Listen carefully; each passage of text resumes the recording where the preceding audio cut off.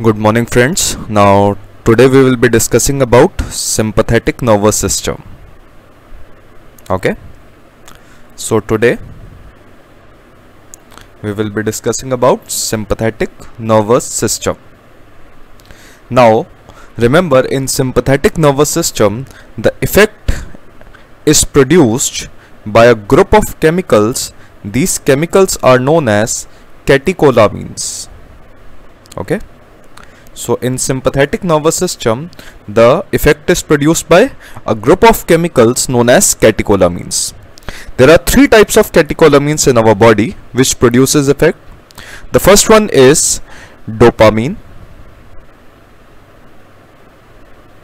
Second is norepinephrine.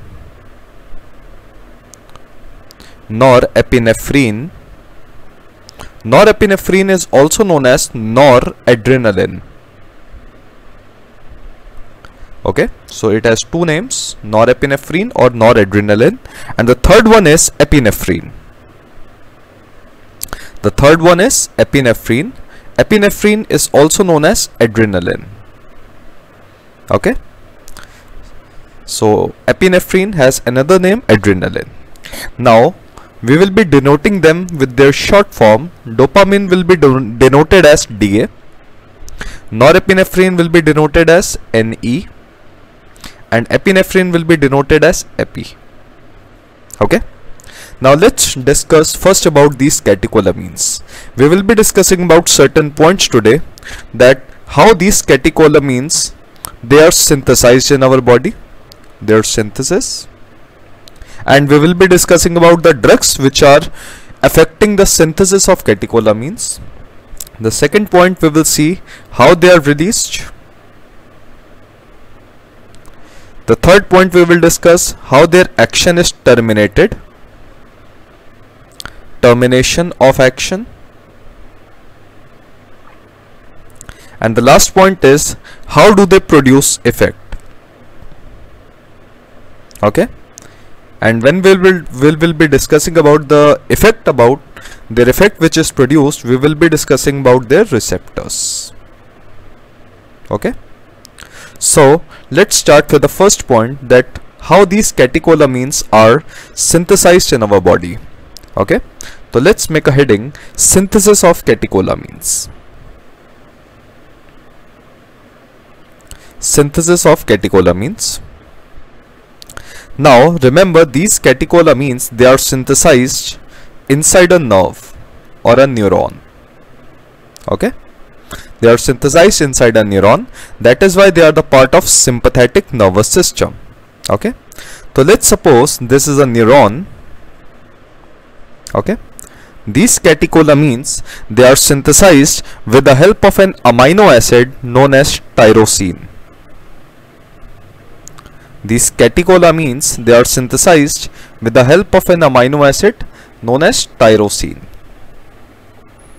Now on this tyrosine the first step which occurs is this tyrosine gets converted into dopa and this first step is carried out by an enzyme known as tyrosine hydroxylase. This first step is carried out by an enzyme, tyrosine hydroxylase. Now, there are two important points which we must remember about this point. In this whole cycle, it is the only specific enzyme. It is a very specific enzyme which is required for catecholamine synthesis. Rest all other enzymes will be non-specific. And this first step of converting tyrosine into dopa is the rate limiting step. It is the rate limiting step or the most crucial step. That means if we will block this step, whole catecholamine synthesis will stop. Okay. Now the next step which will occur is this dopamine, this dopa will get converted into dopamine or DA. So can we say that the first catecholamine has been synthesized? So this dopa gets converted into dopamine with the help of an enzyme that is dopa decarboxylase. The enzyme name is dopa decarboxylase. Now we will write that this enzyme is a non-specific enzyme. It is a non-specific enzyme. It means it converts certain other molecules not just dopa it just it acts on certain other molecules as well. Example let's take an example. There is a drug known as levodopa. When we give levodopa to our patient levodopa also gets converted into dopamine by the same enzyme hence it is a non-specific enzyme and this enzyme for its functioning require vitamin B6 or pyridoxine this enzyme for its functioning require vitamin B6 or pyridoxine. Now the third step which occurs will be this dopamine is a neurotransmitter and any neurotransmitter if it has to release has to under enter into vesicles. It has to enter into vesicles. So all neurotransmitters must first enter into vesicle only then they can be released. Okay. So this dopamine enters into vesicles DA. Now to enter into the vesicle it requires a pump. It requires a pump known as VMAT2. Okay. It enters into the vesicle with a pump known as VMAT2. VMAT stands for vesicular. That means it is entering into vesicle. Monoamine. Vesicular. Monoamine transporter. Okay? So it enters into vesicle with the help of an enzyme vesicular uh, sorry transporter vesicular monoamine transporter.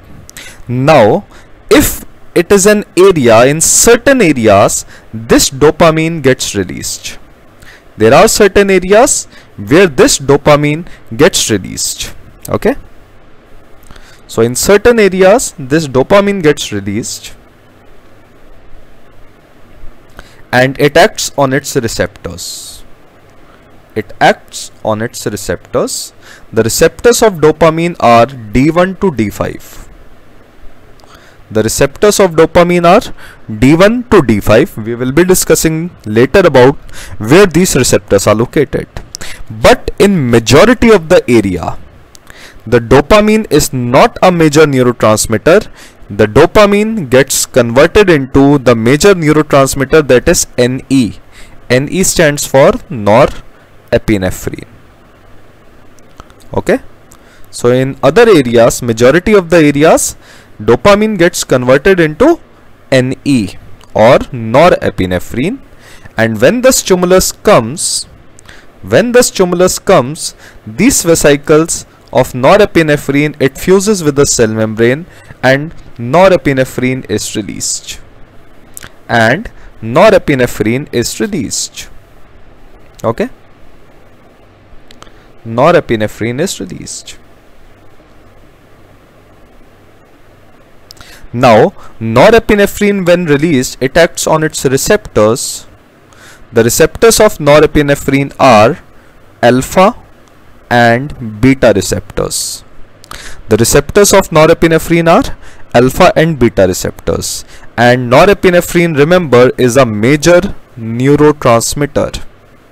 It is the major neurotransmitter which is released at most of the areas. Okay, but at the area of adrenal medulla, only at the area of adrenal medulla, this norepinephrine this norepinephrine gets converted into at the area of adrenal medulla this norepinephrine inside the vesicle it gets converted into epinephrine. And at the area of adrenal medulla norep instead of adrenaline the major hormone which is released is epinephrine. Okay? So here epinephrine is released. And epinephrine also acts on its receptors. The receptors of epinephrine are also alpha and beta. Okay, the receptors of epinephrine are also alpha and beta. Now before going further, remember there is an enzyme which is required to convert norepinephrine into epinephrine which is only present in adrenal medulla. It is not present anywhere else. That is methyl transferase enzyme. That is methyl transferase enzyme. So when we attach one methyl group to norepinephrine, it gets converted into methyl epinephrine and this methyl transferase enzyme requires glucocorticoid for its action. It requires glucocorticoid for its action which adrenal medulla will receive from adrenal cortex. So this last step occurs only in adrenal medulla. In adrenal medulla the major chemical which is released is epinephrine. And remember norepinephrine is a neurotransmitter. Okay? While epinephrine is a hormone. Why it is hormone? Because this dopamine and norepinephrine they act act they act at end organ which is just located near to them which is just located near to them. But this epinephrine is a hormone. It comes into the blood. It comes into the blood and it goes to the distant sites. So this epinephrine is a hormone. So remember this point. These are this is the major this is the mainly physiology of catecholamines. Now let's discuss about pharmacology. So let's before starting pharmacology let's recall how catecholamines are synthesized. Catecholamines are synthesized with the help of one amino acid that is tyrosine. And this tyrosine gets converted into dopa by the first rate limiting step that is tyrosine hydroxylase. So this is the very specific enzyme and it is a rate limiting step that means if we will block this step whole catecholamine synthesis will stop. Now we have a drug. The drug which inhibit tyrosine hydroxylase the drug name is metyrosine. The drug name is metyrosine. It is also known as methyl tyrosine. It is also known as methyl tyrosine. So can we say if we will give this drug methyl tyrosine, it will inhibit tyrosine hydroxylase enzyme? And if we will inhibit this tyrosine hydroxylase enzyme whole catecholamine synthesis will stop. So whole catecholamine synthesis is stopped. So where it is used we will write metyrosine is the drug of choice for inoperable inoperable cases of pheochromocytoma it is the drug of choice for inoperable cases of pheochromocytoma. Now what is pheochromocytoma? Pheochromocytoma is a tumor of adrenal medulla. Okay, it is a tumor of adrenal medulla. In this case, very large amount of catecholamines they come into the blood. So if a patient is unfit for surgery, then we give a drug metyrosine. Okay. Now the drug which inhibit dopa decarboxylase enzyme the drug which inhibit dopa decarboxylase enzyme is carbidopa and benserazide. Carbidopa and benserazide. These drugs are used along with levodopa. These drugs are used along with levodopa in Parkinson's disease. Okay? Because these drugs they inhibit dopa decarboxylase enzyme only in periphery. So this levodopa is not converted into dopamine in periphery. Hence this levodopa now is available more to enter into the brain. So dopa so this levodopa will not be converted into dopamine in periphery. So this levodopa will go into the brain and will get converted into dopamine. Hence they are combined with levodopa. So it is used in parkinson's disease. Now the drug which inhibit vmat transporters are we will write the drugs are reserpine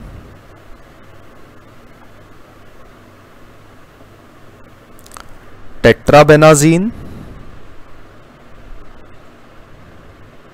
and a new drug valbenazine. And a new drug valbenazine. So the drugs which inhibit conversion uh, vmat transporter are reserpine tetrabenazine and valbenazine now what will happen if we will give this drug what will happen can we say these drugs will inhibit entry of dopamine into vesicle? They inhibit entry of dopamine into vesicles. Now if dopamine does not enter into vesicle, what will happen? Hmm. If this dopamine will not enter into the vesicle, this dopamine will be degraded by certain enzymes which are present in the cytoplasm. If this dopamine will not enter into vesicles this dopamine will be degraded. So what will happen? Dopamine degradation or depletion will occur because of certain enzymes I will be telling you shortly like MAO and COMT enzyme they are present in cytoplasm they will degrade this dopamine Hence, these drugs which inhibit VMAT2 transporters are also known as these are also known as dopamine depleters. These drugs are also known as dopamine depleters. Okay. So these drugs are known as dopamine depleters and I will be telling you that these drugs are used in cases of Huntington's disease where very high amount of dopamine is released okay? So for a moment we will just remember the name. These reserpine tetrabenazine and valbenazine they inhibit the entry of dopamine into vesicles okay? Hence they are also known as dopamine depleters okay? Now now let's discuss about the drug which will inhibit conversion of dopamine into norepinephrine.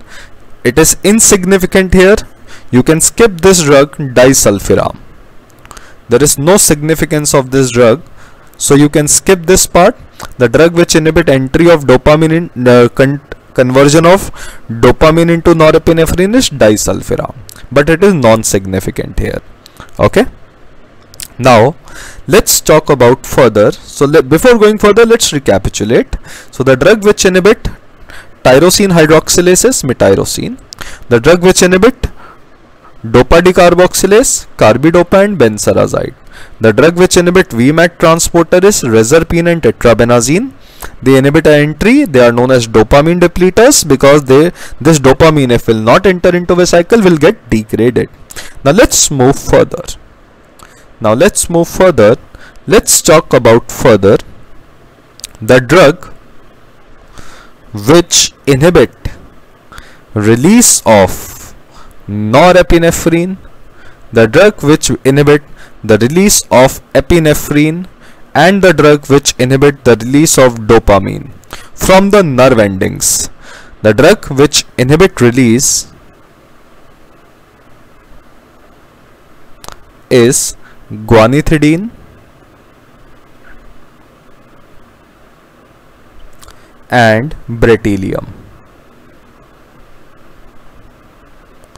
These drugs they inhibit release of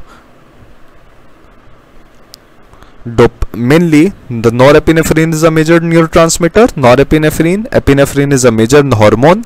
They inhibit the release of these catecholamines from the neurons now we will write that these drugs they produce a side effect. When we give these drugs, these drugs they produce a side effect. These drugs they produce chronic postural hypotension. These drugs they produce chronic postural hypotension. now the reason is why because when this norepinephrine is released this norepinephrine goes to our leg veins. Suppose this is a leg vein and norepinephrine produces vasoconstriction. It produces vasoconstriction of the leg vein so that the blood moves upward towards the heart so that the blood should move towards the heart. So when there is leg vein venoconstriction the blood will move towards the heart now the point is when a person changes a posture the blood will find very difficult to move the to move into the heart. So what happens this norepinephrine generally releases when we when we change our posture from supine to standing when we change our posture from supine to standing what will happen the blood have to move anti-gravity towards the heart so norepinephrine is released and it produces vasoconstriction when we change supine to standing. Now the point is when we give guanethidine and bretylium, norepinephrine is not released. Norepinephrine is not released and what will happen? If the norepinephrine is not released, what will happen? The leg veins will not constrict and the blood will pool downwards. The blood will keep pooling downwards. Because of vasoconstriction the blood is moving toward the heart. So when the person will change posture the blood will not move towards the heart and the patient will have chronic postural hypotension. Okay? Just remember this point. These drugs they cause chronic postural hypotension because by changing the posture the leg veins will not constrict. Okay? Now let's see how their mechanism of action is terminated. Okay? Let's see how the their action is terminated. Okay? Now if we talk about if we talk about that this dopamine and norepinephrine they are released at the end organ at the site of end organ and this epinephrine is released in the blood vessel. It is released in the blood vessel. Now let's see how the action of dopamine and norepinephrine are terminated. This dopamine and norepinephrine action is terminated by a process known as reuptake. The process which terminates the action of norepinephrine and dopamine is reuptake. Okay. So dopamine is reuptaken back into the neuron and hence it is removed from the end organ. Okay. So this dopamine is reuptaken back with the help of a transporter known as DAT. DAT stands for dopamine transporter and norepinephrine in a similar fashion is reuptaken by the same neuron known as NET that is norepinephrine transporter. So their action is terminated by a process known as reuptake. Okay. So the action of catecholamines are terminated by a process known as reuptake. What will happen to the epinephrine? Epinephrine is taken up by various tissues like liver. Most commonly it is liver. So we will write various tissues like liver, other neurons okay we will write kidney etc so various cells they will take but the most common organ which will take this epinephrine is liver with the help of a transporter known as ENT so in all organs we have a transporter ENT ENT stands for extra neuronal transporter so they are uptaken by the various non-neuronal tissues. Epinephrine because it is a hormone it will be taken up by the extra neuronal tissues. Okay. So this is how their action is terminated. This process is known as reuptake. Now the point is when they are reuptaken by the various cells what will happen then after termination they are degraded okay so after termination of their action they are degraded how they are degraded? They are degraded with the help of two enzymes known as MAO enzyme and COMT enzyme. Okay? So these catecholamines they are degraded by enzymes known as MAO and COMT okay? So MAO and COMT now let's talk about certain drugs which will affect this reuptake. First point the drugs which inhibit reuptake are the drugs which inhibit reuptake of norepinephrine and dopamine are we will write cocaine. The drug which inhibit reuptake are cocaine. And various antidepressants. Various antidepressants. Okay. So these drugs they inhibit reuptake of norepinephrine and dopamine especially in the areas of brain and we will write cocaine is the first local anesthetic to be made and cocaine is the only local anesthetic that can increase sympathetic activity in our body. Cocaine is the only local anesthetic we have which can increase sympathetic activity in our body. And can you predict why? Why cocaine can increase sympathetic activity in the body? By increasing the level of dopamine and norepinephrine at the end organ. So if norepinephrine and dopamine are not reuptaken, they will act for at their end organ for longer duration of time. So cocaine is the only local anesthetic we have that can increase sympathetic activity in the body. Okay, but this cocaine now has been banned because it is highly addictive drug. Okay, because of its addiction potential, it has been banned.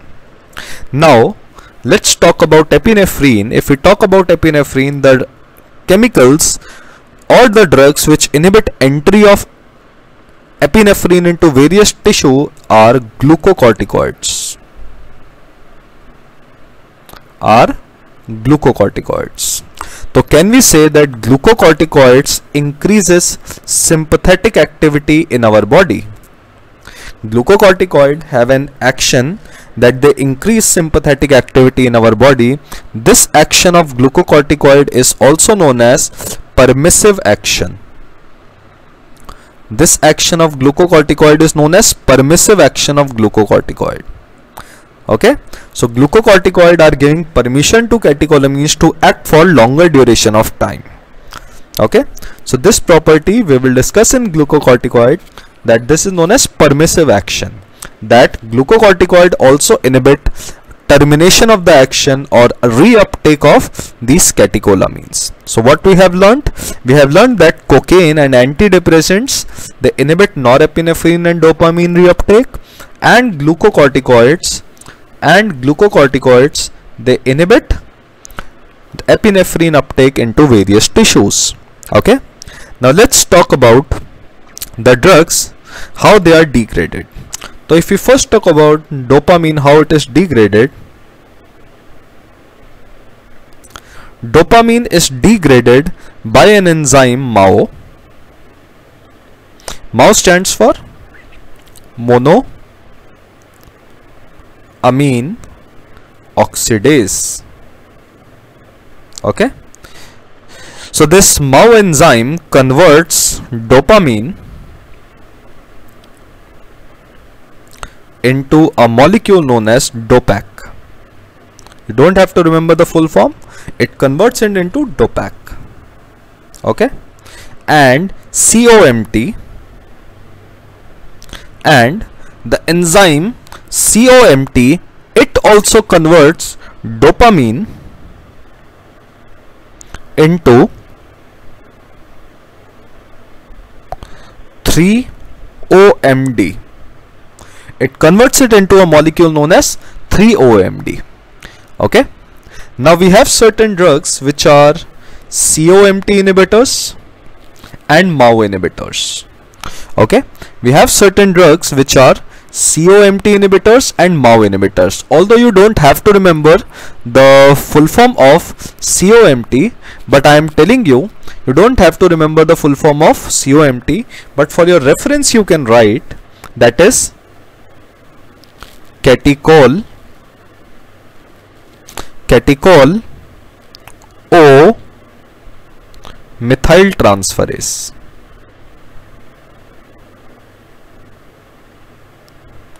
Catechol O methyl transferase but you don't have to remember this but you have to remember the full form of MAO. Okay? So these two enzymes they degrade dopamine in which fashion? They degrade dopamine into respective molecules okay so that is MAO and COMT okay now we have certain drugs which are MAO inhibitors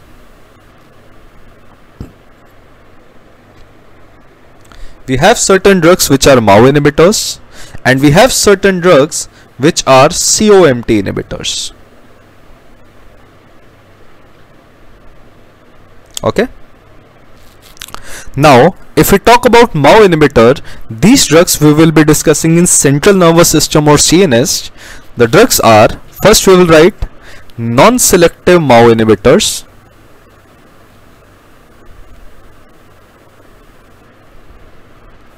Then we have selective MAO A inhibitors and then we have selective MAO B inhibitors.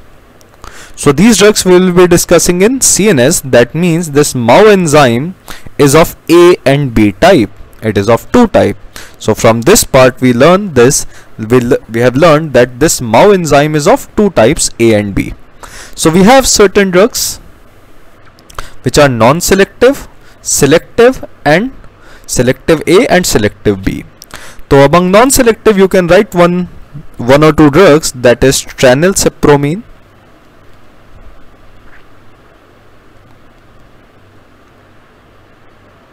tranylcypromine, okay, nialamide, nialamide, okay. Selective MAO inhibitors we will discuss in antidepressants that drug will be moclobemide because in depression level of dopamine decreases. So in depression we increase dopamine level.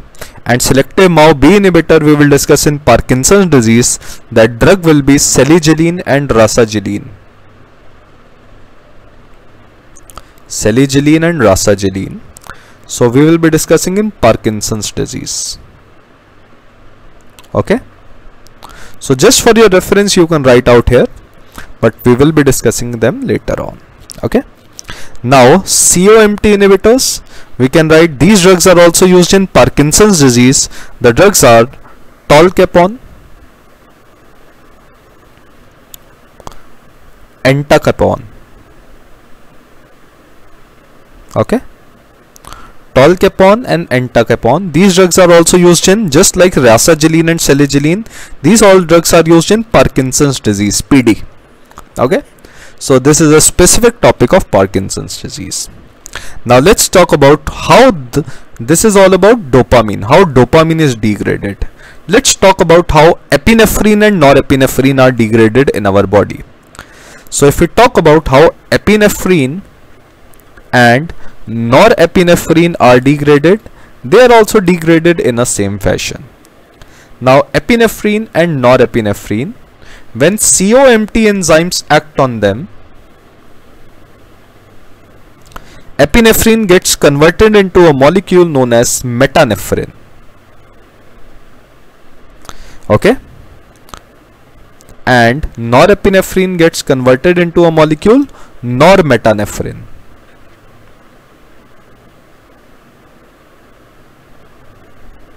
Okay?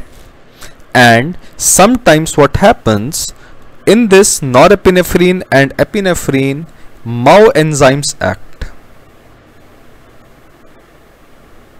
MAO enzyme. Okay? When MAO enzyme act they form some intermediate. They form some intermediate you don't have to remember that name. And on this intermediate now COMT enzymes act. When COMT enzymes act it forms a molecule known as VMA now VMA stands for vanillyl mandelic acid. Okay? Vanillyl mandelic acid. So can we say when only and only COMT enzymes act on norepinephrine a specific metabolite is formed normetanephrine and COMT only acts on epinephrine it forms metanephrine. But when both of the enzymes act they form a non-specific metabolite known as VMA now these molecules which are formed, they all are excreted out in urine. They all are excreted out in urine but when they are excreted out in urine they are linked to a molecule in a liver. They are linked to a molecule or they are conjugated to a molecule known as glucuronide so they are first linked to a molecule glucuronide and this glucuronide molecule it makes this group it makes this metanephrine VMA and normetanephrine more water soluble. It makes them more water soluble so that they can be excreted out in urine. Okay? So can we say that epinephrine specifically gets converted into metanephrine and norepinephrine specifically gets converted into normetanephrine when they are acted only upon by COMT enzyme. But when they are acted by both of the enzyme MAO and COMT then they form a non-specific metabolite known as VMA. Okay, then they form a non-specific metabolite VMA. Now, what is the importance of these metabolites? So these metabolites, all these metabolites if we measure their 24 hour urinary concentration of these metabolites 24 hour urinary concentration or estimation it is a best test to diagnose or you will write it is the gold standard test. It is a gold standard test for diagnosis of diagnosis of pheochromocytoma. Okay? It is a gold standard test for diagnosis of pheochromocytoma. Okay?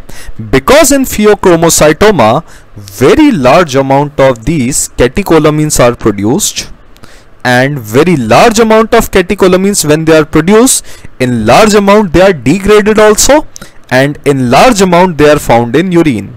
So in cases of pheochromocytoma the urinary concentration of these catecholamines they increase. And this is the best test we have for diagnosis of pheochromocytoma. Okay?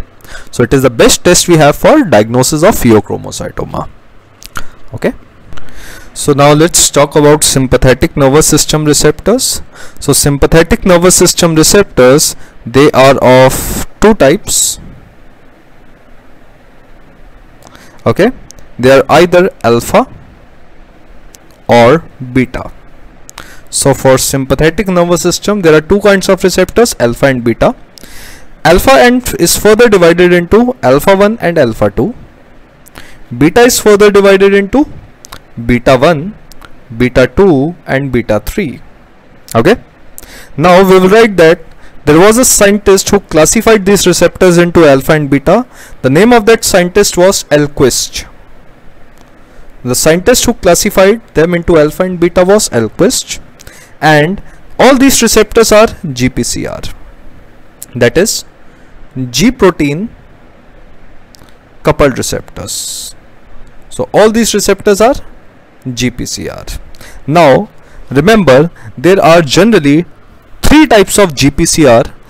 GPCR they are either of GS and GQ and the third type of GPCR is GS type.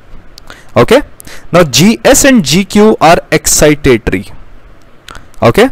GQ and GS are excitatory and GI is inhibitory. We will write that G alpha 1 they are GQ type and they are excitatory. Okay, why they are excitatory? Because they increase IP3 DAG level. They increase IP3 DAG level.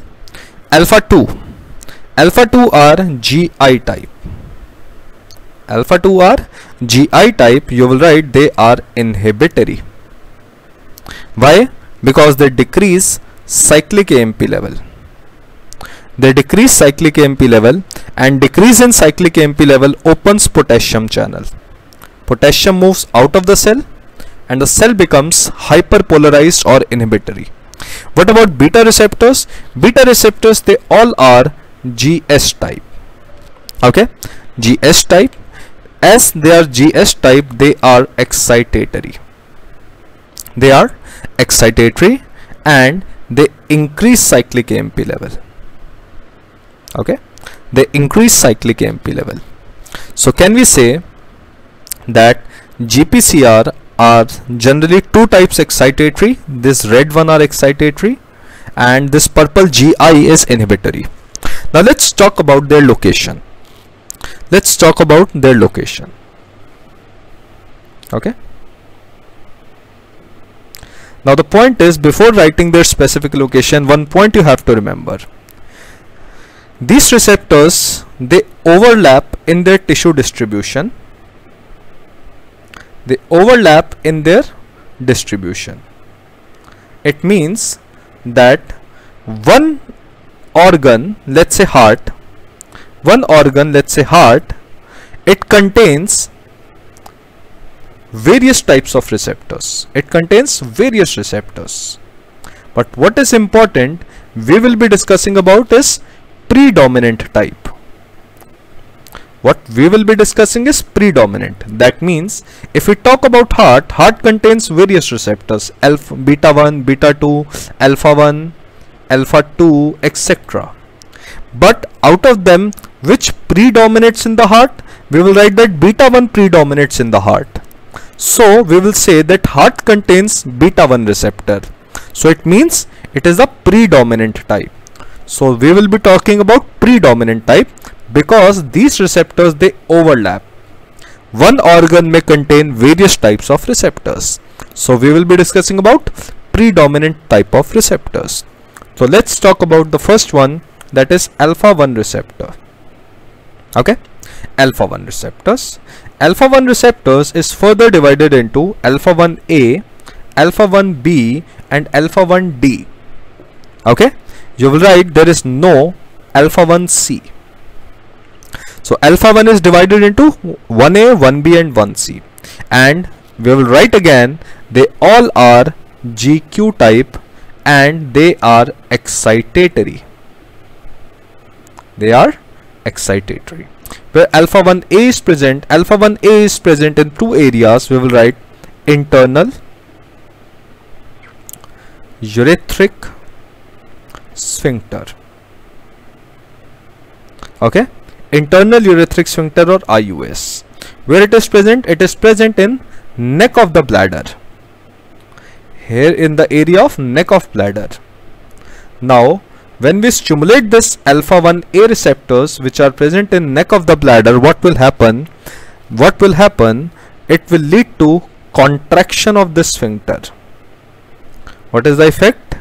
The effect of alpha 1a stimulation is contraction of IUS if the sphincter becomes contracted the urine will not able to pass. Hence it will lead to urinary retention. Okay it will lead to urinary retention. So can we say that alpha 1a receptor contracts sphincters? Now the second area where they are present in is in eyes.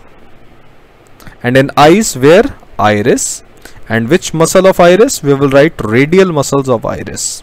Radial muscles are also known as sphincter pupillae. Radial muscles of iris are also known as sphincter pupillae. Now when we will stimulate this receptor, suppose this is an iris and these are the radial muscles of iris okay? And they contains alpha 1 receptor alpha 1a so when we stimulate this receptor what will happen? There will be contraction of radial muscles. There will be contraction of radial muscle. It will lead to mydriasis okay? It will lead to mydriasis now let's talk about alpha 1b alpha 1b it is present on blood vessels. Okay? It is present on blood vessels. Okay? When we stimulate alpha 1 B receptors on blood vessel what it will lead to? It will lead to vasoconstriction. It will lead to vasoconstriction because of muscle contraction because of muscle contraction. Alpha 1d alpha 1d is also present on blood vessels mainly aorta and coronary arteries. Okay? It is also present on blood vessels like aorta and coronary artery but in most of the other blood vessels alpha 1b predominates in rest of the areas alpha 1b predominate. And what is the action of alpha 1b and d? They both lead to vasoconstriction. And can we say that alpha receptors causes constriction of internal urethric sphincter? It causes constriction of radial muscles. It causes constriction of blood vessels. So in one word we will write alpha 1 it causes various types of alpha 1 all types they cause constriction okay? So in one word they we will write they cause constriction. Okay? Let's talk about alpha 2 let's talk about alpha 2 receptors. Alpha 2 receptors is further divided into 3 alpha 2a alpha 2b and alpha 2c we will write that this alpha 2 receptor is GI type. That means it is inhibitory it is inhibitory. Now let's see where they are present. Alpha 2a we will write that alpha 2a it is a pre synaptic receptor. it is a presynaptic autoreceptor. Now what do we mean by the word presynaptic? Suppose this is a neuron and this neuron is releasing norepinephrine. Okay this neuron is releasing norepinephrine. This norepinephrine when released it acts on end organs. And on them it has alpha and beta receptors. Okay? Now let's imagine just imagine or just assume this area. Between the two neurons and the end organ is the area of synapse. Let's assume this area is synapse so can we say that these receptors on end organs are postsynaptic receptor? Okay? Generally alpha and beta receptors are postsynaptic but there are certain receptors alpha 2a there are certain receptors like alpha 2a these alpha 2a receptors they are presynaptic. Presynaptic means they are present on the neurons on the same neurons which are releasing norepinephrine. Now what will happen? What is their effect? When this norepinephrine is released and this norepinephrine acts on the same presynaptic receptor neurons or presynaptic neurons which are containing these receptor when these receptors are stimulated remember these receptors they inhibit the release of norepinephrine. These receptors they inhibit the release of norepinephrine so can we say they will apply a break? they will apply a break. so they will apply a break and they will inhibit the release of their own norepinephrine. That is why they are known as auto means own or self acting receptors. Hence they are known as presynaptic autoreceptors.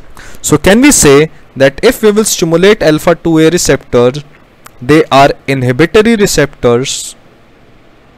They will decrease sympathetic discharge by decreasing the release of norepinephrine. Okay? They will decrease sympathetic discharge by decreasing the release of norepinephrine. So that is why they are inhibitory GI type. That is why they are known as GI type okay? Now these receptors alpha 2b and c they are not much important for you but you will write they can be post synaptic they can be extrasynaptic.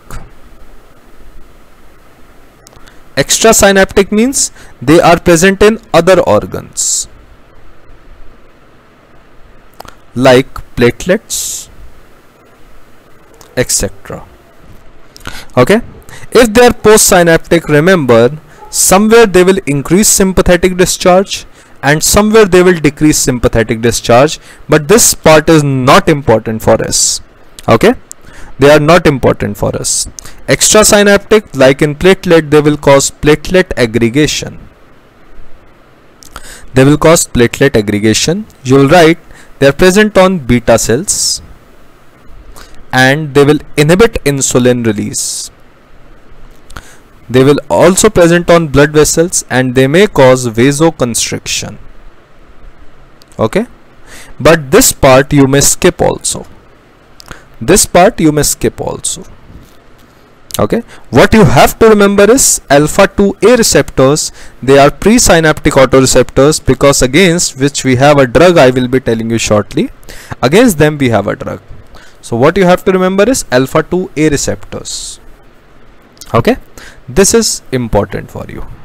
So they are presynaptic autoreceptor. If we will stimulate these receptor what will happen? They will decrease their own discharge. Now let's talk about beta receptors. Let's talk about beta receptors. You'll write that all beta receptors are GS type that means they will increase cyclic AMP and they are excitatory in nature. Now they are further divided into three beta 1, beta 2 and beta 3. Let's see where beta 1 is present. Beta 1 is predominantly present on heart and JG cells of kidney. Okay. In heart it is excitatory. It will stimulate SA node. Or it will lead to SA node depolarization which will lead to increase in heart rate. Okay? It will lead to increase in heart rate. So can we say when there is increase in sympathetic discharge there is increase in heart rate? They will also increase stimulate AV node. So they will increase conduction. Similarly they will increase they are present on muscles also of atria and ventricle and they will increase force of contraction. Okay? They will increase force of contraction. Okay? Now you will write they also increase excitability of all tissue present on heart. Excitability. Okay? And they will also increase relaxability also so that for the next cycle the heart is prepared. Now if they are increasing heart rate this property is known as chronotrophism. As they are increasing conduction this is known as dromotrophism. As they are increasing force of contraction this is known as inotrophism. As they are increasing excitability they are known as bathmotrophism. and they are also increasing relaxability for the next cycle. This is known as leucotrophism so every parameter in the heart increases. Now in JG cells of the kidney what they will do they will act on JG cells of the kidney and they stimulate renin release. Okay and this renin is the main chemical which will increase the blood pressure in the body. Okay? It will increase the blood pressure in the body. So this is the location of beta 1 receptors which are present on heart and JG cells of the kidney. Okay? And in JG cells of the kidney renin is released it will increase blood pressure through a system RAS system which we will be discussing later on now beta 2 receptors where they are present. Beta 2 receptors they are pre also present on heart. But you will write less as compared to beta 1 so beta 1 they are mainly present on heart but there are certain receptors which are present. Beta 2 receptors which are also present on heart. So this is cardiac muscles. Okay now beta 2 receptors are mainly present on skeletal muscles.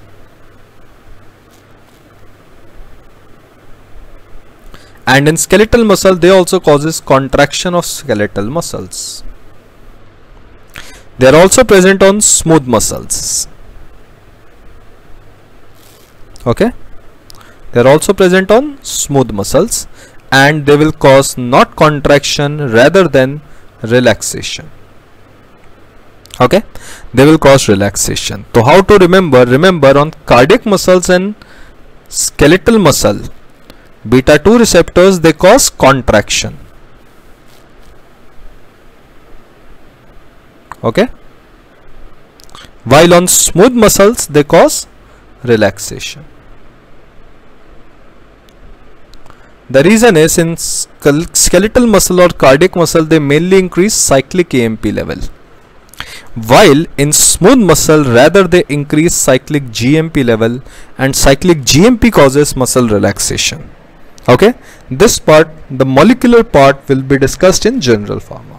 But remember in smooth muscles they rather cause relaxation. While in skeletal and cardiac muscles which together can be regarded as striated muscles so these together they are known as striated muscles. In striated muscles they cause contraction while in smooth muscle it causes relaxation. So you can take various examples like bronchus. They cause bronchodilation. Okay? You can write blood vessels. In blood vessels they cause vasodilatation okay you can write uterus. In uterus they cause uterine relaxation. The drugs which cause uterine relaxations are known as tocolytic action. Okay? Similarly in other areas also. Okay? Now just before going further remember on a blood vessel. On a blood vessel remember now we have two receptors mainly alpha 1 and beta 2 in alpha 1 on a blood vessels causes vasoconstriction. And beta 2 on a blood vessel causes vasodilatation. So this part you must remember now that on the blood vessels we have two receptors alpha 1 and beta 2 alpha 1 causes vasoconstriction and beta causes vasodilatation. How to remember that? Alpha causes constriction beta causes dilatation on a blood vessel okay? So on a blood vessel we have both alpha 1 and beta 2 okay? Now the last point with beta 2 receptors they are also present on beta cells of pancreas. They are also present on beta cells of pancreas and on beta cells of pancreas they stimulate insulin release. They stimulate insulin release so now we will discuss about beta cell of pancreas. Suppose this is beta cell of pancreas. There are two receptors present on beta cell. Mainly alpha 2 and alpha 1 all alpha receptors are present. All alpha receptors are present and beta 2 receptor is present.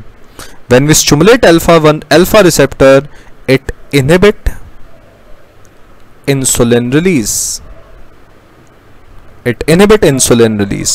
And when we stimulate beta 2 receptor it will promote insulin release. It will promote insulin release. Okay? So alpha it inhibit. Okay? Beta it will promote insulin release. Okay so alpha will inhibit insulin release beta will promote insulin release. So this is about the beta cell of pancreas. Okay? Let's talk about beta 3 receptors.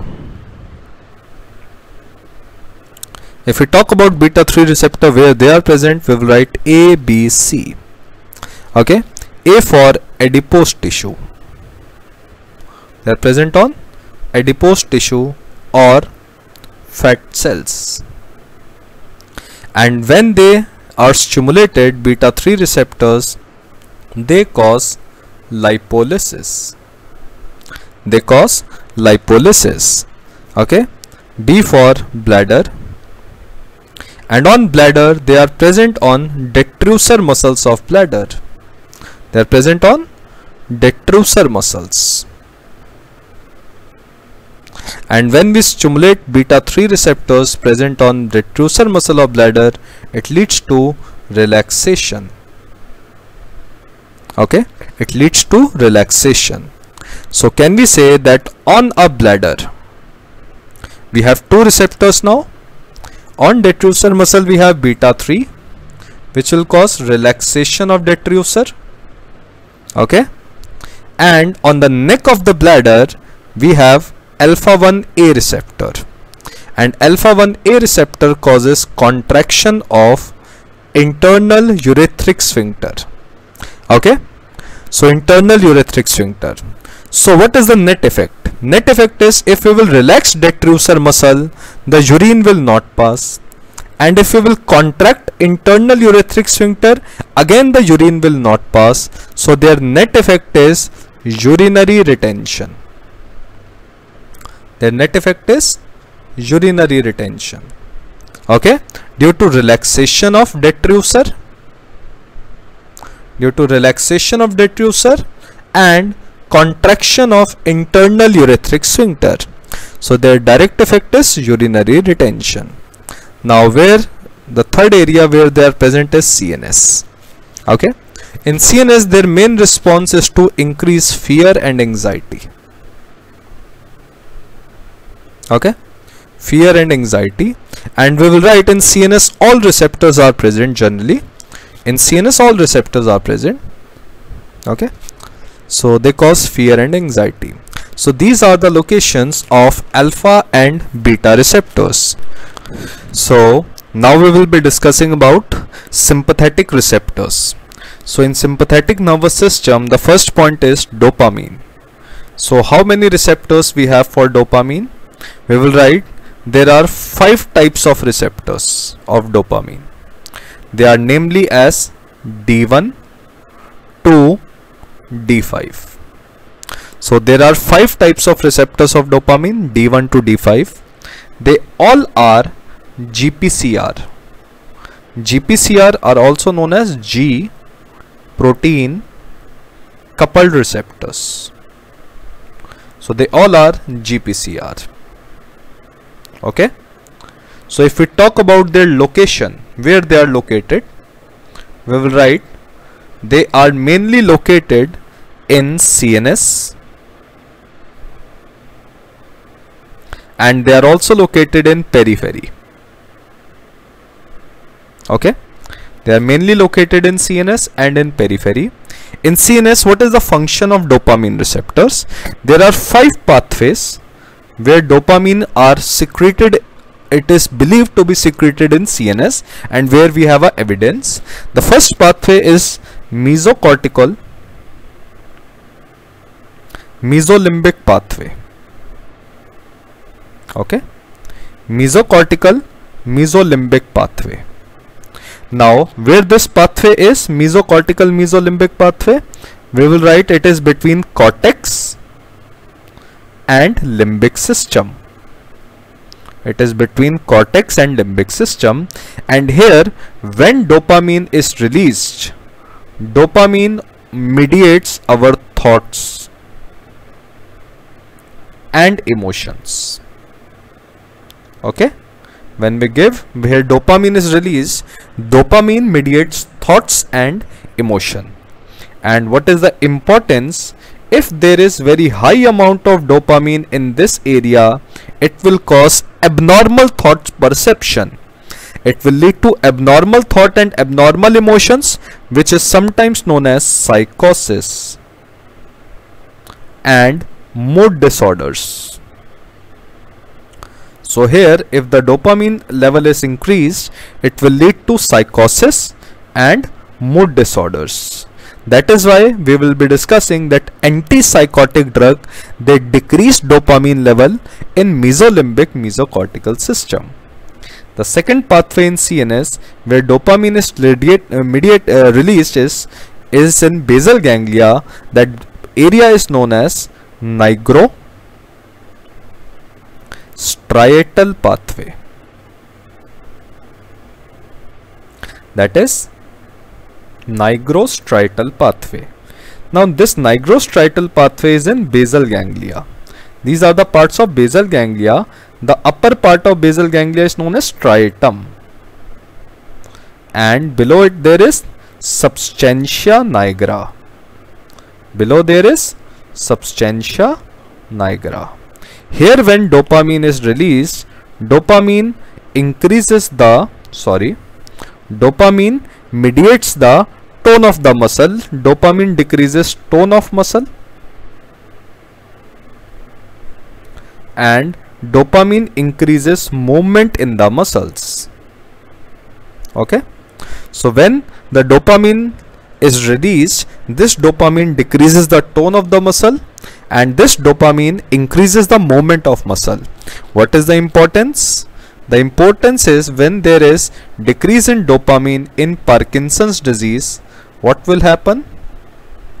When there is parkinson's disease the dopamine level is decreased. And here when the dopamine level is decreased there is severe rigidity or increase in the tone of muscle. And there will be decreased movement known as bradykinesia there is decrease in movement known as bradykinesia. So this occurs in which area? This occurs in basal ganglia. That pathway is known as nigrostriatal pathway. Okay? Now the third area where dopamine is released in CNS is tubero infundibular area. The third area where dopamine is released is tubero infundibular area. Okay. When the dopamine is released here, this part tubero-infundibular part is the part between tuberous is a part of hypothalamus and infundibulum is a part of pituitary sorry infundibulum is a part of pituitary so when dopamine is released at this from hypothalamus to pituitary remember dopamine inhibit dopamine when it is released dopamine inhibit anterior pituitary hormone it inhibit the release of anterior pituitary hormone release. Okay. So can we say if the dopamine level is less, if the dopamine level is less, it may lead to increase in prolactin level. It may lead to increase in growth hormone level. So remember dopamine is an inhibitory neurotransmitter. It is released from hypothalamus and it acts on pituitary to inhibit the release of pituitary hormones okay the fourth area where dopamine is released is incerto hypothalamic pathway here dopamine in insects we know it is proven but we don't know in humans. Here dopamine mainly mediates sexual behavior. Okay? It mainly be mediates sexual behavior and it mediates arousal. So this pathway is not important for us. And the last pathway is medullary periventricular pathway medullary periventricular pathway here dopamine mediates appetite. Here dopamine mediates appetite. So when we will be talking about CNS we will be mainly talking about the three systems against which we have a drug mesolimbic and mesocortical system. Here we will be discussing about certain antipsychotic drug. Antipsychotic drug they decrease dopamine level here. And antidepressant drug they increase dopamine level at this mesocortical and mesolimbic area. In nigrostriatal pathway we will increase dopamine level for the treatment of Parkinson's disease okay so in nigrostriatal pathway we will give we will give increased dopamine by the uh, for the treatment of Parkinson disease and we will decrease the level of dopamine in an opposite disease known as Huntington's disease. So in Huntington's disease we will decrease the level of dopamine while in Parkinson's disease we will increase the level of dopamine. Now in tuberoinfundibular pathway we will discuss that we will increase the level of dopamine for the treatment of prolactinoma. For the treatment of prolactinoma and for the treatment of acromegaly. Okay? For the treatment of acromegaly. Now remember any drug which increases dopamine example levodopa. Any drug which increases dopamine, example levodopa, has a side effect of hypersexuality. It causes a side effect known as hypersexuality. Okay, and any drug which decreases dopamine, example antipsychotics. Antipsychotics and antidepressants sorry antipsychotics they have a side effect of impotency. They have a side effect of impotency or decrease in libido. Now any drug okay now any drug that increases dopamine will suppresses appetite. And any drug that decreases dopamine level okay? Will increase appetite or will cause weight gain? Example antipsychotics.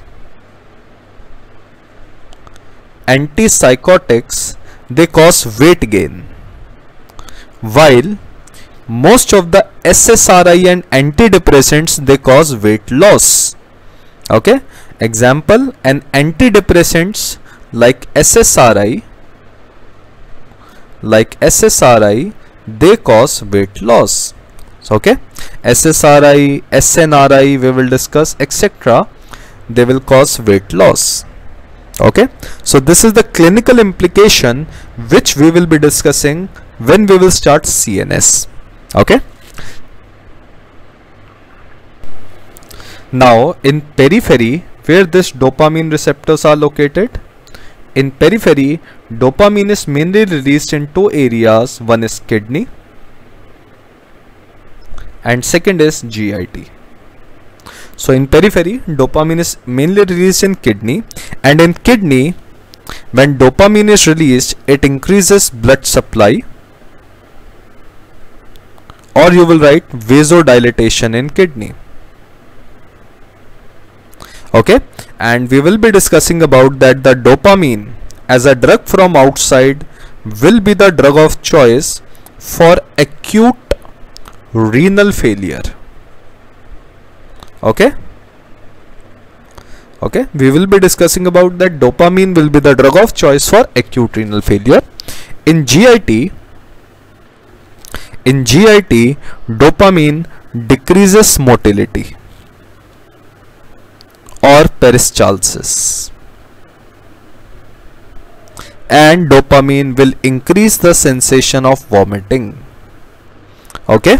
And the dopamine increases the sensation of vomiting. Hence we have made dopamine blocker. Hence we have made dopamine blockers. Example metoclopramide domperidone. These drugs are dopamine blockers. Can you predict what will be their effect? These drugs they will increase motility. These drugs are known as prokinetics. And they will decrease vomiting. They are known as antiemetics. Okay? These drugs are known as antiemetics prokinetics so they will increase motility we will be discussing they will be used in constipation etc and they are used as an antiemetic drugs so this is the clinical importance of the drugs which are acting on dopamine okay so this is the clinical importance. Now let's see what are the different types of dopamine receptors we have. So dopamine receptors are of five types. They are D1 to D5. Now these receptors are further divided into D1 like family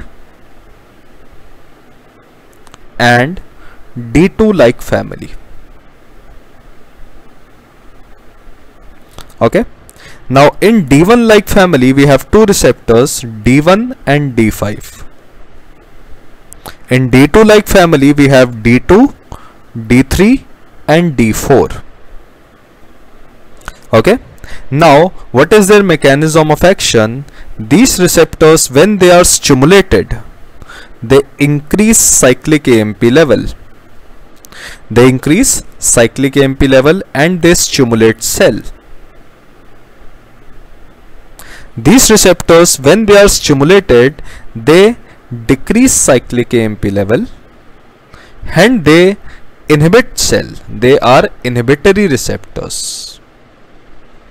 That is why they are known as GS type of GPCR. They are known as GS type of GPCR. S means stimulatory. And these drugs are known as GI type of GPCR. I means they are inhibitory. So these are the types of dopamine receptors D1 like family and D2 like family. So D1 like family and D2 like family. So D1 like family are D1 and D5 they are excitatory or stimulatory in nature because they increase cyclic AMP level in the cell. D2 to D4 like family they decrease cyclic level AMP level in the uh, cell. Hence they are inhibitory receptors. Okay so hello friends. Now today we will be discussing about sympatho mimetic drugs. Today we will be discussing about sympathomimetic drugs. That means the drug which will increase sympathetic activity in our body. Okay? So we have sympathomimetic drugs. These sympathomimetic drugs are divided into various types the first one we have is directly acting drugs. We have directly acting drugs. Second we have is indirectly acting drugs. Second we have is indirectly acting drugs. And third we have both. Both are known as mixed acting drugs. They are known as mixed acting drug now what do we mean by the directly acting drugs directly acting drugs they will go to the sympathetic receptors like alpha or beta and they will act as agonist Agonist means they will stimulate these receptors. Then we have indirectly acting drugs. Indirectly acting drugs, they will not go to the receptor, rather they will increase the release of norepinephrine from the neurons. Okay? They will increase the release of norepinephrine from the neurons and this norepinephrine will go and act on the receptors. Okay? Now both acting they will do both things that means mixed acting drugs they will stimulate receptors they are receptor agonist as well as they release norepinephrine they will release norepinephrine from the nerves so they will have both mechanism of action. Okay? Now let's talk about first the drugs which are directly acting drugs. These directly acting drugs they are further divided into catecholamines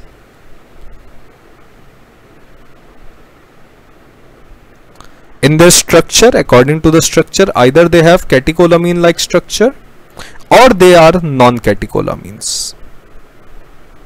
Okay? Or they are non-catecholamines. Example?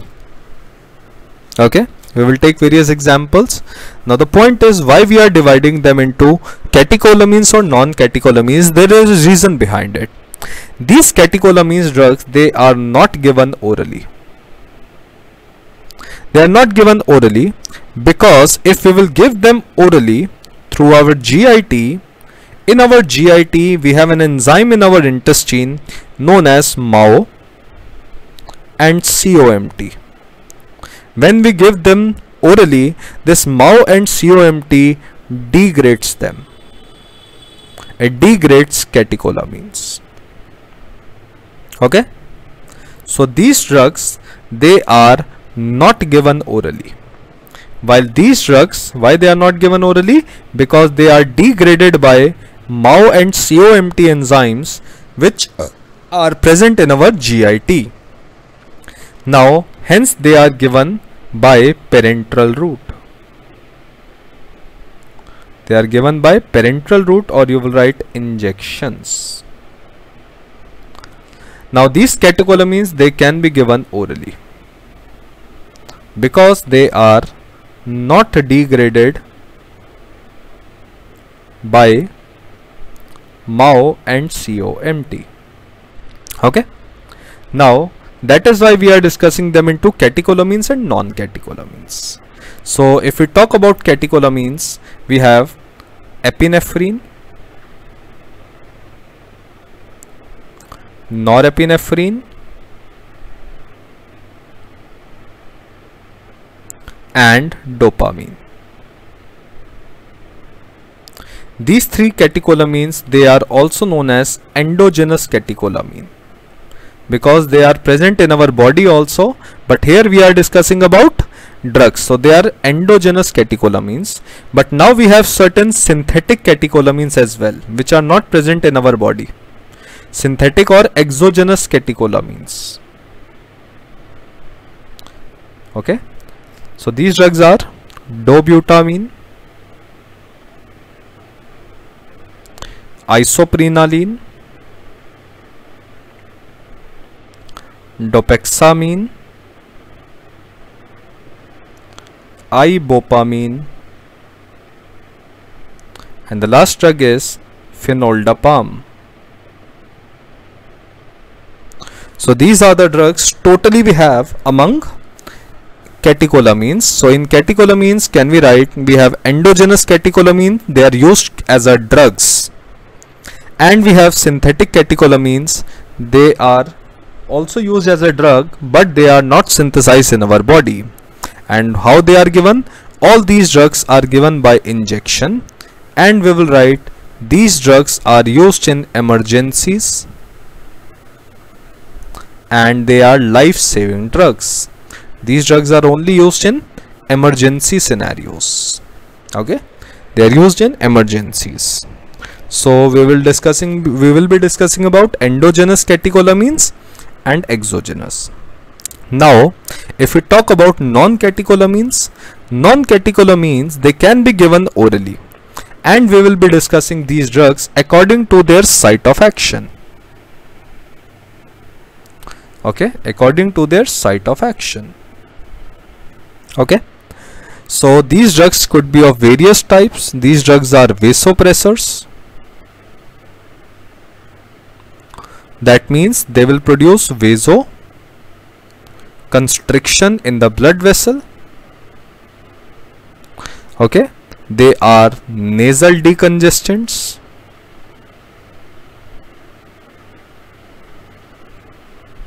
Okay? They are nasal decongestants third you can write they are mydriatics.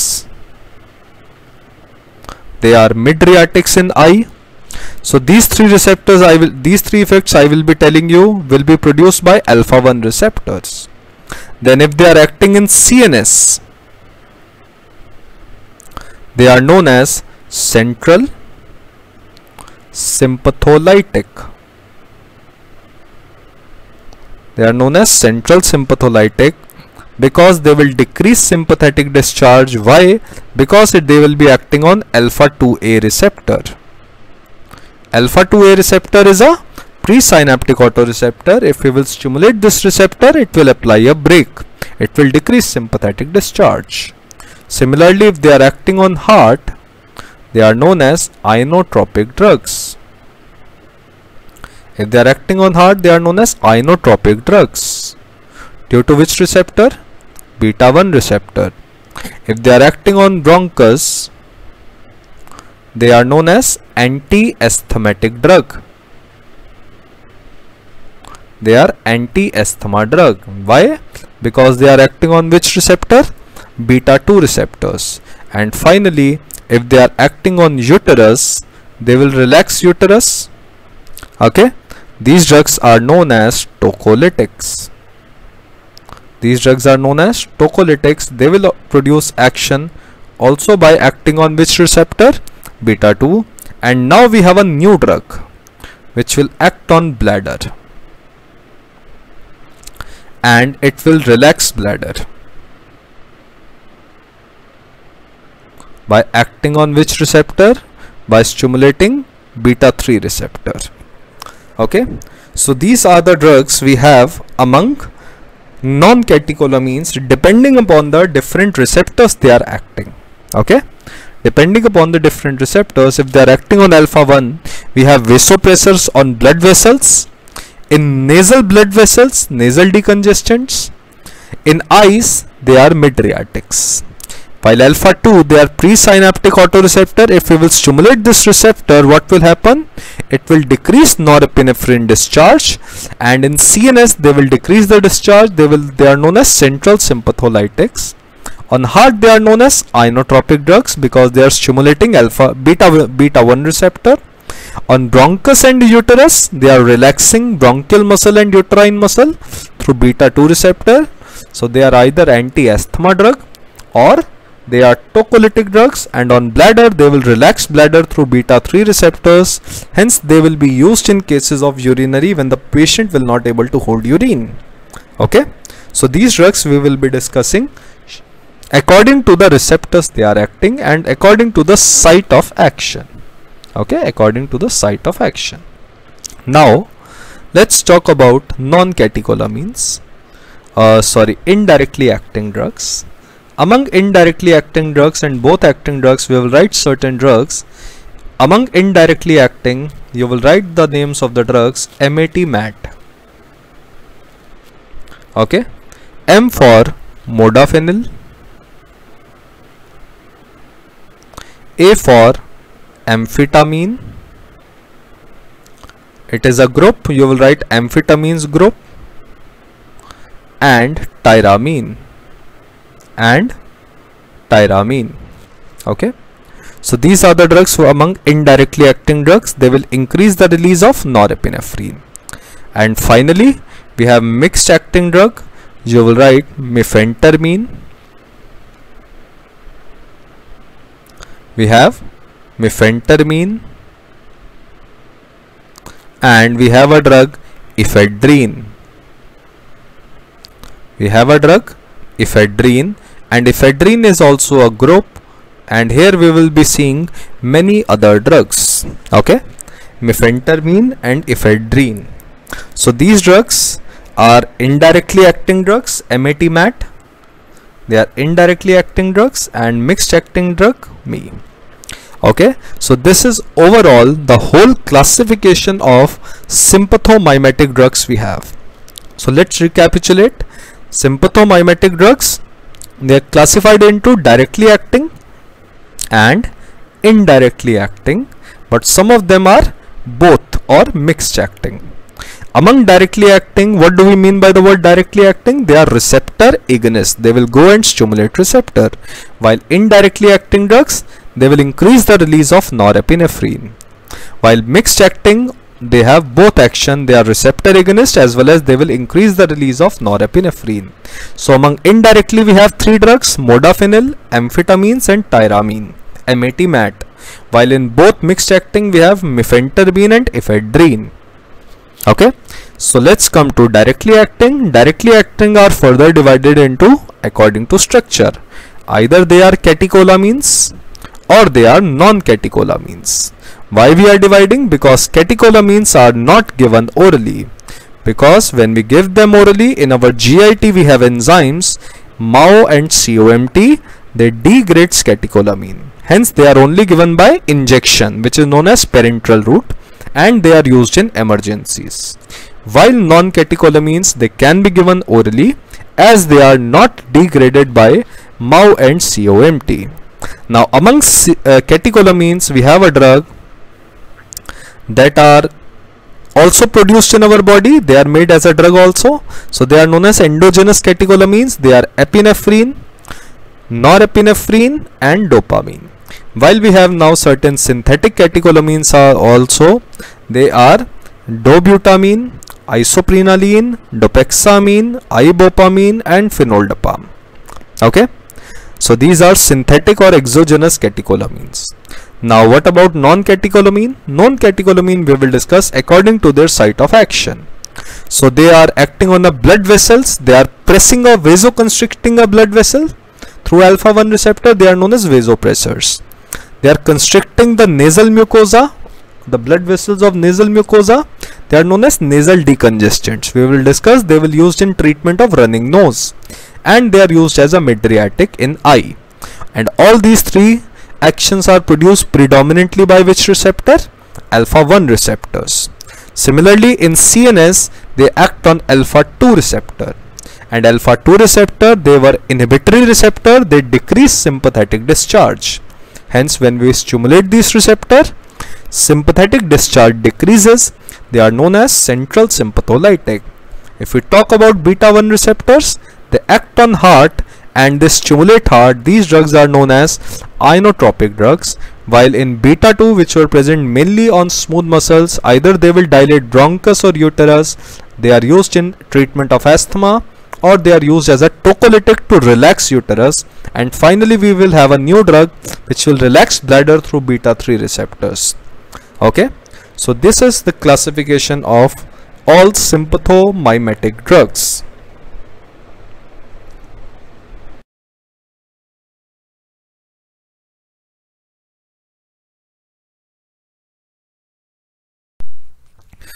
Hello friends, now today we will be talking about non-catecholamines, the drugs which are non-catecholamines. Okay. So these non-catecholamines are also sympathomimetic drugs. They will increase sympathetic discharge. Okay. Now these non-catecholamines we will learn according to the receptors where they are acting. Okay? We know there are various sympathetic receptors. They are alpha and beta. Okay? And alpha was further divided into alpha 1 and alpha 2 beta was divided into 3 beta 1 beta 2 and beta 3 now let's see these catecholamines according to the receptors they are acting their uses and on which receptors they are acting. Let's start the drugs which are acting on alpha 1 receptors. Okay? Let's start with the drugs which are acting on alpha 1 receptors if you remember from the last class we know that these alpha 1 receptors are present on blood vessels. They are present on blood vessels. And what is the function of alpha 1 receptors on blood vessel? They promote vasoconstriction. Okay? They promote vasoconstriction. Sir if there is vasoconstriction what will happen to the blood pressure? What will happen to the blood pressure they will increase blood pressure okay? And the drugs which promote direct vasoconstriction fr on from acting on alpha 1 receptors they are known as they are known as vasopressors. They are known as vasopressors. That means they are pressing the blood vessel vasoconstriction and hence the blood pressure will increase. So where we will be using them so these vasopressors they are used as a last resort. They are used in last resort for the treatment of hypotension. Okay? They they are used as a last resort for the treatment of hypotension or you will write shock. Okay? In shock there is severe hypotension. So let's see what are the drugs we have among vasopressors we have two kinds of drugs. We have two kinds of vasopressors. One are non-selective drugs. Non-selective means apart from acting on alpha 1 receptors they act on other receptors as well. Okay? And secondly we have selective alpha 1 agonist. Selective alpha 1 agonist. Agonist means they will stimulate alpha 1 receptors. Okay? Let's write first the names of these receptors names of these drugs. We will write among non-selective the first drug is norepinephrine. This norepinephrine, it acts on various receptors. It acts on various alpha and beta receptors. And then you will write dopamine. Dopamine also acts on D1 alpha and beta receptors. Then you will write ephedrine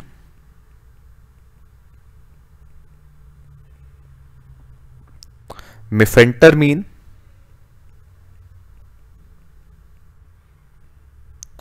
mephentermine they will act on they will also act on various alpha and beta receptors. So can we say that they are non-selective drugs? Okay? So dopamine also acts on d1 receptor. Just remember this additional point. Now let's see what are the drugs we have among selective alpha 1 agonist the first drug you will write is phenylephrine. Phenylephrine. Then you will write midodrine.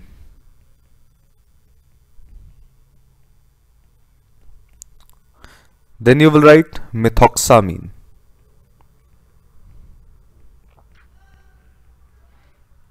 Methoxamine. So these are the drugs among vasopressors. Now let's see their uses. Let's see their uses. First, if we talk about norepinephrine, we will write the short form. Norepinephrine, as we have already discussed, is a drug of choice for certain shock. Those shock in which there is peripheral vasodilatation, like septic shock, and neurogenic shock okay in these two shock what happens there is peripheral vasodilatation and hence we will promote vasoconstriction now if there is peripheral vasodilatation what will happen to the skin due to vasodilatation there is heat loss and the skin will become warm these shock are also known as warm shock okay these shock are also known as warm shock. Why? Because of peripheral vasodilatation, there is heat loss and the when you will touch that patient, the skin will be warm. So this norepinephrine is also the drug of choice for cardiogenic shock. Cardiogenic shock with hypotension. Okay, with hypotension. Now, hypotension means when systolic blood pressure is less than 70 millimeter of mercury. Then we will use norepinephrine. Now, what is the rationale of using norepinephrine? In septic shock and neurogenic shock, there is peripheral vasodilatation. We will promote alpha mediated vasoconstriction. And in cardiogenic shock, we know that norepinephrine also act on beta 1. It will stimulate the heart to pump more blood and if there is hypotension it will act on alpha 1 and it will increase systolic blood pressure okay so this norepinephrine is used in these two shock the first is septic shock. The first is septic shock and neurogenic shock. They are known as warm shock. And the third shock is cardiogenic shock but with hypotension. Okay? Now let's talk about second that is dopamine. Dopamine we have already discussed that when dopamine acts on D1 receptors, it increases blood supply to the kidney.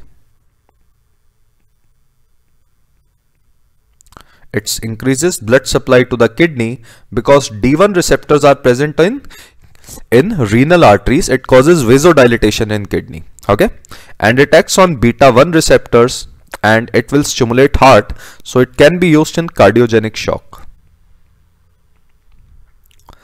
now the point is where we will use dopamine dopamine will become the drug of choice in cases of cardiogenic shock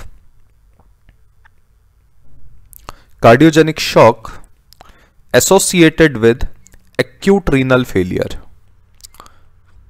associated with acute renal failure why? Because it increases blood supply to the kidney through acting on which receptor? D1 receptor and it also acts on beta 1 receptor. Hence it is used in this shock. And we have already discussed about the various concentration of dopamine in which dose it will be used. Okay? Now so these two drugs which we have already discussed they are only given IV they are only given by injections. Okay? Now the next two drug if you are seeing ephedrine and mephentermine, these two drugs ephedrine and mephentermine they can be given orally. Okay. Ephedrine and mephentermine you will write they can be given orally but they are not the drug of choice anywhere so they can be given orally for the treatment of hypotension.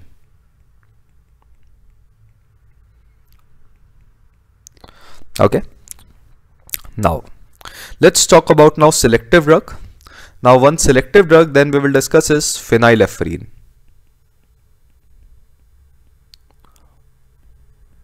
Phenylephrine is a selective alpha 1 agonist. That means it will only act on blood vessels and produce vasoconstriction. This phenylephrine is a drug of choice for hypotension due to. It is the drug of choice for hypotension due to we will write anesthetic agents. Okay? If there we are giving anesthesia and there is hypotension then we give phenylephrine. It is also the drug of choice for hypotension due to aortic stenosis. Due to aortic stenosis. Okay. And remember phenylephrine is also the drug of choice for priapism. Now what is priapism? Priapism means prolonged penile erection prolonged penile erection okay it occurs in various diseases like sickle cell disease.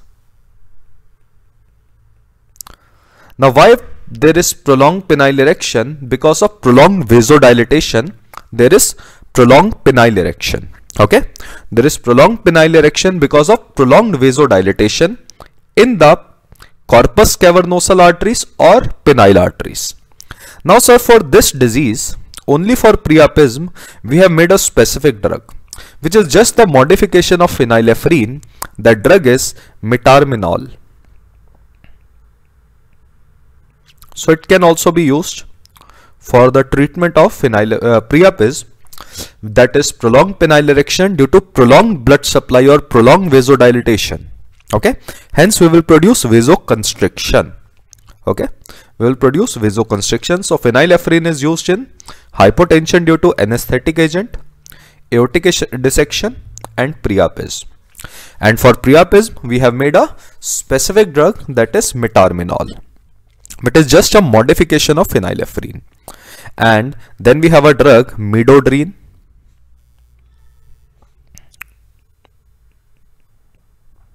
Midodrine.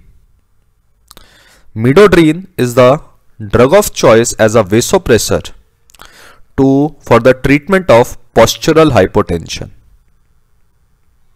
Okay? For the treatment of postural hypotension. The drug of choice is midodrine. Okay? So midodrine is used here. Okay? And we have a new drug also. That is you have a new drug. That is methoxamine methoxamine is not the drug of choice anywhere but you can write Methoxamine can be given IV for the treatment of shock. For the treatment of various shock. Okay. But remember, midodrine is the drug of choice for postural hypotension, which is very commonly seen in elderly patient. When they change their posture due to anti-gravity, the blood sometimes cannot reach to the heart. So these are the examples of various vasopressors we have discussed. So these are vasopressors. So we started with alpha 1 receptor. The first effect of alpha 1 receptor is on blood vessel. And in blood vessel they will promote vasoconstriction.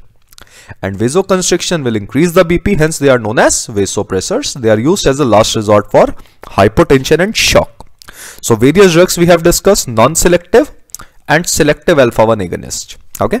In non-selective that means they apart from acting on alpha 1 receptors they will also act on some other receptors as well. And then we have selective alpha 1 agonist. So we have discussed their uses norepinephrine dopamine ephedrine and mephentermine phenylephrine a new drug metaraminol midodrine and methoxamine. Now let's see the second use of alpha 1 receptor. The second use of alpha 1 receptor is as a nasal decongestant as a nasal decongestants.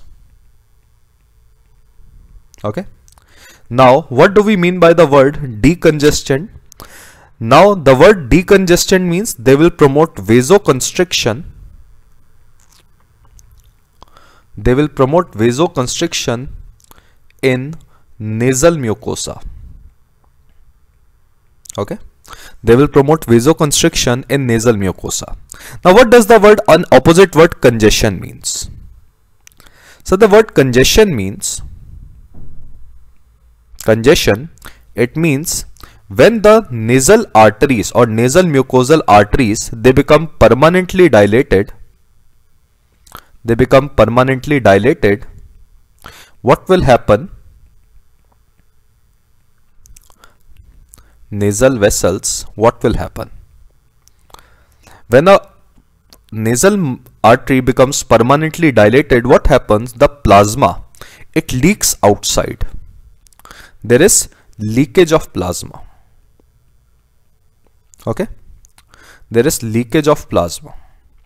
Now, if there is leakage of plasma, what will happen? The patient will have a symptom of running nose okay this plasma will come outside and the patient will have a symptom of running nose. Running nose is also known as rhinorrhea. Okay running nose is also known as rhinorrhea. Now it sometimes also leads through from nose you know there is a eustachian tube. There is eustachian tube edema which will lead to eustachian tube blockage. And if eustachian tube blocks, what will happen? If this eustachian tube will block, it will produce a symptom headache. It will produce a symptom known as headache. Okay. So remember when there is nasal congestion when there is nasal congestion, a patient suffers from running nose and headache which is very commonly seen in when we have certain upper respiratory tract infection. When there is respiratory infection nasal infection like cold coryza etc then a patient suffers from running nose and headache. Now what are nasal decongestants? Nasal decongestants will come here they will act on alpha 1 receptor and they will promote vasoconstriction they will promote vasoconstriction they will inhibit this dilated vessels if these dilated vessels will become constricted, there will be no leakage of plasma. If there is no leakage of plasma, these nasal decongestants are used for the treatment of running nose and headache due to eustachian tube blockage. So nasal decongestants are used for the treatment of running nose and headache due to eustachian tube blockage. Now let's see what are the drugs we have among nasal decongestants. These drugs are of two types. Either they can be given as a nasal drops, okay, or these drugs can be given orally. Oral drugs, okay. So let's write their names first. Uh, as a nasal drop, you will write again phenylephrine, phenylephrine. Then you will write oxymetazoline. Oxymetazoline. Xylometazoline. Xylometazoline I believe you have heard about a brand name Otrivin. Otrivin nasal drops they contain these chemicals only okay? Like xylometazoline. You will write naphazoline. And a new drug tetrahydrozoline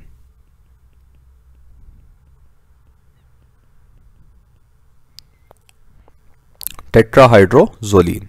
It is sometimes known as tetrazoline okay? So these are the drugs which are given as a nasal drop for the treatment of running nose and headache. Among oral drug you will write the first drug is ephedrine.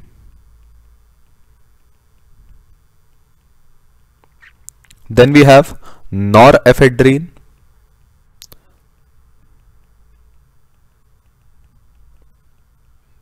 Okay. Norephedrine is also known as phenyl propanol amine. It is also known as phenyl propanolamine and lastly you will write pseudoephedrine. pseudoephedrine. So can we say in oral drug we have all the congeners of ephedrine only? Ephedrine, norephedrine, pseudoephedrine. Okay. Now if we discuss that which of the following drug among nasal drop or, or an oral drug which will be a safer option. So this nasal drop will be a safer option. Why? Because they are producing effect locally out there in nose only. But the point with this oral drug is, we know that these oral drugs, they are acting on alpha 1 receptors. They should act in nose. But what will happen if they act in blood vessels? If these drugs, they act in a blood vessel, they have a side effect that they increase blood pressure. We have discussed that these drugs are vasopressors as well. So these drugs, they increase blood pressure. Because of this reason, nowadays, because of this reason, this norephedrine has been banned. This norephedrine has been banned. Why? Because this norephedrine crosses blood-brain barrier. It crosses blood-brain barrier and in inside the brain it increases BP inside the brain, it increases BP so high that the patients were dying due to hemorrhagic stroke. The blood pressure increased so much that the blood vessels were getting ruptured and the patients were dying due to hemorrhagic stroke. Because of the incidence of hemorrhagic stroke, this norephedrine has been banned. Okay. Nowadays we prefer to use among oral is pseudoephedrine. We prefer to use pseudoephedrine. Why? Because pseudoephedrine has a very minimum crossing into blood-brain barrier. Okay. So among them, we prefer to use only and only pseudoephedrine. Even nowadays, we don't prefer to use ephedrine. Okay. Because of the same reason, it also cross blood-brain barrier. Okay. And because they were crossing blood-brain barrier, this phenylpropanolamine has been banned. Ephedrine right now is not banned. Okay. Norephedrine or phenylpropanolamine has been banned because of the incidence of hemorrhagic stroke.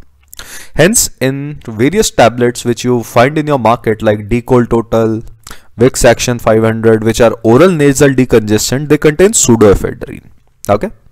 Now, one very important point is, sir, any drug, whether it is nasal, whether it is oral, you will write, sir, their chronic use, chronic use or continuous use use of nasal decongestants should be avoided. Their continuous use should be avoided. Now the reason is why. If you are using these nasal decongestants chronically or continuously, can we say there will be continuous vasoconstriction? There will be prolonged and continuous vasoconstriction and if there is prolonged vasoconstriction, what will happen to the blood supply? If the vessels are permanently constricted, what should happen to the blood supply to the nasal mucosa? Can we say it will lead to ischemia? The blood supply will decrease and ischemia will lead to atrophy. Ischemia will lead to atrophy of nasal mucosa. So this condition is known as atrophic rhinitis okay it will lead to atrophic rhinitis. So continuous use of nasal decongestant should be avoided. Why? Because they lead to atrophic rhinitis. Now remember atrophic rhinitis has various other causes as well. Now this atrophic rhinitis is occurring due to this medicines. By the continuous use of this medicine this atrophic rhinitis is also known as rhinitis medicamentosa. Okay? So their continuous use will lead to atrophic rhinitis and atrophic rhinitis due to this medicines is known as rhinitis medicamentosa. Okay? So a person should not take these nasal decongestant on long term. Okay? Long term it should not be taken. It will lead to rhinitis medicamentosa. Now let's see the third use of alpha-1 receptors. Now the third use of alpha-1 receptor is in eyes. Okay, is in eyes. Remember in our eyes we have alpha-1 receptor present on iris. On iris and when we stimulate this alpha-1 receptor on iris it will lead to contraction of radial muscle contraction of radial muscle of iris. Due to contraction of radial muscle, they will produce active mydriasis. Okay. So they will produce active mydriasis. I believe we have already discussed how mydriasis occurs. So they will produce active mydriasis due to contraction of radial muscles of iris. Okay hence the pupil will get dilated.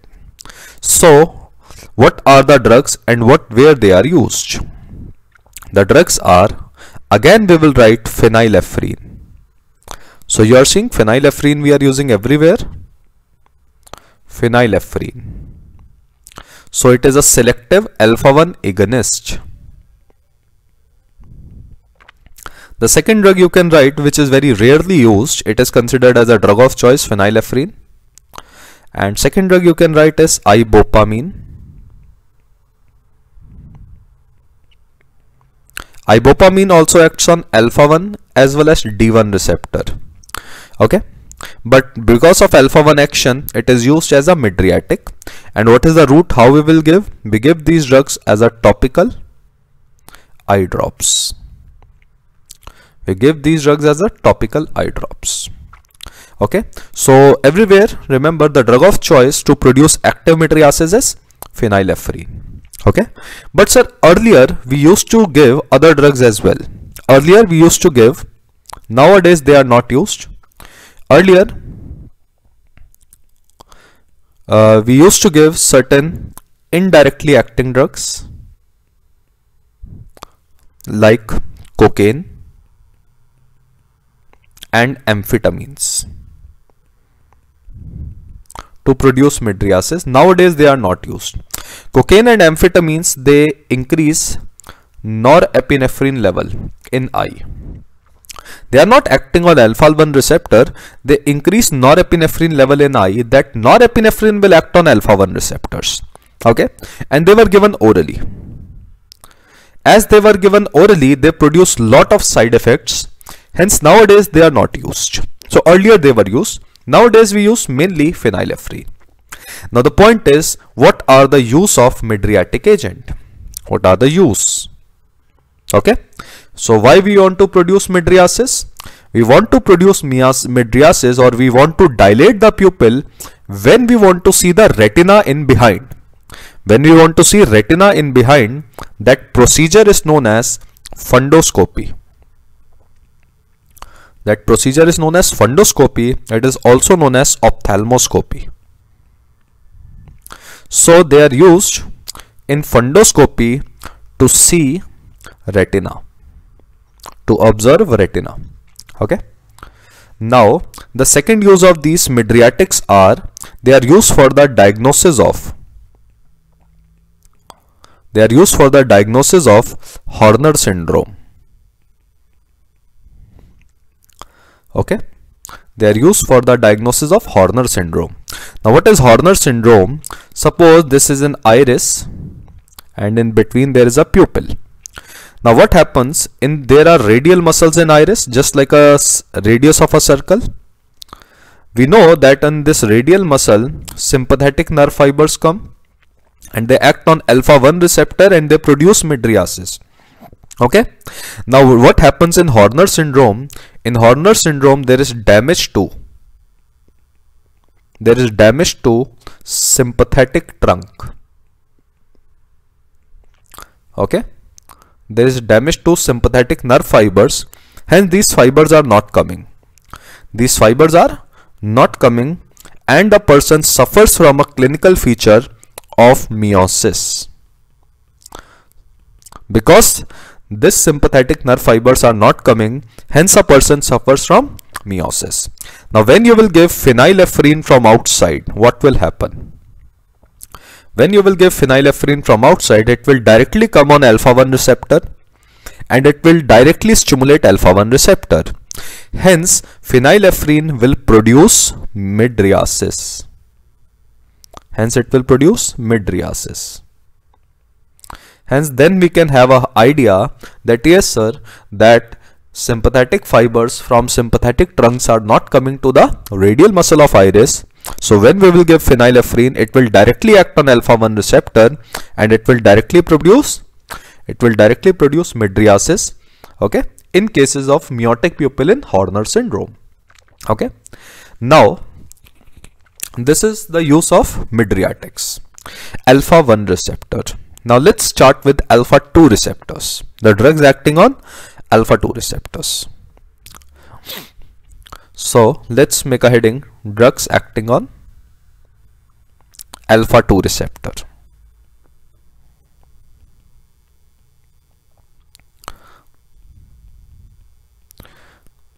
Okay.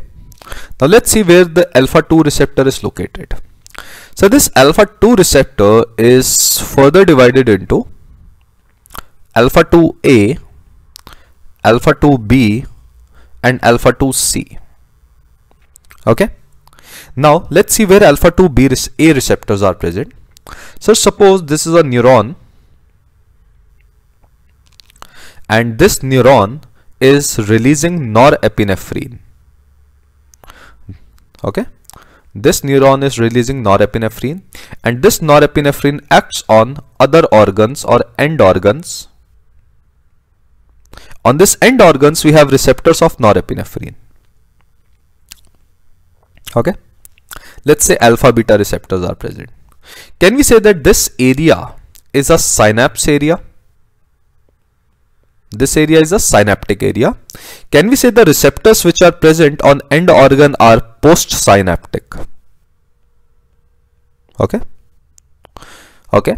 They are postsynaptic. But remember there are certain receptors which are present on the same neuron which is releasing norepinephrine there are certain there are certain receptors present on the same neuron which are releasing norepinephrine. Can we call them as presynaptic receptors? They are known as presynaptic receptors. Now, what about alpha 2A? You will write alpha 2A is a presynaptic first point and second point you will write is presynaptic autoreceptor. It is a presynaptic autoreceptor. Very important point. So alpha 2A receptor is a presynaptic autoreceptor. It means when norepinephrine is released, sometimes this norepinephrine act on this own receptors which which are present on the same neuron which are releasing this norepinephrine. Let's make them as alpha 2A. When norepinephrine act on this same receptor which are releasing norepinephrine and when this alpha 2A receptor becomes stimulated, what will happen? This alpha 2A receptor inhibit the release of norepinephrine. They inhibit own release of norepinephrine. So can we say this norepinephrine was getting released and when alpha 2A receptor are stimulated they will apply a brake they will apply a brake sir that don't release any more norepinephrine. So this norepinephrine can we say it can decrease its own release. It can decrease its own release by acting on presynaptic autoreceptor. Auto means it is controlling its own release. Auto means own hence they are known as autoreceptors. Okay? Hence they are autoreceptors. Now what about alpha 2b and alpha 2c receptor? Sir they are postsynaptic receptors. Okay? So they are postsynaptic receptor and you will write their effect. They mediate vasoconstriction they mediate vasoconstriction. They are present on blood vessels and they mediate vasoconstriction. Now, my question from you all students are that sir, if we develop a drug, if we develop a drug which is an alpha 2A agonist, if we will develop a drug which stimulates alpha 2A receptor, that drug will increase or decrease sympathetic discharge. If we will stimulate alpha 2A receptor, remember these drugs they will decrease sympathetic discharge. Okay, although they are agonist, but they will decrease sympathetic discharge because they will apply a brake that no more norepinephrine should be released. Okay, so these drugs are also known as sympatholytic drugs. They are also known as sympatholytics. Now, one question arises, sir, they are acting on which neurons? They are acting on which neurons? Remember, they decrease sympathetic discharge in the neurons of CNS. CNS stands for Central Nervous System. Okay? Because this sympathetic discharge, it originates, it originates in our CNS it originates in our CNS okay? So can we say suppose this is our brain and this is spinal cord. Remember the sympathetic discharge it originates in our CNS especially in the area of RAS. RAS is reticular activating system. From here, norepinephrine is released. And this norepinephrine from thoracic and lumbar spinal nerves, it takes out this sympathetic discharge to all organs. Okay. So can we say if we will block this norepinephrine discharge in central nervous system, what will happen? The sympathetic discharge in the whole body will decrease. They will decrease sympathetic discharge in the whole body because they are acting on the central nervous system neurons. That is why these alpha 2A agonists they are also known as central sympatholytics. That is why they are known as central sympatholytic because they act in CNS and they will decrease norepinephrine discharge from there and the whole in the whole body norepinephrine or sympathetic discharge will decrease. Hence alpha 2A agonists they are known as central sympatholytic in one word. Okay, they are known as central sympatholytics. Now let's see what are the drugs we have among alpha 2A agonist or central sympatholytics. First we will write the list of those drugs and then we will discuss them in detail. So let's see central sympatholytics or alpha 2A agonist. The first drug is clonidine. The first drug is clonidine. Second you will write dexmedetomidine.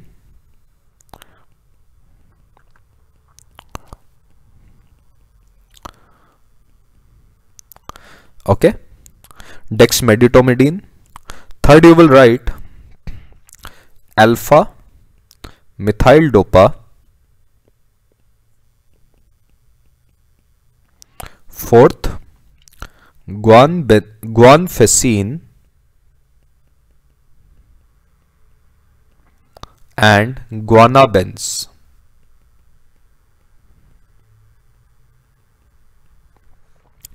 Now next drug you will write is tizanidine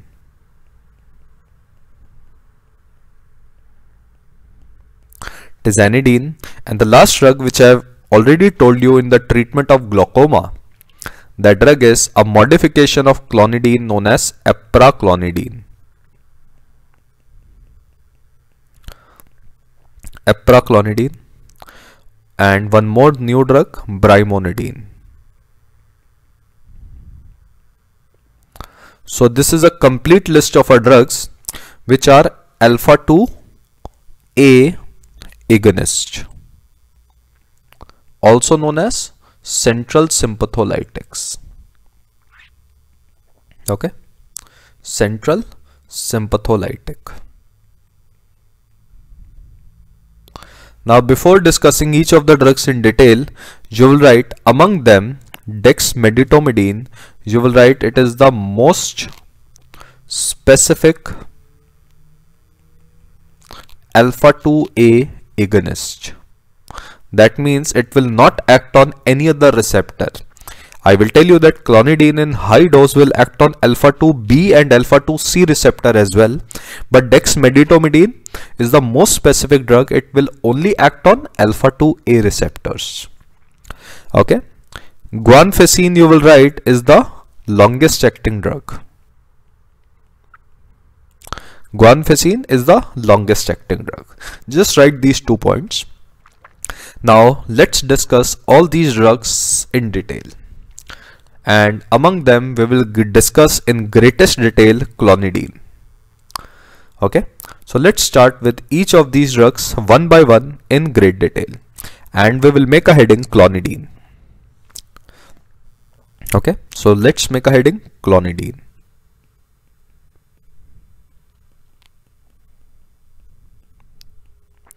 So let's see what is the mechanism of action. Clonidine is an alpha 2A agonist. And it decreases sympathetic discharge in CNS especially which area? RAS area. RAS is reticular activating system.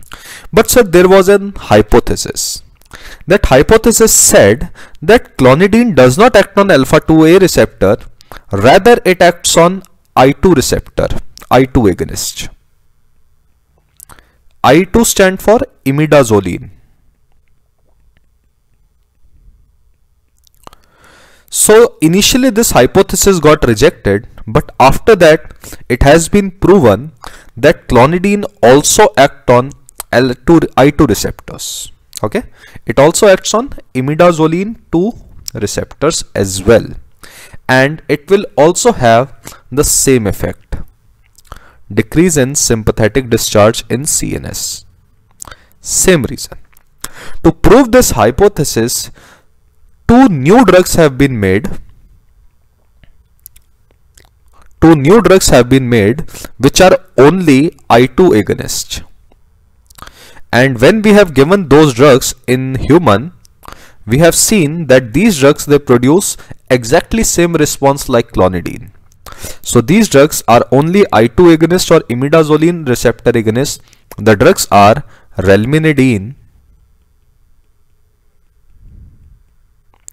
and moxonidine. Moxonidine. Okay, so these were the two new drugs which were made. They were acting just on imidazoline receptors and they produce same effect like clonidine and these drugs are used for the treatment of hypertension. I will tell you that clonidine is also used for the treatment of hypertension. Okay? So these are new drugs. That is rilmenidine and moxonidine. They just act on I2 receptor while clonidine acts on both receptors while clonidine acts on both receptors. Let's discuss further. So this was mechanism of action. Let's discuss about pharmacokinetics. What are the different properties of clonidine? Okay.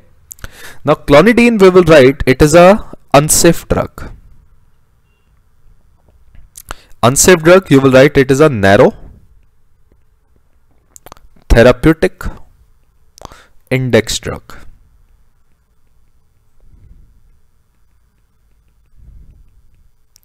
now narrow therapeutic index drug means suppose you are giving a drug to your patient can we say after a certain dose level the effect of a drug comes let's call it as effective dose if you will keep on increasing the dose further, can we say after a certain dose level toxicity of a drug will come? Let's call it as toxic dose. Okay. Toxic, effect, no effect. Okay. So can we say as a doctor, we want that in our patient, the dose should be maintained between this level? Between toxic dose and effective dose? This area is known as therapeutic index. This area is known as therapeutic index. What happens? There are certain drugs whose ED50, this effective dose and toxic dose are very near to each other. There are certain drugs whose effective dose and toxic dose are very near, very near to each other.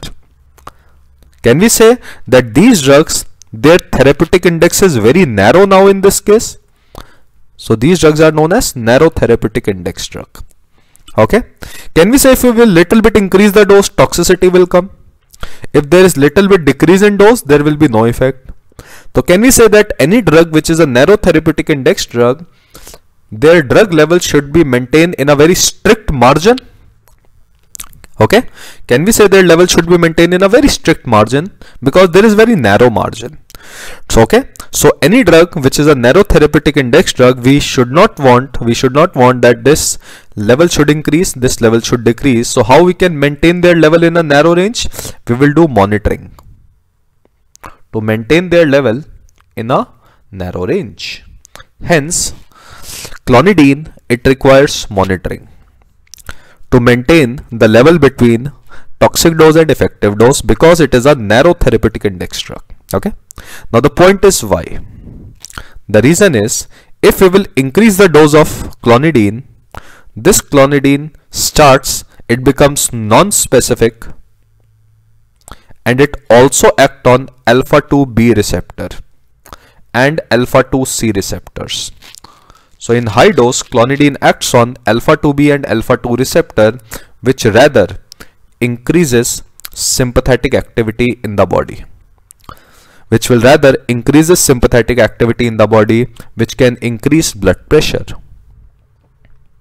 which can increase blood pressure. I will tell you that clonidine is used for the treatment of high blood pressure but in high dose it will rather increase the blood pressure itself by acting on alpha 2b and alpha 2c receptors.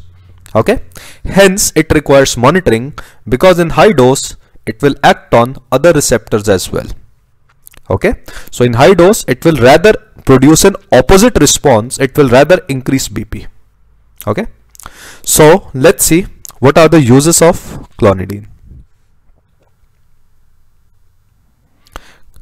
Clonidine has various uses okay? Anything in our body if due to any reason in our body there is increase in sympathetic discharge we give clonidine. Okay? To decrease that sympathetic discharge so let's see what are the uses. The first you will write to control postmenopausal symptoms. Postmenopausal symptoms. Okay so in postmenopausal area female becomes very irritable anxiety depression and all these symptoms are mainly due to increase in sympathetic activity. Okay? Then you will write it is used for the treatment of hypertension. Okay? And you will write clonidine is the drug of choice for hypertensive urgency clonidine is the drug of choice for hypertensive urgency now what do we mean by the word hypertensive urgency the blood pressure is very high Hypertensive urgency means the BP is very high, but the organs are still not damaged. If the organs get damaged, it is known as hypertensive emergency. Okay? Okay? So remember, hypertensive urgency. Very high BP, the organ very soon will get damaged, but right now they are not damaged. And you can write that clonidine can be given as a transdermal patch as well. For the treatment of hypertension, it can be given as a transdermal patch as well. It can be given orally as well. So it has a formulation of transdermal patches also. Okay. Then you will write to control to control opioid withdrawal symptoms. Remember the withdrawal symptoms of opioids are restlessness, anxiety, tremors, convulsions. They are due to increase in sympathetic discharge. Okay.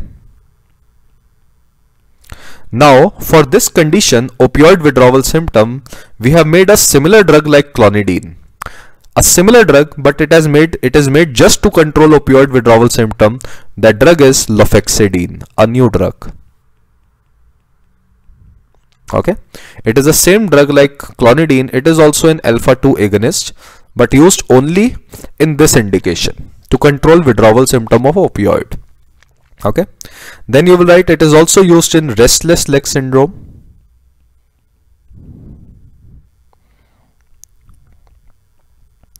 Restless leg syndrome. But here you will write the drug of choice is not clonidine. The drug of choice is dopamine 2 agonist. That we will discuss in Parkinson disease. The drugs are pramipexole, ropinirole. Okay, it is not the drug of choice here.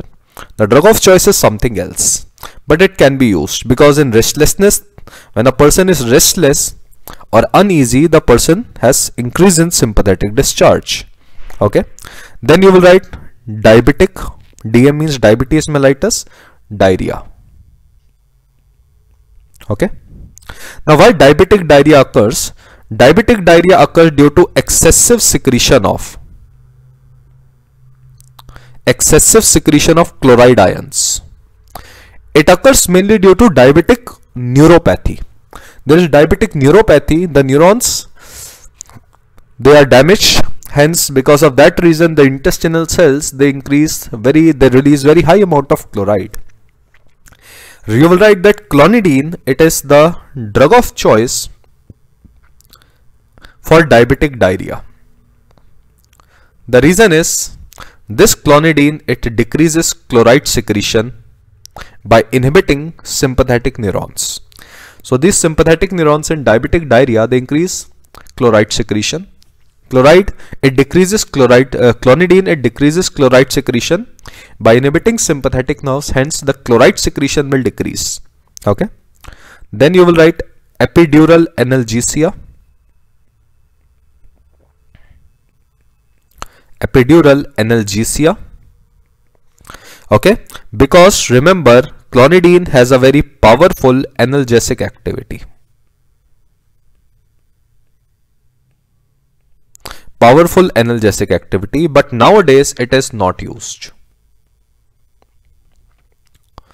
Because when we used to give epidural injection or sometimes intrathecal injection this clonidine may reach into the CNS and it may lead to depression of respiratory centers it may lead to apnea. Hence nowadays we don't prefer to use clonidine for epidural analgesia. Instead of this we have made a drug. The drug which is used for epidural analgesia is rather dexmedetomidine.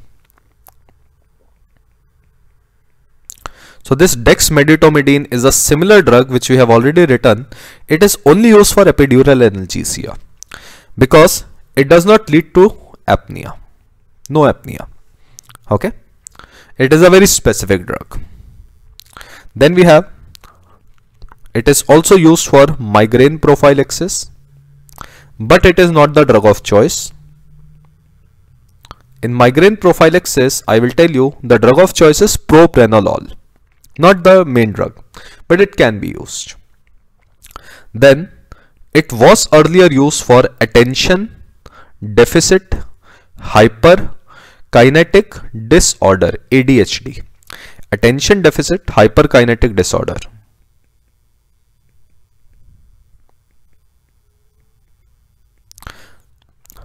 hyperkinetic disorder. Here only also the drug of choice is now not clonidine. Now here we rather use amphetamines. Here the drug of choice has become amphetamines.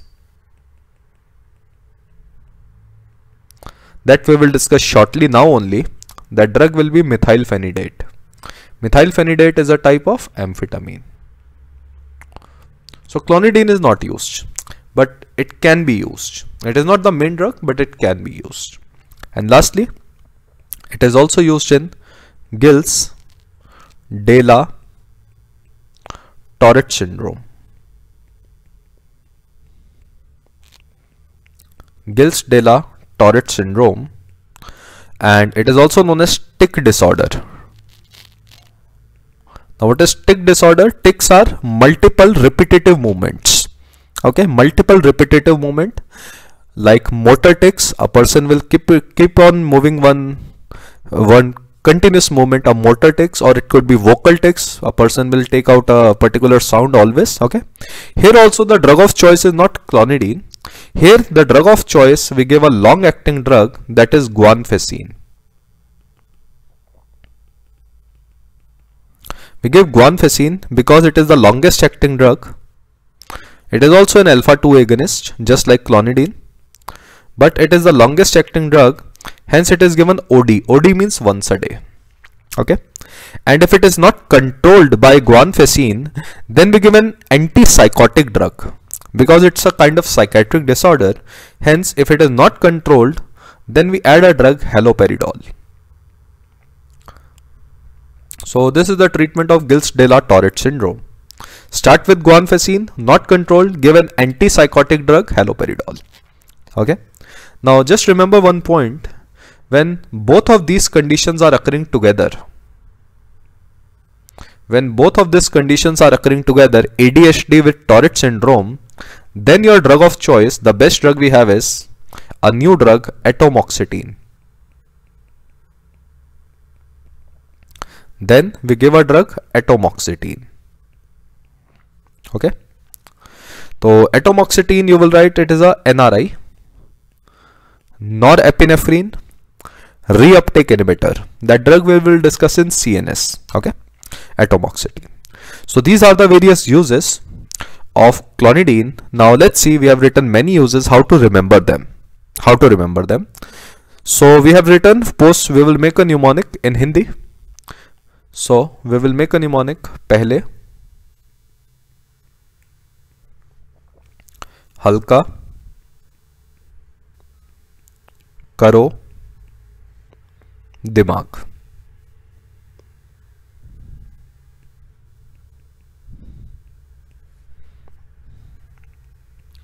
Okay.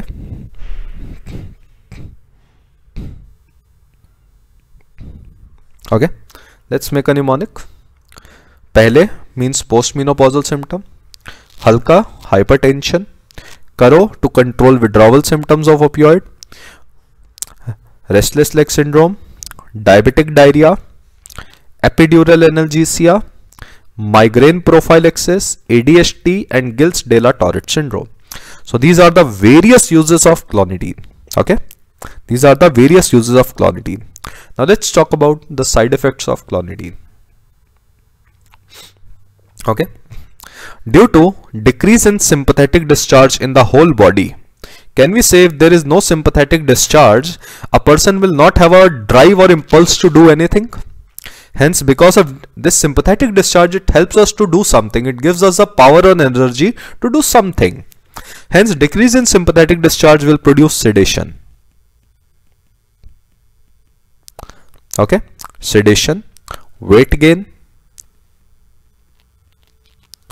and impotency okay? Now a very important point. Clonidine causes dry eyes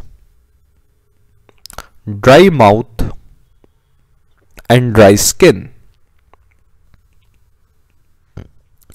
The reason is because of inhibition of sympathetic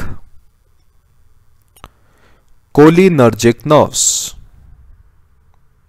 Because of inhibition of sympathetic cholinergic nerves. It may lead to dry eyes dry mouth and dry skin. Okay? And last point you will write clonidine also causes postural hypotension. Postural hypotension. And that is why to avoid this postural hypotension we will say start clonidine at low dose and give the clonidine at bedtime. Why bedtime? So that the patient does not have to change the posture. Okay? It occurs when a person stands uh, when a person changes the posture from supine or lying down to standing posture. When a person comes to the standing posture what will happen? The veins of our leg must constrict so that the blood should move to the heart and for the constriction of leg veins we need sympathetic discharge. If sympathetic discharge is inhibited by clonidine these leg veins are not constricted. Hence the veins remain dilated and the blood will not move to the heart. Hence there will be hypotension. Okay? And the last point you will write with clonidine is never stop clonidine suddenly in your patient never stop clonidine suddenly. The question is why? You know that clonidine you are giving to your patient and clonidine has stimulated alpha 2a receptor and this norepinephrine it is inside the vesicles it is not able to release. From many days suppose you are giving clonidine in your patient this norepinephrine is not getting released okay it is not getting released because this alpha 2 receptor is stimulated continuously by clonidine if you will stop clonidine suddenly, what will happen? This whole norepinephrine inside the neuron will get released suddenly. So there will be sudden, massive release of norepinephrine. And this sudden massive release of norepinephrine will lead to hypertensive emergency.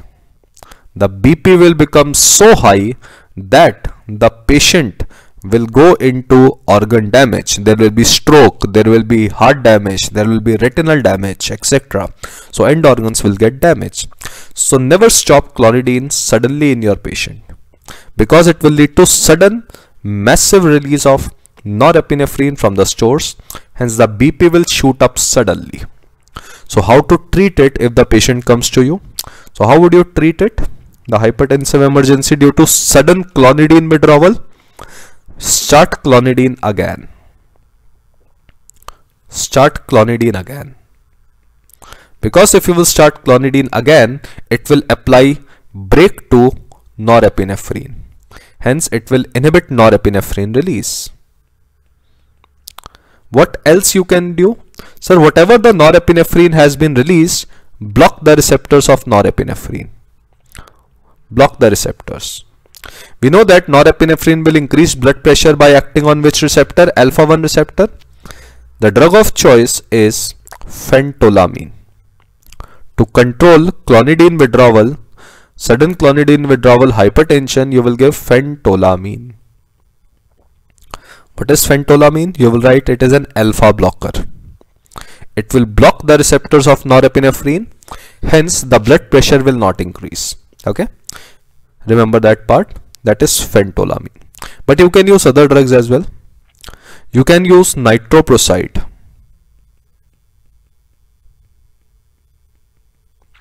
Nitroprusside you will write it is a direct vasodilator. It will also inhibit vasoconstriction you can also use labetalol. What is labetalol? It is alpha plus beta blocker as well. But what is considered traditionally the drug of choice? That is phentolamine. It is a drug of choice for sudden clonidine withdrawal. Okay.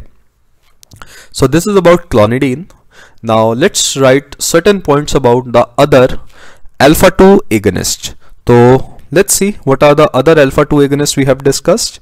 Apart from clonidine, we have discussed dexmedetomidine, alpha methyl dopa, guanfacine, tizanidine and apraclonidine, brimonidine.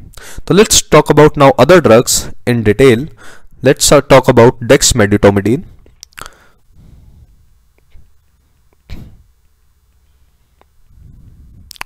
Medine Dexmedetomidine, you will write it is the most specific alpha 2A agonist. That means it will not act on any other receptor. What is the use? The only use of dexmedetomidine is it is given as a epidural analgesia along with local anesthetics. okay? Along with local anesthetics.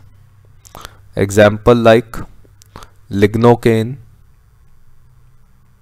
ropivacaine etc okay? Next drug we had written is alpha uh, guanfacine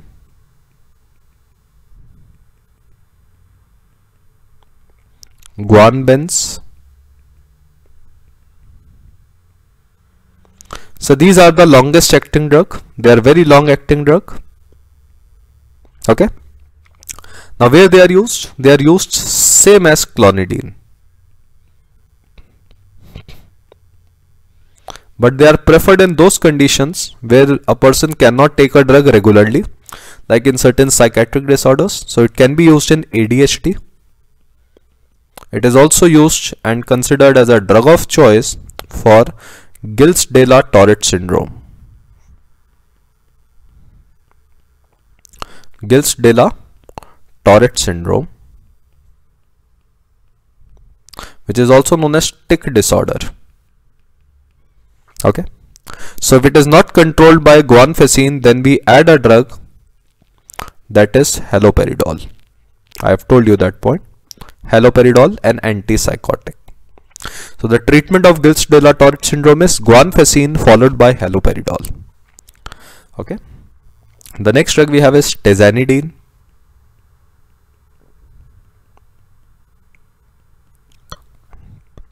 Tizanidine you will write it is a centrally acting it is a centrally acting skeletal muscle relaxant. Okay? The sympathetic discharge it controls our muscle tone also.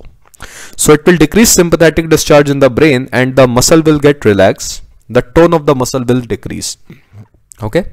So it is a centrally acting muscle relaxant. So it is used in cases of it is used in cases of when the whole body is in spasm when the muscles of whole body that undergoes into spasm then we use tizanidine so it is used in muscle spasm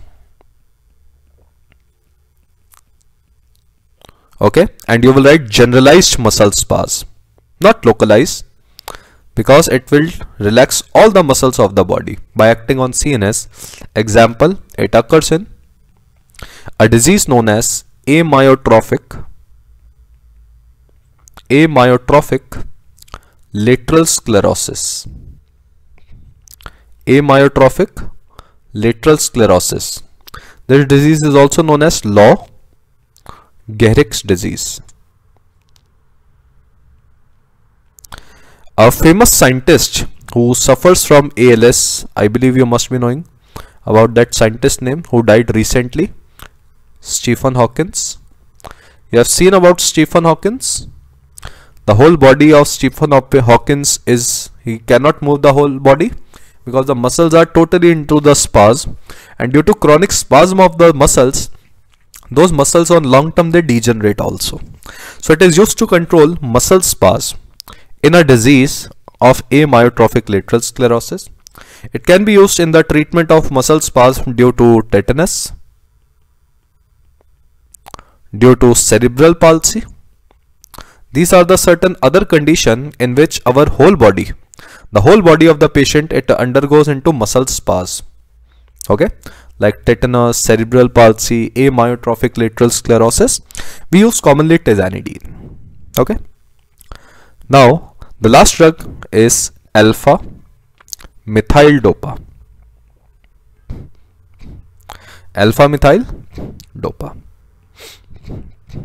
Okay so what is the mechanism of action? The mechanism of action is it is alpha 2A agonist and hence it decreases central sympathetic discharge. Okay. But before we used to believe, earlier we used to believe that this methyl dopa had some other mechanism of action earlier. Earlier we used to believe that this alpha methyl dopa it forms a false neurotransmitter. It forms a false neurotransmitter.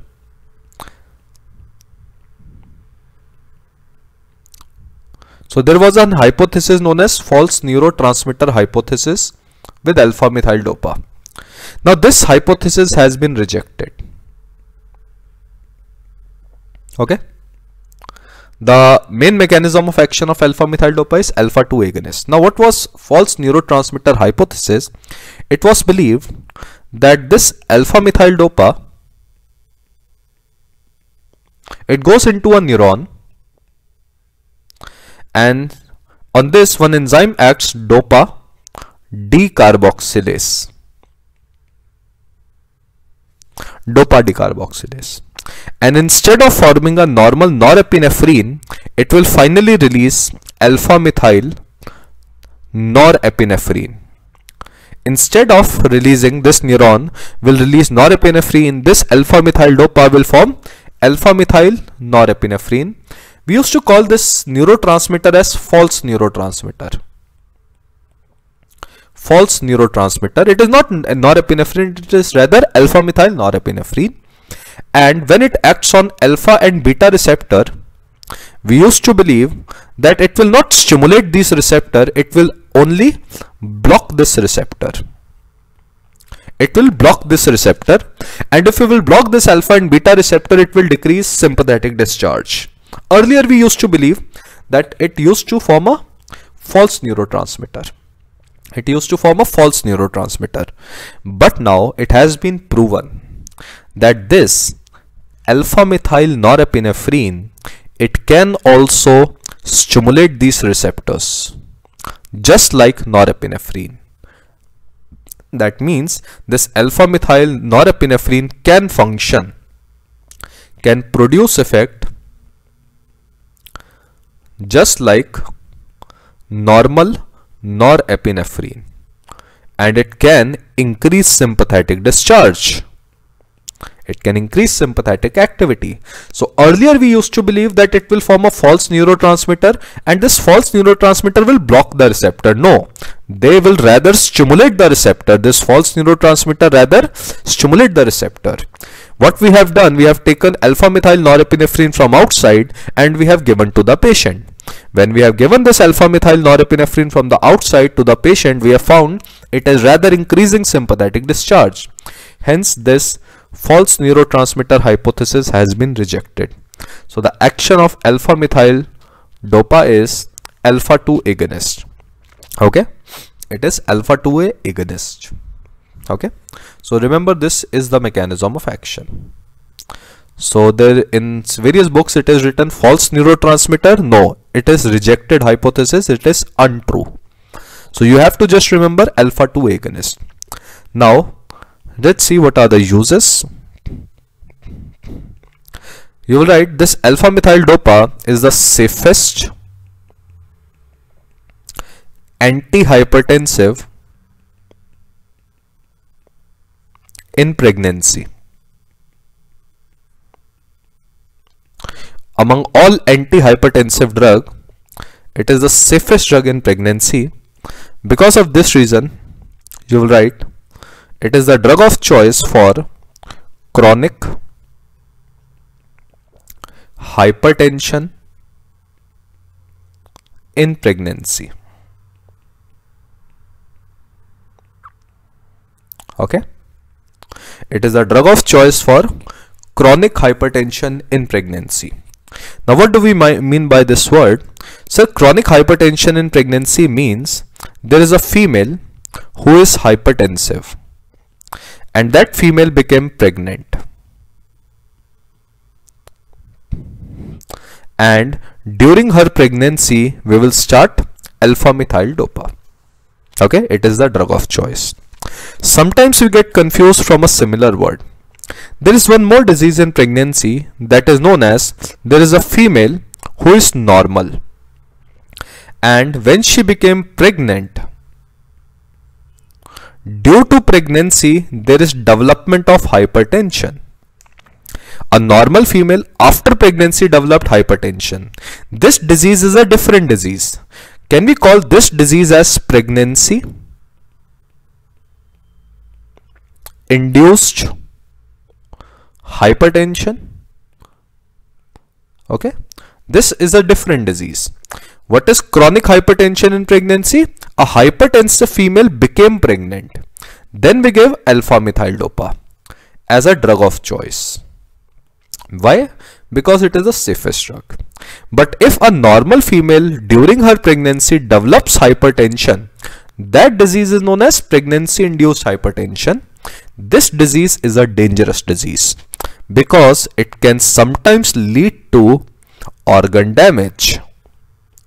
It can lead to organ damage which is known as eclampsia sorry which is known as preeclampsia or eclampsia. It is known as preeclampsia and if there is seizures it is known as eclampsia. If there is seizures this is known as eclampsia so in this there are organ damage. There is liver damage there is kidney damage there is proteinuria with very high bp if a question is asking a normal female become pregnant and after pregnancy there is high bp and the organs are getting damaged this is known as pregnancy induced hypertension. Here the drug of choice is not alpha methyl dopa Here the drug of choice is oral labetalol.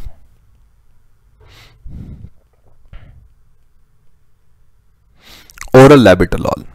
And if the organs have damage, can we say that this is an emergency? If the organs have damage, it is known as hypertensive emergency. Here, you will give IV labetalol because that person will be unconscious, the organs are damaged. Okay. So remember, the organs right now not have been damaged. A patient can take a drug drug orally, then you give oral labetalol. But if the organs have damage, give IV labetalol. So in pregnancy induced hypertension, the drug of choice overall is labetalol. But in chronic hypertension in pregnancy, it is a very mild disease. Here generally organ do not get damaged. Here we give alpha methyl dopa. Okay. Now let's see what are the side effects of alpha methyl dopa. The side effects of alpha methyl dopa you will write are same like clonidine. like sedation, weight gain, etc. but milder.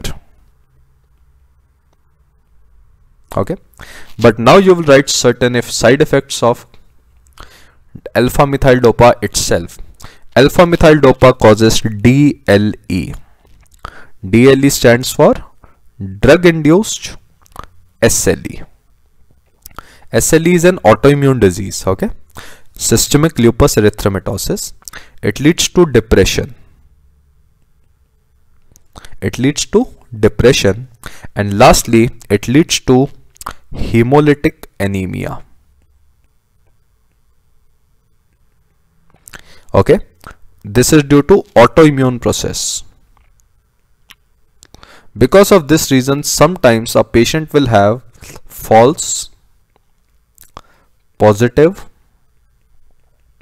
Coombs reaction or Coombs test. Okay.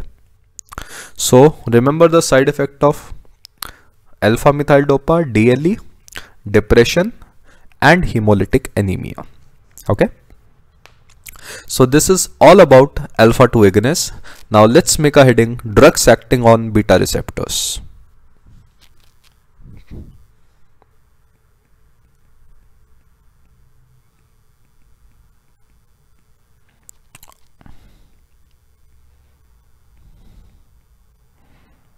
okay drugs acting on beta 1 receptors we know that the beta receptors are of three type beta 1 beta 2 and beta 3 beta 1 they were present on heart and JG cells of kidney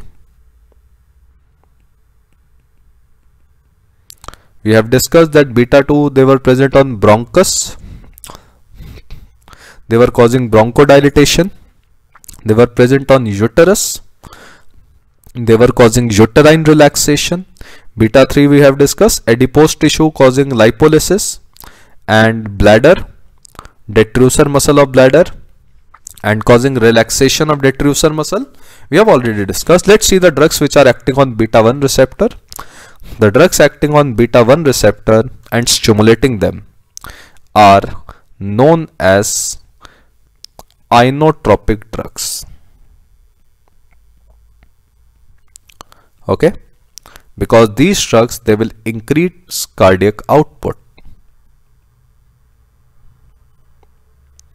hence these drugs are used for the treatment of cardiogenic shock. And we have already discussed about these drugs in catecholamines. So let's see what were the drugs. The selective beta 1 agonist was dobutamine. Okay then we have norepinephrine. It acts on alpha as well as beta. We have dopamine. Acting on D1, B1, alpha 1 remember? Okay. We have epinephrine used in anaphylactic shock. We have isoprenaline alpha and beta all receptors. Isoprenaline it acts on beta 1 beta 2 and beta 3 we have already discussed these drugs under catecholamines. Okay? So these drugs they stimulate beta 1 receptors. Now let's talk about the drug which act on beta 2 receptor and they will stimulate beta 2 receptor. Okay so these drugs we have discussed they act on beta 2 receptor as well. So we have certain non-selective drug which stimulate beta 2 receptor non-selective beta 2 agonist like isoprenaline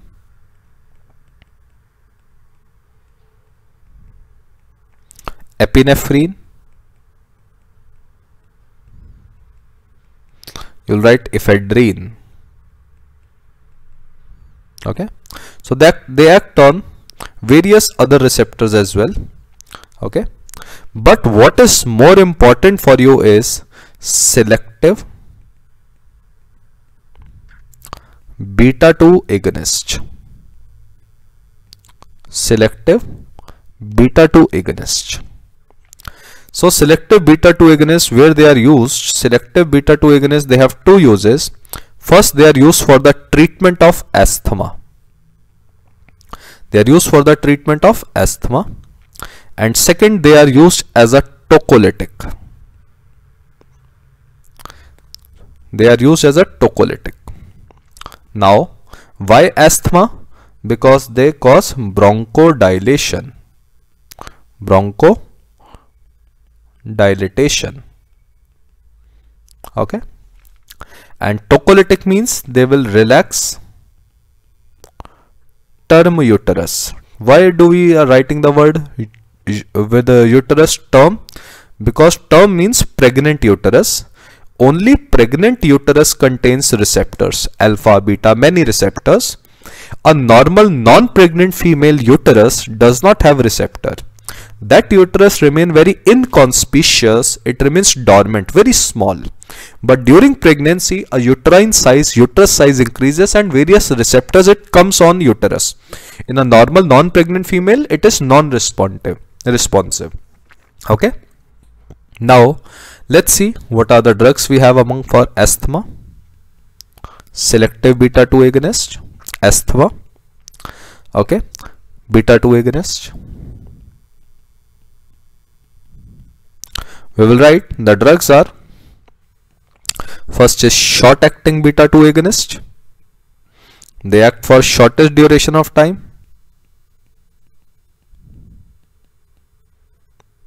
Okay? Like salbutamol. Salbutamol is also known as albuterol. Okay? You can write other drugs like terbutaline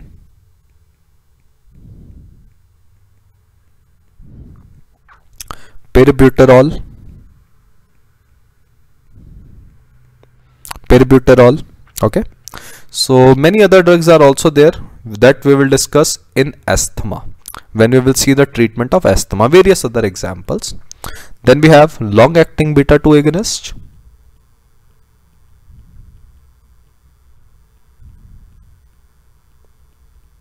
okay. They will have a word metro in between salmeterol formoterol R formoterol same formoterol just write the word R. It is a levo form. Bambuterol etc okay. Just write the names. We will discuss them in asthma. Bambuterol Lastly, you can write ultra long acting beta 2 agonist because they are given twice a day. Ultra long acting they are given once a day. Okay, you can write their names indacterol, olodaterol, vilanterol and clenbuterol. So these are the various examples of beta 2 agonists which we will be discussing them in asthma so short acting beta 2 agonist sometimes known as SABA SABA short acting beta 2 agonist short form is SABA they are known as LABA long acting beta 2 agonist they are known as ultra LABA okay okay remember these are the various examples of beta 2 agonists. The drugs which are used as a tocolytics they can be used we can use salbutamol inhalationally. We can use terbutaline because terbutaline is the only beta 2 agonist we have which can be given by a subcutaneous injection it is the only beta 2 agonist we have which can be given by subcutaneous injection but now we have developed two drugs which are only used as a tocolytics. There are two drugs which are only used as a tocolytics are, they are very important for you. They can be given IV. The drugs are ritodrine and isoxsuprine. They are not used in asthma. They are only used as a tocolytic. Now what are tocolytics? Tocolytics will relax pregnant uterus or term uterus. Okay. And can we say it will inhibit delivery of a child? Delivery of a child? Okay. It will inhibit the delivery of a child or fetus. So they will inhibit delivery. Where you want to inhibit the delivery of a child, we give tocolytics in cases of preterm deliveries. We suspend delivery of a child in cases of preterm deliveries. Preterm delivery means before 37 weeks. Because before 37 weeks, the fetus which is delivered by a mother, the lungs of that fetus are not fully developed. The lungs of that fetus is not fully developed. Hence for a some time for certain duration of time we suspend the delivery. We give corticosteroid to mature the lung of that patient of that child. Okay? Now before coming going forward just write one word beta 2 antagonist. This drug is not given in your books but it is sometimes asked and this drug is not even used so it is not in your books and it is not used as well but it is asked. A specific beta 2 antagonist the drug name is butoxamine. Butoxamine it is used in research. Okay? So specific beta 2 antagonist is butoxamine. It is not given in your books it is not used but it is asked butoxamine okay now let's come to beta 3 receptors. Beta 3. So beta 3 agonist is a specific beta 3 agonist. The drug is the drug is you will write is mirabegron.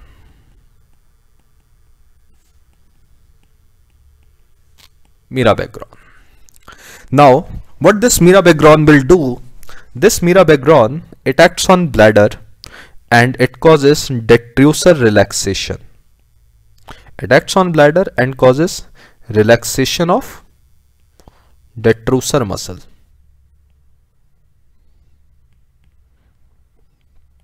Okay.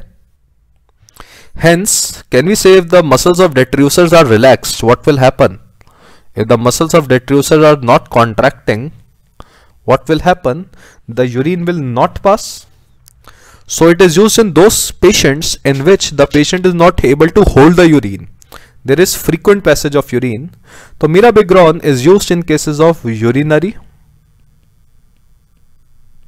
incontinence. Incontinence means a person is not able to hold the urine.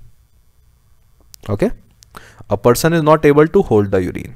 So it is used in cases of urinary incontinence like stress urinary incontinence due to stress or urge urinary incontinence. Okay? Due to stress or urge urinary incontinence. So mirabegron is used. This drug we have already discussed in anticholinergic drugs as well. Okay? This drug we have already discussed. So remember it is a specific beta 3 agonist mirabegron so it is used in cases of urinary incontinence. Why because it relaxes detrusor muscles. Okay?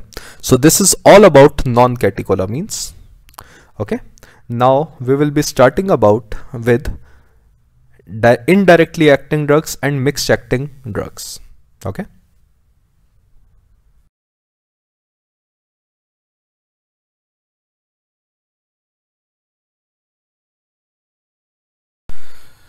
Now let's discuss about uh, sympathomimetic drugs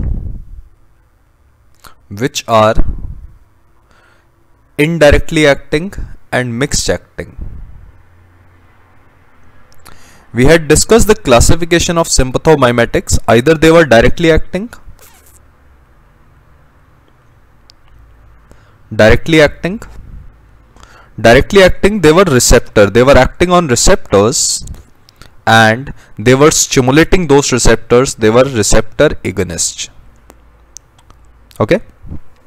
But apart from this, we have other sympathomimetic drugs which are indirectly acting okay indirectly acting drug they will not go to the receptor and stimulate them rather they will release they will release catecholamines from the nerves they will release catecholamines like norepinephrine dopamine from nerves okay so this norepinephrine and dopamine which is released, they will now act on their receptors. So these drugs are indirectly acting. The third drug we have is mixed acting. Mixed acting. Mixed acting means they have both action. Both means they are both directly acting. They can stimulate the receptors plus they are indirectly acting drugs. Indirectly acting means they can release catecholamines from the nerves. Now let's see what are the drugs and what are their mechanism of action. Among indirectly acting drugs, we will write the drugs are MAT MAT. Okay. M stands for modafinil. A for amphetamines. and T stands for tyramine. T stands for tyramine. And among mixed acting we have mephentermine,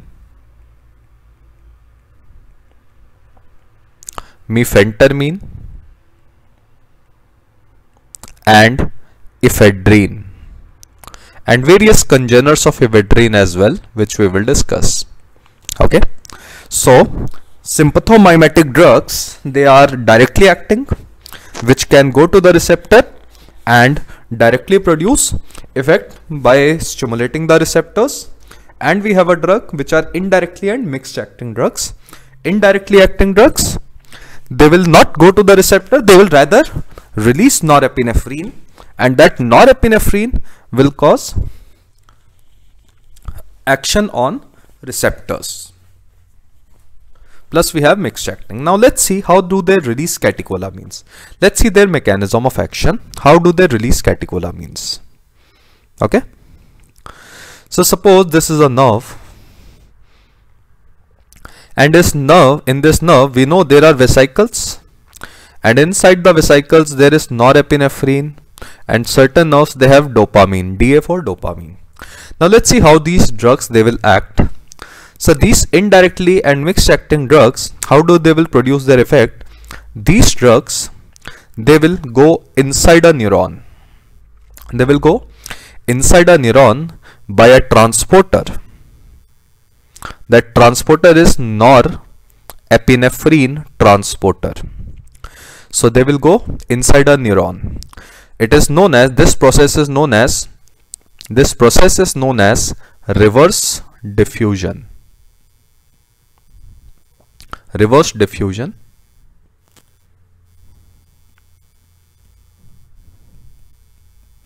okay then when they have they are inside a neuron these drugs they will enter into vesicles. They will enter into the vesicle by a transporter known as VMAT transporter. VMAT2 transporter that is vesicular monoamine transporter. And this process is known as this process is known as exchange diffusion. Okay so they will get reverse diffusion or reverse transport and then they will go in, inside the near these vesicles through VMAT transporter known as exchange diffusion. Now when they will enter into the vesicles they will displace norepinephrine and dopamine from their stores. And this norepinephrine and dopamine are released and they will produce effect on their receptors. They will produce effect on their receptors example alpha beta receptors. Okay? So these drugs they will rather release norepinephrine and dopamine from the nerves. Now there is a problem right now here. Suppose you are giving these drugs, let's say you are giving amphetamine to your patient. On the first day when you have given these drugs, they will release norepinephrine and dopamine from the nerves. Second day, they will then you have given second day. Sir, what will happen in some days? After some days, what will happen? The stores of these norepinephrine and dopamine will get depleted. So, if you are using them continuously, what will happen after some time sometimes their stores within some days you will write within some days the stores will get depleted. And if the stores will get depleted there will be no more norepinephrine or dopamine can be released. No more norepinephrine or dopamine can be released. Can we say after some days their effect will get over? Okay? So can we say that these drugs they show rapid loss of effect. Okay? They show rapid loss of effect. Now remember there is a term known as loss of effect. Loss of effect is also known as tolerance. Loss of effect is also known as tolerance. So can we say that these drugs they show rapid tolerance. Loss of effect is also known as tolerance. So these drugs they show rapid tolerance and rapid tolerance is also known as tachyphylaxis. Okay. Rapid tolerance is also known as tachyphylaxis. So these drugs they will show rapid loss of effect because after some days there will be no more stores of norepinephrine or catecholamines will be left hence there will be rapid loss of effect. Loss of effect is known as tolerance. So they show rapid tolerance. Rapid tolerance is known as tachyphylaxis. So these drugs which we have written modafinil amphetamine tyramine they will show rapid loss of effect and there will be complete loss of effect. They will show complete tachyphylaxis. They will show complete tachyphylaxis. But what about mephentermine, uh, mephentermine and uh, ephedrine? Sir, mephentermine and ephedrine will show incomplete tachyphylaxis. They will also show loss of effect, but that loss of effect is incomplete. Can you predict why? They will show incomplete loss of effect because these drugs they can also act directly on receptors. These drugs can also directly act on receptor. So these drugs they will show loss of effect but little bit effect will already always will be, will be produced because these drugs they can directly act on receptors. Okay? These drugs they can directly act on receptors. Okay so these drugs they show tachyphylaxis modafinil, amphetamine and tyramine, they show complete tachyphylaxis or complete loss of effect. While mephentermine and ephedrine, they show incomplete tachyphylaxis because they have a little bit action directly on the receptors. Now let's see what are the uses of these drugs and where they are implicated. So let's start first with indirectly acting drugs. The first drug which we have written is modafinil. The first drug is modafinil. Okay. Can we say that modafinil increases the level of dopamine and norepinephrine in our neurons? Hence, in our CNS, they can increase sympathetic discharge. They mainly act in CNS and increase sympathetic discharge. Now the point is when there is increase in sympathetic discharge in our CNS, can we say a person will become more energetic? A person will become more energetic and thence there will be decrease in sleep. A person will not able to sleep and a person will become more energetic. Okay, because of increase in sympathetic discharge. Let's see what are the uses of modafinil. Modafinil is used in three areas M, O and D. Okay. And in all these area, modafinil is the drug of choice. M stands for, it is used in multiple sclerosis. It is used in multiple sclerosis to relieve fatigue. To relieve fatigue okay? Or laziness. Why? A person will become more energetic. Okay? Hence it is a drug of choice to relieve fatigue in multiple sclerosis. O for you will write obstructive. Sleep apnea. Okay? Obstructive sleep apnea. Now what happens in obstructive sleep apnea it occurs in obstructive sleep apnea or OSA. It is a disease which occurs in very obese individual. Now when these obese individual, when they sleep, suppose this is an obese individual, when they sleep, what happens? They have a lot of fat in their neck area. There is lot of fat in their neck area. This fat compresses, this fat compresses respiratory pathway like larynx and trachea this abnormal high fat it compresses larynx and trachea when this larynx and trachea gets compress it will lead to obstruction during sleep obstruction during sleep because of this reason there is apnoea okay okay?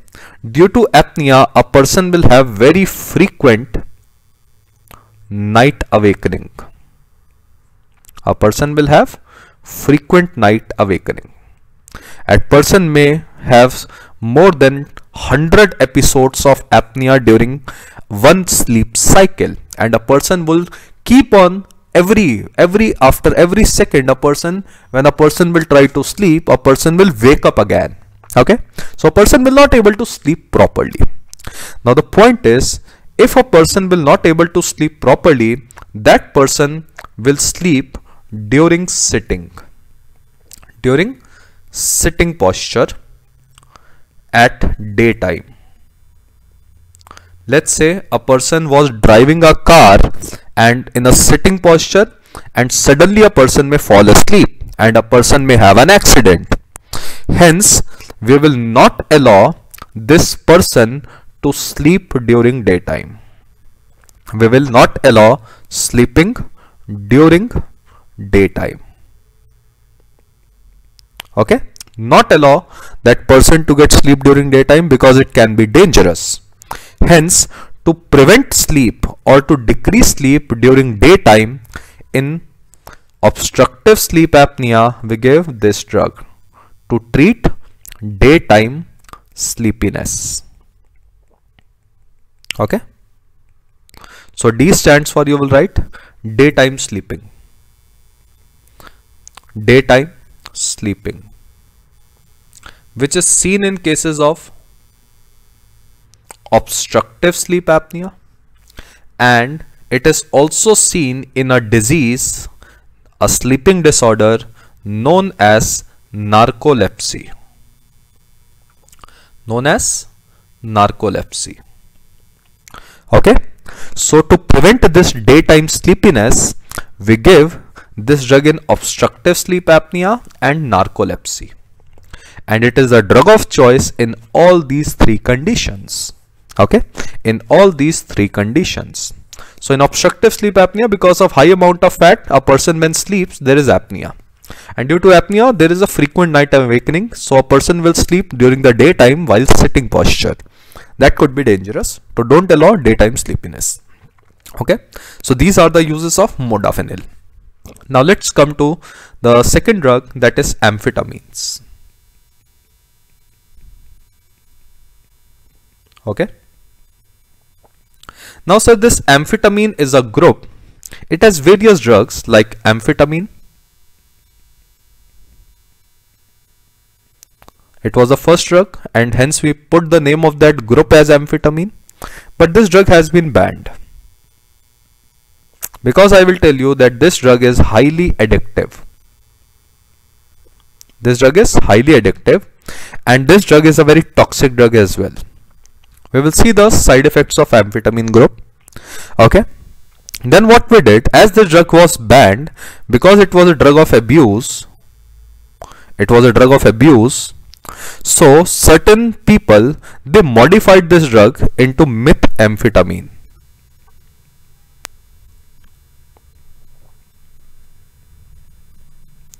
after that this drug was abused okay so these drugs is also known as designer drug. Why it is known as designer drug? Designer drugs are those drugs which are slight modification. Which are slight modification of banned drugs. Okay? So that people can abuse this drug. Okay? Similarly we made one more drug. Now it has also been banned. So people then made one more drug MDMA MDMA stands for methylene deoxy methamphetamine so this drug is also an abuse drug okay this MDMA is also been banned. So these drugs have been banned. Why? This MDMA is also known as ecstasy. Okay, it is also comes with the, the smugglers or the drug abusers. They commonly call this drug MDMA as ecstasy and it is also a rave party drug. Rave party drug. Now, why people they used to abuse these drugs? Because these drugs they produce a symptom of increasing sympathetic discharge. Due to increasing sympathetic discharge, this drug they produce a lot of aggression, excitement and rage or rave. Hence many youngsters they used to abuse this drug. But these drugs have been banned okay? But there are certain amphetamines which are approved for certain disease so you will write approved drugs. You'll write methylphenidate okay? Dexamphetamine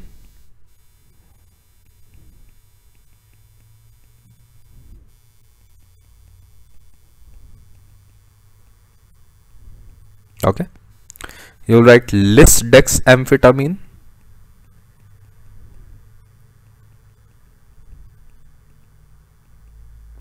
lisdexamfetamine lisdexamfetamine these are the certain amphetamines which are approved and they are used in certain diseases which we will see now where they are used.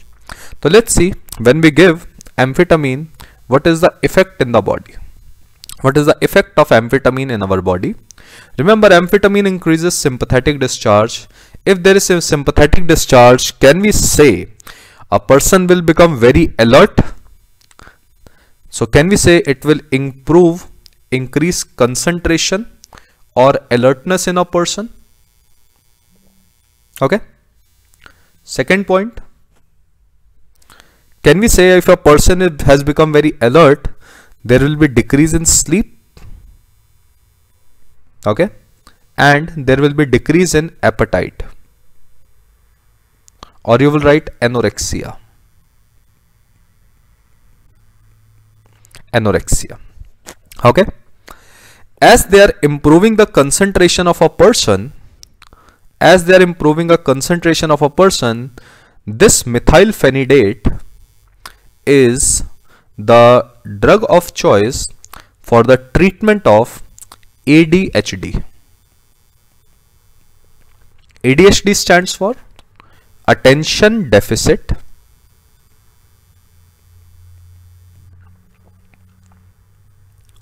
attention deficit hyperkinetic disorder.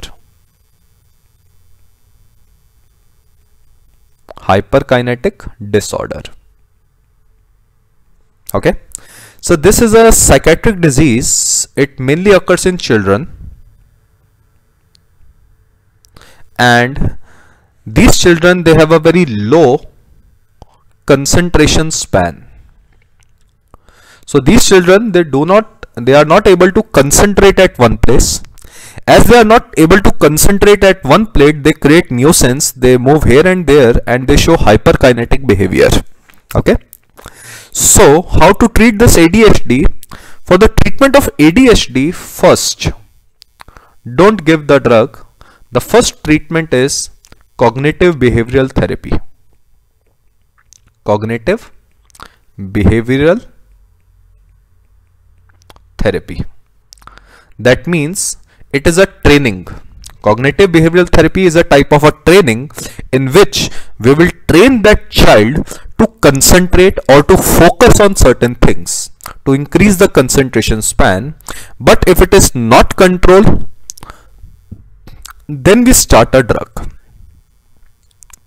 And the drug of choice in children is methylphenidate. Okay? It is a drug of choice in children. Okay? So the drug of choice in children is methylphenidate. So it will improve concentration span. But other drugs are also given. Okay? But if it occurs in adults if it occurs in adults which is very rarely because this disease rarely progress after puberty. After puberty most of the children they become uh, normal. But if it occurs in adult then you will write the drug of choice is something else that is atomoxetine. Okay? What is atomoxetine? It is norepinephrine reuptake inhibitor. This we will discuss in antidepressant chapter this drug so it will also increase sympathetic discharge. So in adults we prefer to give atomoxetine but this disease is the disease of children not of adult. So in children the most commonly prescribed drug is methylphenidate. Okay.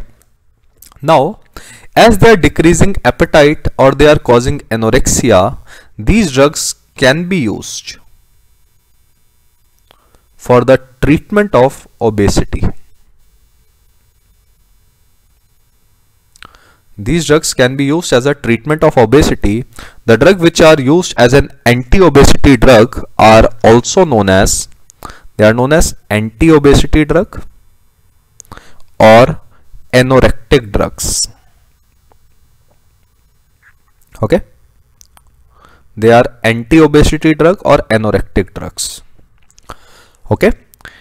So amphetamine and its congeners they were made as an anti-obesity drug but nowadays we don't use them amphetamines now they are not used because they have a lot of side effects So we will be seeing what are the different anti-obesity drugs we have and which have been banned. But before that, let's see the side effects of amphetamine.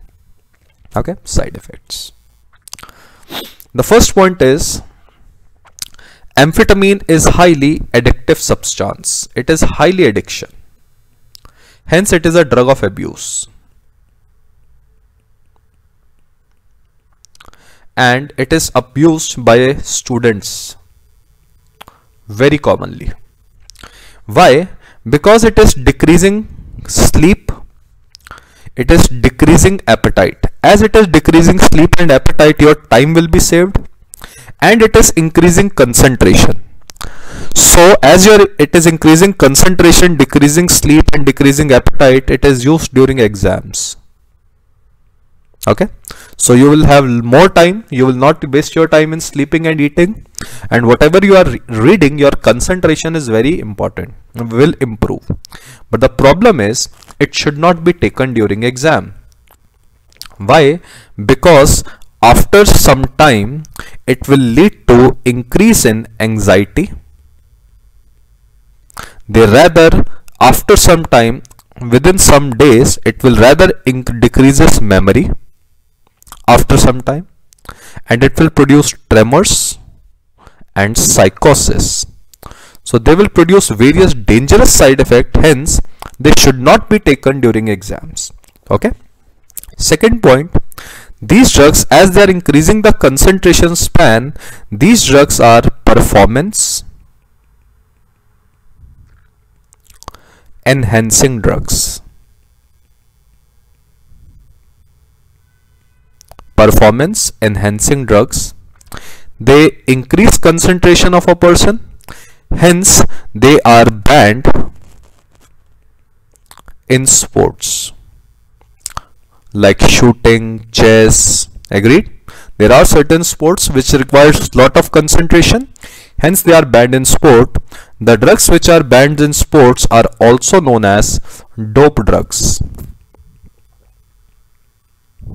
okay they are also known as ergogenic drugs. Okay. So these drugs are a part of dope drugs or ergogenic drug. They increase the performance of a athlete or a sport person as it is increasing concentration. You can have a very good performance in certain sports like chess, shooting, etc. So they are banned in sports. Okay. Now let's see what are the toxic effect of amphetamines amphetamine they produce psychosis they produce psychosis they are cardiotoxic in high dose and they may increase mortality as they cause arrhythmias as they cause arrhythmias plus in high dose, they may cause seizures. In high dose or toxic dose, they may cause seizures. But remember, in normal dose, in normal dose, they have anti-epileptic effect. But in high dose, they may cause seizures. Okay?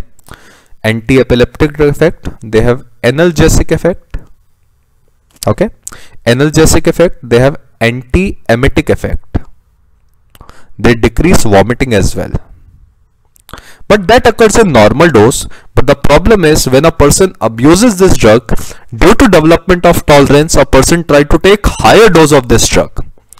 A person takes higher dose due to development of tolerance. As there will be no effect a person will try to take in very high dose Hence in high dose they will produce psychosis, arrhythmia, seizures. They are very dangerous drug. Anyone should not be abusing these drug. Okay. Now before going further let's make a heading amphetamine poisoning because a person takes in a very high dose let's see about amphetamine poisoning okay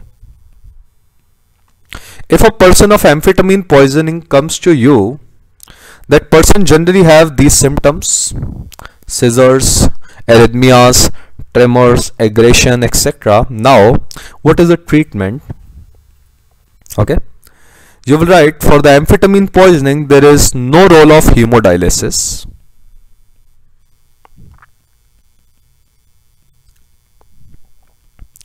There is no role of hemodialysis. Why because amphetamines they have a very high volume of distribution.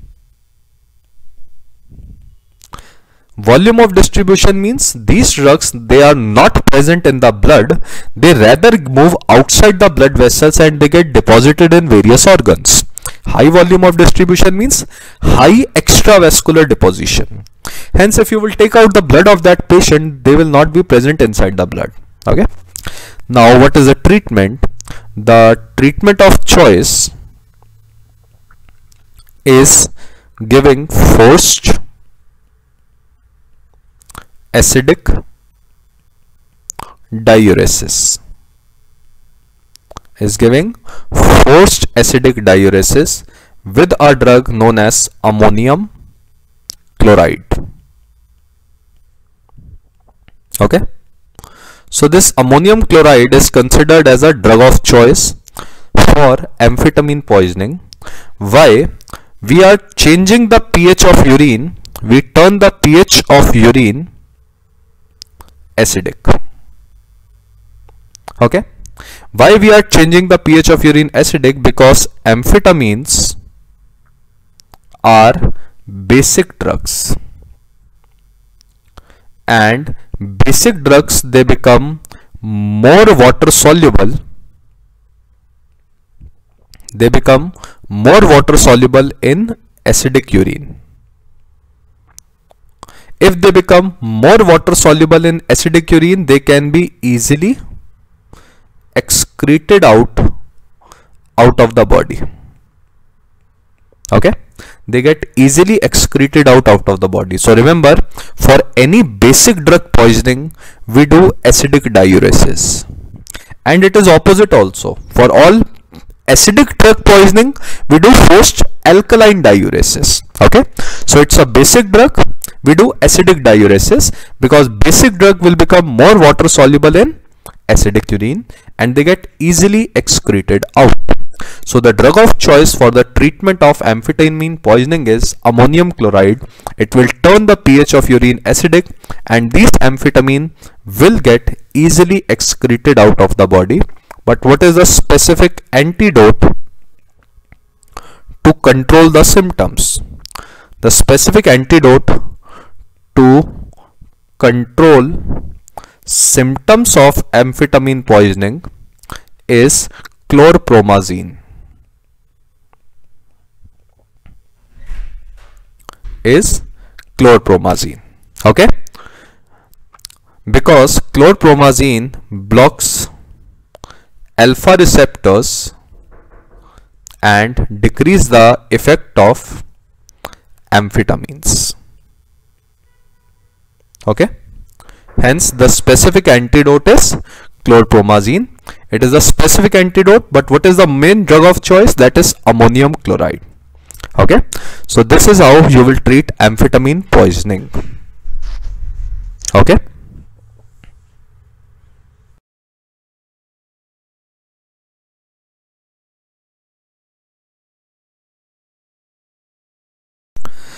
Uh, now let's discuss about tyramine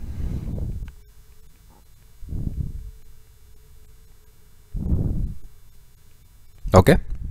Now tyramine is a natural chemical which is present in certain foods like cheese meat and red wine. Okay. So it is present in certain foods like cheese meat red wine which is commonly eaten in European countries. Wine with cheese pizza now the point with tyramine is tyramine also releases norepinephrine from nerves. But when we eat this food, what happens?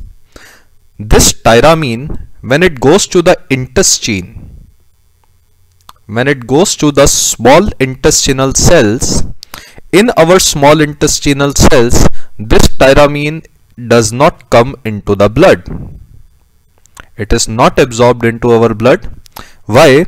Because in our small intestine we have an enzyme known as MAO A enzyme. Okay? This MAO A enzymes degrades tyramine. Okay? It degrades tyramine.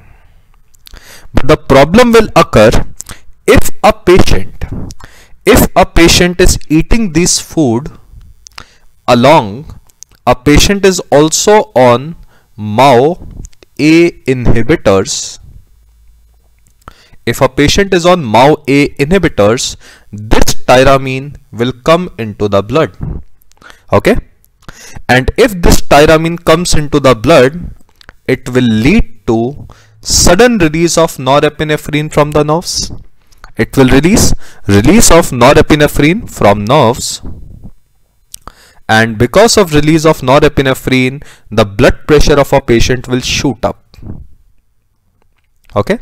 And it will lead to sudden hypertensive emergency. The BP will become so high that a person may die. It's a very dangerous condition. So if a patient is eating food like cheese with MAO inhibitor it will produce increase in blood pressure. This reaction of tyramine containing food like cheese with MAO inhibitor is known as cheese reaction. It is known as cheese reaction. Okay. So if a patient is eating these food which are high content in tyramine and if the patient is on MAO inhibitor, this tyramine will not be degraded in the intestine and it will come into the blood it will produce hypertensive emergencies. Now what are these MAO inhibitors? You can write tranil cypromine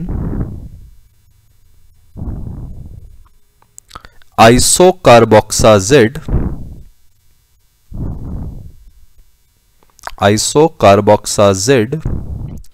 You can write phenelzine and nialamide. So these are the examples of MAO-A inhibitors. So MAO-A inhibitors, if a patient is on MAO-A inhibitors and that person takes a food like tyramine containing food, it can lead to hypertensive emergencies. And this hypertensive emergency is known as cheese reaction. How to treat this cheese reaction? The drug of choice is phentolamine. The drug of choice for cheese reaction is phentolamine and how phentolamine will act? This norepinephrine which is suddenly released it will produce vasoconstriction through alpha receptors. And the BP will increase block the receptor of this alpha receptors of norepinephrine so that vasoconstriction will not occur and the BP will not increase. Hence we give phentolamine. Phentolamine is an alpha blocker. It is considered as a drug of choice for cheese reaction but you can also use other drugs like clonidine. Clonidine will inhibit release of norepinephrine from the nerves it is an alpha 2A agonist and we have discussed clonidine inhibit the release of norepinephrine from the nerves. You can also use nitroprusside. Nitroprusside is a direct vasodilator. It forms nitric oxide gas which produces vasodilatation. You can also use labetalol. Okay. Labetalol is alpha plus beta blocker but traditionally the drug of choice which is considered is phentolamine for cheese reaction. Okay? So uh, tyramine is present in cheese containing food and if a patient is on MAO inhibitors it can produce cheese reaction which is very high BP which can damage end organ. Damage end organ means emergency. Okay? So these are indirectly acting drug. Let's talk about mixed acting drugs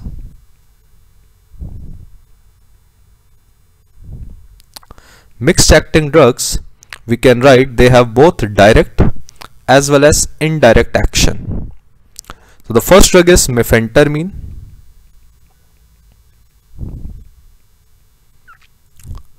Okay. Okay. Mephentermine releases norepinephrine from nerves plus mephentermine stimulate alpha plus beta receptors both. Okay. This mephentermine we have already discussed when we were discussing non-catecholamines chapter. This mephentermine can be used as a vasopressor and it can be given orally to increase the blood pressure vasopressors to increase the blood pressure okay vasopressors are the drugs to which are used to increase blood pressure in cases of hypotension and shock mephentermine is also an approved anti-obesity drug. It is also an approved anti-obesity drug. We give a combination of mephentermine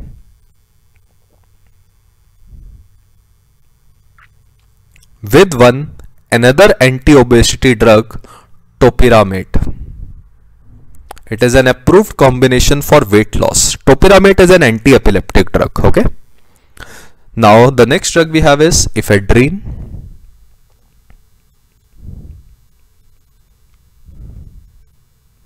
Okay, ephedrine we will write that ephedrine is used as a vasopressor. Same action just like mephentermine. You will write it is a vasopressor in pregnancy. The drug of choice as a vasopressor in pregnancy is ephedrine because it does not interfere with placental circulation. It does not produce vasoconstriction in placenta. Okay. It will only produce vasoconstriction in maternal arteries, mother, not in placenta and the blood supply to the fetus is maintained. But the problem with ephedrine is it crosses blood-brain barrier just like amphetamine. Just like amphetamine. And it is again highly addictive substance. It is also a highly addictive substance. Hence other uses of ephedrine we don't use okay? Now ephedrine was earlier used for the treatment of asthma. But nowadays we don't prefer because we have selective drugs for asthma. And earlier it was also used as a nasal decongestant. Okay? As a nasal decongestants so we modified this ephedrine for nasal decongestants now we have modified this ephedrine into norephedrine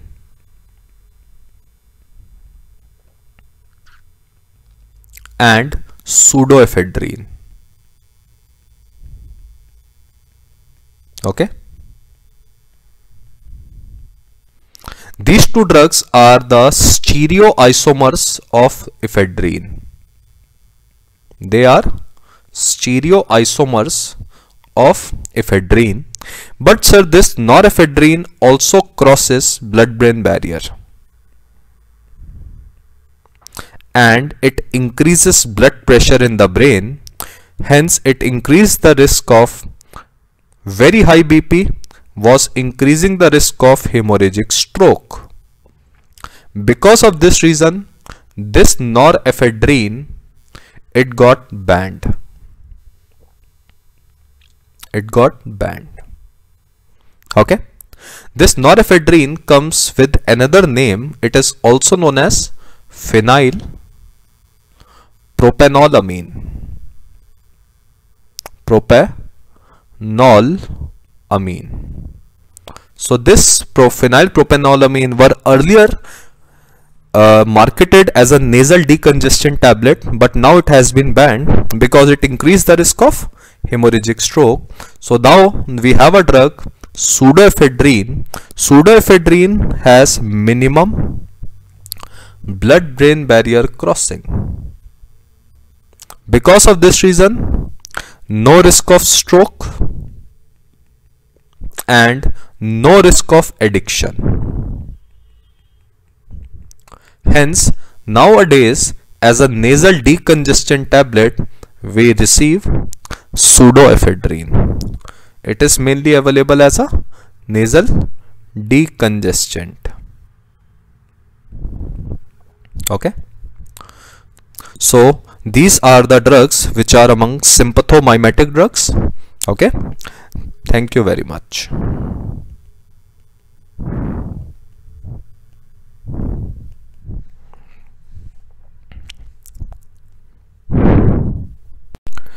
uh, hello friends. Now today we will be discussing about sympatholytic drugs. Okay? So we will be discussing about sympatholytic drugs. Now these sympatholytic drugs they are classified into two. We know there are two sympathetic receptors in our body. The sympathetic receptors are, are the either alpha or beta. So these sympatholytic drugs they are either classified as alpha blockers or beta blockers. Okay? They are either classified as alpha blockers or beta blockers. Okay? So if we will block these receptor the sympathetic discharge will decrease. Hence they are known as sympatholytic drugs. Now before coming to the drug let's see what is the difference between a alpha blocker and a beta blocker. Let's see the difference a comparison between these two drugs. Now the first effect is on blood pressure. The first effect we will see is on blood pressure. Now we know that how blood pressure is maintained there is a heart. Okay? This heart pumps out the blood which is known as cardiac output okay and this cardiac output is known as this cardiac output is known as systolic blood pressure. SBP means systolic blood pressure. And can we say on heart we have which receptor? Beta 1 receptor and if we will stimulate beta 1 receptor it will increase cardiac output. Okay, it will increase cardiac output. But when this blood it comes into a blood vessel, it comes into a blood vessel, the tone of this blood vessel whether they are constricted or dilated is known as diastolic blood pressure. It is known as diastolic BP or diastolic blood pressure. Now remember if the vessels are constricted vasoconstriction the diastolic blood pressure increases and in vasodilatation the opposite will happen the diastolic blood pressure will decrease. Now let's see which receptors mediate vasoconstriction and vasodilatation. On the blood vessel, we have alpha 1 plus 2. Alpha receptors, remember 1 plus 2, they cause vasoconstriction. Okay. And on blood vessel, we have one more receptor known as beta 2 and beta 2 receptor causes vasodilation. Okay? Hence alpha receptor can we say will increase diastolic blood pressure? And beta 2 receptor decreases diastolic blood pressure okay now let's see if we will give alpha blocker what is the effect on bp alpha blocker will cause will inhibit will inhibit alpha receptors on blood vessel. If they inhibit alpha receptors on blood vessel due to unopposed action of beta 2, they are vasodilators. They are vasodilators. Hence, which blood pressure they will decrease? They will decrease diastolic blood pressure. They will decrease diastolic blood pressure. Now, if we talk about beta blockers, So beta blockers first they will act on heart and they will inhibit beta 1 receptor. Okay. If they inhibit beta 1 receptor, can we say they suppress heart? They will decrease cardiac output. As beta blockers, they will decrease cardiac output. Can we say that these beta blockers, they decrease systolic blood pressure? Okay. So beta blockers, they will reduce systolic blood pressure. Now let's see what will happen with the other component of blood vessel of blood pressure with them. Okay. Now when we will block beta 2 receptor on a blood vessel, if we will block beta 2 receptor on a blood vessel due to blockage of beta 2 there will be unopposed alpha 2 action alpha action Hence, they will cause vasoconstriction. They will cause vasoconstriction and hence they will rather increase diastolic blood pressure. They will increase diastolic blood pressure but they will reduce systolic blood pressure. Okay. So we will make a summary that beta blocker they reduce systolic blood pressure but due to vasoconstriction they increase diastolic blood pressure. So this is the final summary of the blood pressure effect due to beta blockers. Okay. Now if we come about alpha blockers, if there is sudden vasodilatation, this sudden vasodilatation will cause, if there is sudden vasodilatation due to alpha blockage, can we say due to decrease in diastolic blood pressure or vasodilatation, what happens to the vital organs, let's say brain, due to sudden vasodilatation, there is decrease in mean arterial pressure. The blood supply to the brain decreases suddenly. Okay, mean arterial pressure is a component of diastolic blood pressure. Okay, due to sudden vasodilatation in brain, this brain will tell to the heart for some time, please maintain the pressure. To maintain the pressure, the heart will beat more. To maintain the pressure, the heart will beat more. Hence, sudden decrease in diastolic blood pressure will cause reflex tachycardia. Okay. To maintain diastolic blood pressure, the brain will tell to the heart to do a little bit more work Hence, they will cause reflex tachycardia and this reflex tachycardia will increase systolic blood pressure. Okay. So, if we will make a summary, these alpha blockers, they decrease diastolic blood pressure, but they will increase systolic blood pressure. Okay. So, it is the final summary of alpha blockers. So, alpha blockers, they are mainly vasodilators while beta blocker they mainly act on heart hence they will decrease systolic blood pressure okay so this is the effect of alpha blockers and beta blockers on blood pressure okay? So this is the effect of alpha blocker and beta blocker on blood vessels. Okay? Now the next effect we will see of alpha blocker and beta blocker on erectile function.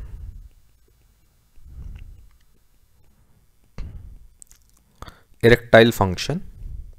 Remember, if there is increase in blood supply to the corpus cavernosal artery, cavernosum, due to vasodilatation, there is increase in blood supply. When there is increase in blood supply to the corpus cavernosal artery due to vasodilatation, it causes penile erection. It causes penile erection. Normally this is the normal physiology can we say that alpha blockers? Can we say that alpha blockers they are mainly vasodilators? We have discussed that alpha blockers they are mainly vasodilators. Okay? Hence these alpha blockers causes prolonged penile erection. Hence they will cause prolonged penile erection. This is also known as priapism. This is also known as priapism. So alpha blockers due to vasodilatation they cause priapism. That means prolonged penile erection. Okay and can we say that beta blocker as they block beta 2 receptor as they block beta 2 receptor. Due to blockage of beta 2 receptor there is unopposed alpha action. They produce vasoconstriction and vasoconstriction will reduce the blood supply to the penile area to the corpus cavernosum hence there will be no penile erection. No penile erection hence this disease is also known as impotency okay this disease is known as impotency Hence, we can summarize this that beta blockers they cause impotency, no penile erection and alpha blockers they cause priapism. Okay, priapism. That means prolonged penile erection. Now the third effect of alpha blockers and beta blockers is on is on insulin and lipid levels. The third effect we will discuss is on insulin and lipid level. Okay. Insulin and lipid level. Now remember, if we talk about beta cell of pancreas, if we talk about beta cell of pancreas, remember on beta cell of pancreas we have two receptors. One is alpha 1 plus 2 and we have beta 2. Remember if we will stimulate alpha 1 receptor it causes it it will inhibit insulin release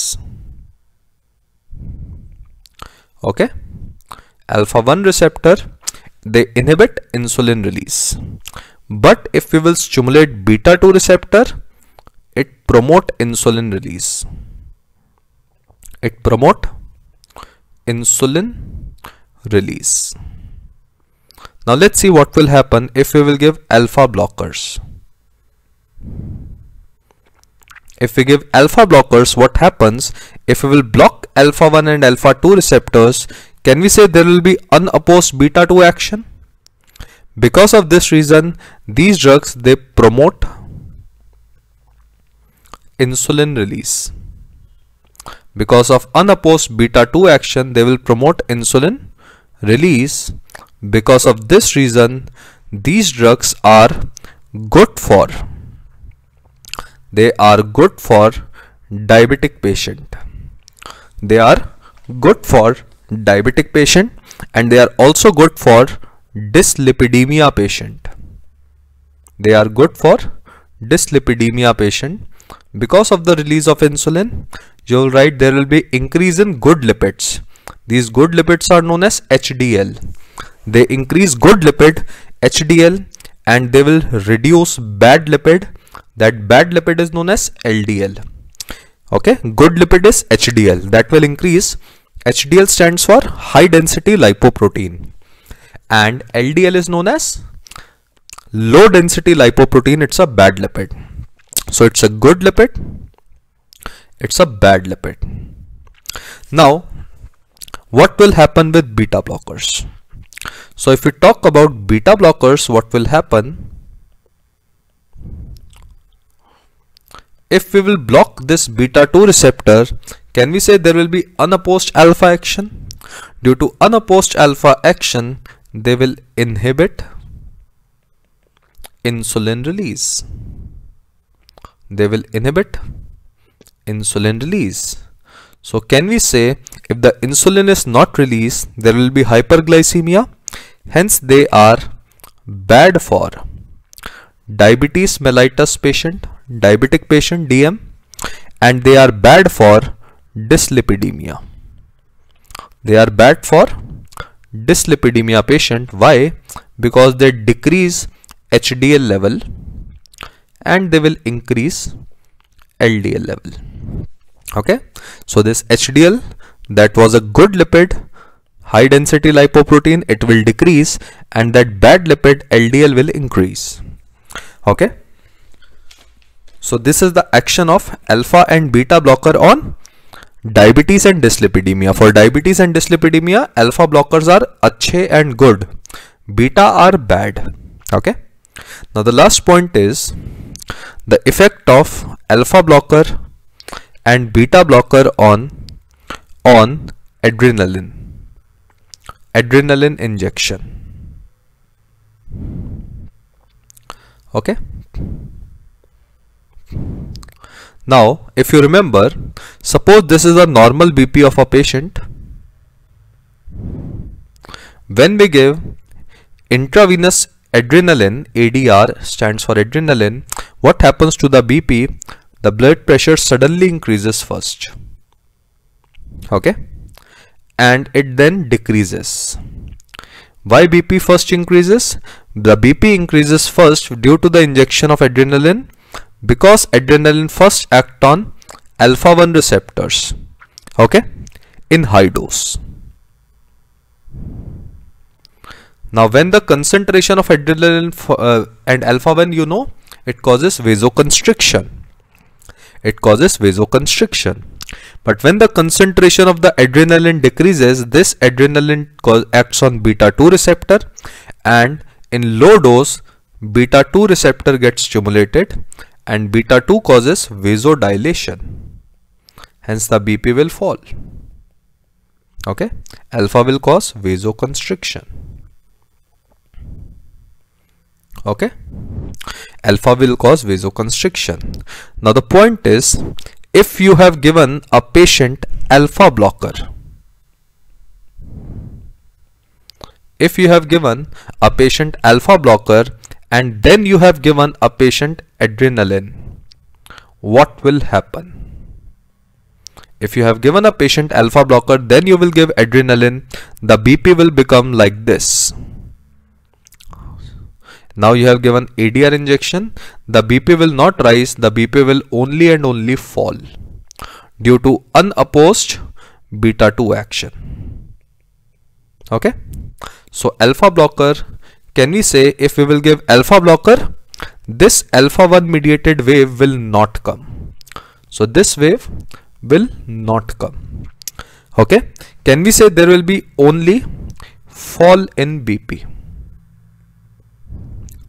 fall in BP so this property of unopposed fall in BP is known as vasomotor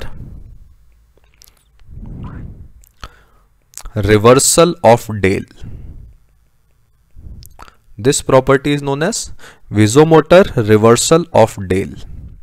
So which drug they show vasomotor reversal of Dale? The vasomotor reversal of Dale is shown by alpha blockers. So why a vasomotor reversal? Because the BP will not rise, it will rather fall. Okay. But what will happen if you will give beta blocker? If you will give beta blocker first what will happen? The if you will give beta blocker can we say there will be only and only increase in BP and there will be no fall in BP due to unopposed alpha action? So there will be only increase in BP okay? There will be only increase in BP this second wave of fall in BP will not come with beta blockers. Okay, so with beta blockers, there will be no fall in BP. This property is also known as vasomotor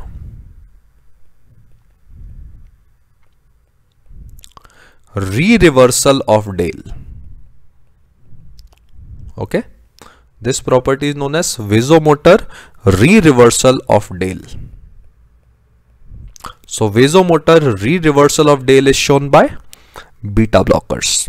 So there will be unopposed alpha action and there will be only and only increase in blood pressure okay so vasomotor reversal of Dale is shown by alpha blockers and vasomotor re-reversal of Dale is shown by beta blocker in vasomotor reversal of Dale there is fall in BP while in vasomotor re-reversal of Dale there will be only increase in BP due to unopposed alpha actions. Okay?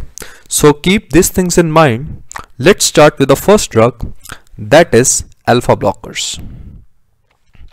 So let's start with the first class of drug that is alpha blockers. Okay and we know that in sympathetic nervous system there are two receptors alpha 1 and alpha 2 so let's see what the drugs we have the first class of drug we have are known as non-selective alpha blockers. Non-selective alpha blockers. That means these drugs they will block both alpha 1 as well as alpha 2. Okay. The next class of drug we have is selective alpha 1 blockers. These drugs are selective alpha 1 blockers. They will only block alpha 1 receptors. And lastly, we have a drug that is selective alpha 2 blockers. Okay. They will only block alpha 2 receptors. Okay. So let's see what other drugs we have.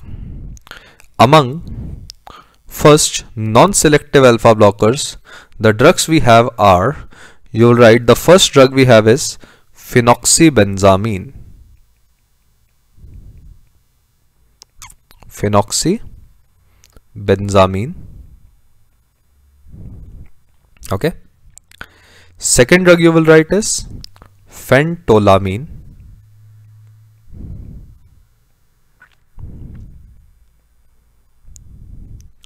The third drug you will write is tolazoline. Tolazoline. Okay. Now let's complete first with these drugs. Now what is the difference between these three drugs? Now you will write this phentolamine is a non-competitive blocker. It is a non-competitive blocker of alpha receptor. While phentolamine and tolazoline they both are competitive blockers.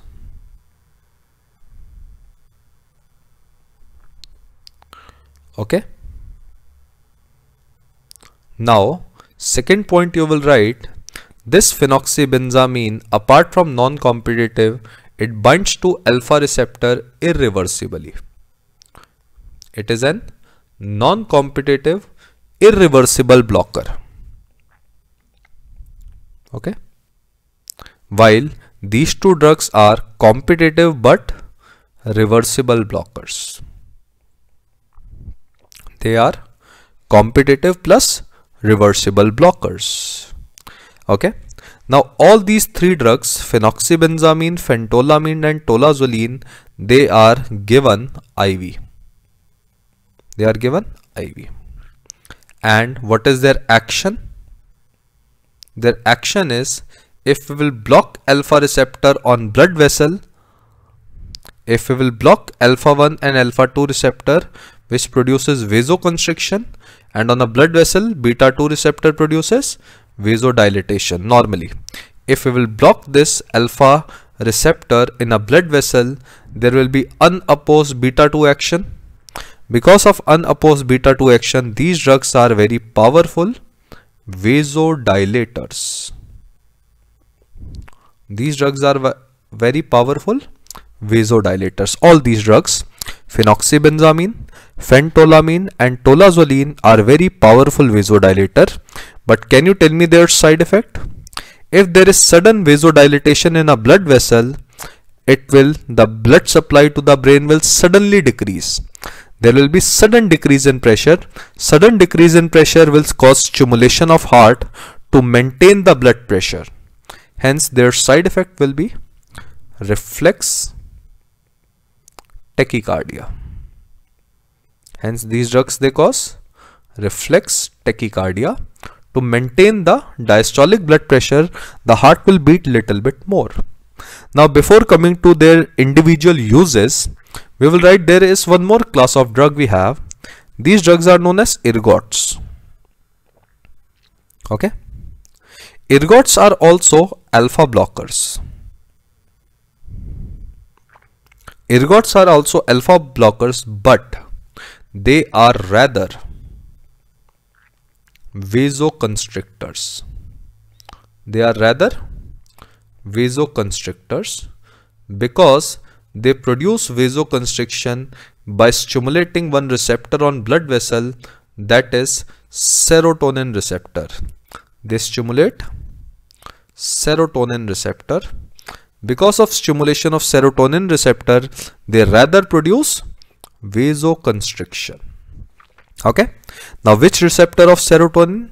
You will write the receptor of serotonin is 5-HT 1B slash 1D. This receptor we will discuss in migraine. Okay. Hence they are used will be used in the treatment of migraine. Okay. So which alpha blocker is a vasoconstrictor? That is ergots. Okay. Because they act on serotonin receptor on the blood vessel that is 5-HT, 1B and 1D. Another name of serotonin is 5-HT. 5-HT stand for 5-hydroxytryptamine. Okay. So what are those ergots? You can write their names like ergotamine, dihydroergotamine.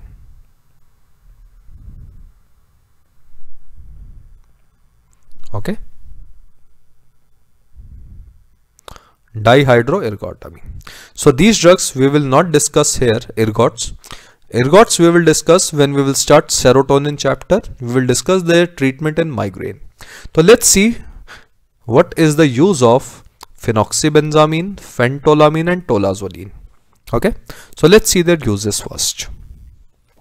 So if we talk about phenoxybenzamine,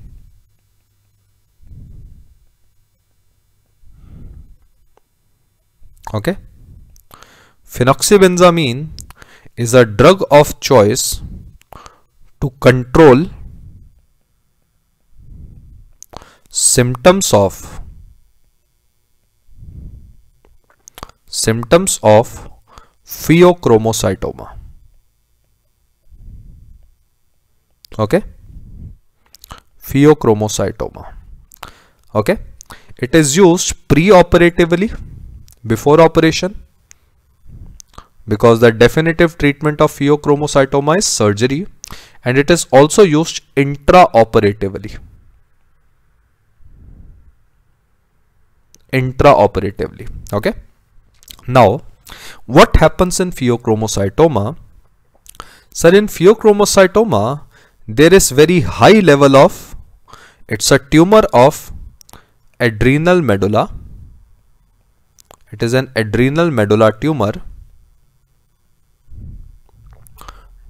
Because of this reason, there is very high level of catecholamines in the blood. There is very high level of catecholamines. Like example, most common is norepinephrine. Next most common is dopamine. Okay. Normally adrenal medulla forms epinephrine but in pheochromocytoma rather norepinephrine is formed. And these norepinephrine it produces symptoms on various alpha and beta receptors. Okay? Now the point is to control the symptoms of pheochromocytoma to control the symptoms of pheochromocytoma first in our patient we add alpha blockers First we give alpha blocker. That alpha blocker is phenoxybenzamine. It is the drug of choice. and this phenoxybenzamine will block all alpha 1 as well as alpha 2 receptor and after adding phenoxybenzamine then we add then we add a non-selective beta blocker. A non-selective beta blocker. That drug is propranolol. That drug is propranolol. It will block all beta receptor. Beta 1 beta 2 and beta 3 hence all the receptors of these catecholamines are blocked. Hence the symptoms of pheochromocytoma will not come so in pheochromocytoma remember first we add alpha blocker. Remember first add alpha blocker and then you should add second beta blocker. Okay? Now we should not reverse this thing. We should not add, act first beta blocker. Because if you will add first beta blocker if you will add first beta blocker due to unopposed action of alpha 1 receptors and alpha 2 receptor on blood vessel these catecholamines will have unopposed action on alpha 1 and alpha 2 and it will produce massive vasoconstriction. And it will produce massive vasoconstriction and hence the BP will increase very high. Okay? And hence the BP will increase very high. Hence we never add never add beta blocker first.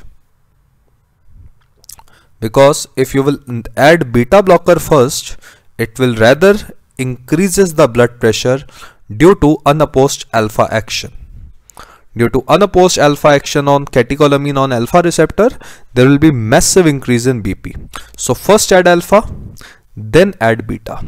Okay? First add alpha then add beta. Now let's see. The second drug we have is that is phentolamine.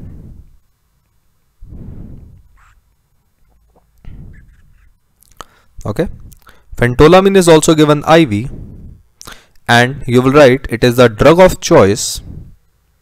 It is a drug of choice for cheese reaction. It is a drug of choice for cheese reaction which we have already discussed. It is also the drug of choice for clonidine withdrawal. It is also the drug of choice for sudden clonidine withdrawal because in both of these condition there is very high release of norepinephrine from the nerves. Okay?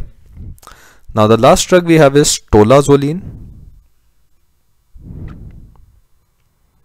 Now the last drug we have is tolazoline It is also given IV and this tolazoline you will write this tolazoline is the drug of choice. It is the drug of choice for for producing vasodilation during angiography. okay during angiography let's say in heart to dilate which vessels? We will write to dilate coronary arteries. Okay? And also in digits. Okay? So that the dye should can easily reach to the every corner. Okay? Okay? It can also be used for the treatment of Raynaud's disease. It can also be used for the treatments of Raynaud's disease because it will dilate fingers, blood vessels in the fingers, but it is not the drug of choice, not the drug of choice. Okay, the drug of choice for Raynaud's disease is calcium channel blocker DHP type. Example, you can write amlodipine. Okay. So they can be used in Raynaud's disease, but they are not the drug of choice. So these are the uses of non-selective alpha blockers. Let's make a heading now. Selective alpha 1 blockers. Selective alpha 1 blockers. Okay. Now we have two classes of selective alpha 1 blocker. The first class of alpha 1 blocker, the drugs are indoramin and urapidil. These drugs are sometimes used IV for hypertensive emergencies. But they are not the drug of choice. Okay? Because if we will block alpha 1 receptor due to beta 2 action unopposed action on beta 2 they are very powerful vasodilators. They will decrease blood pressure. Okay? So the first class of alpha 1 blockers they are used in hypertensive emergencies. But now they are very rarely used. Now the uh, next class of alpha 1 blockers they are used for the treatment of BPH okay? The next class of selective alpha 1 blocker they are used for the treatment of BPH. BPH stands for benign prostatic hypertrophy. Okay. Now let's see what is this benign prostatic hypertrophy. Suppose this is a prostate, this is a bladder, urinary bladder okay? And this area is generally known as neck of the bladder. This shaded area is known as neck of the bladder. In this shaded area we have one sphincter.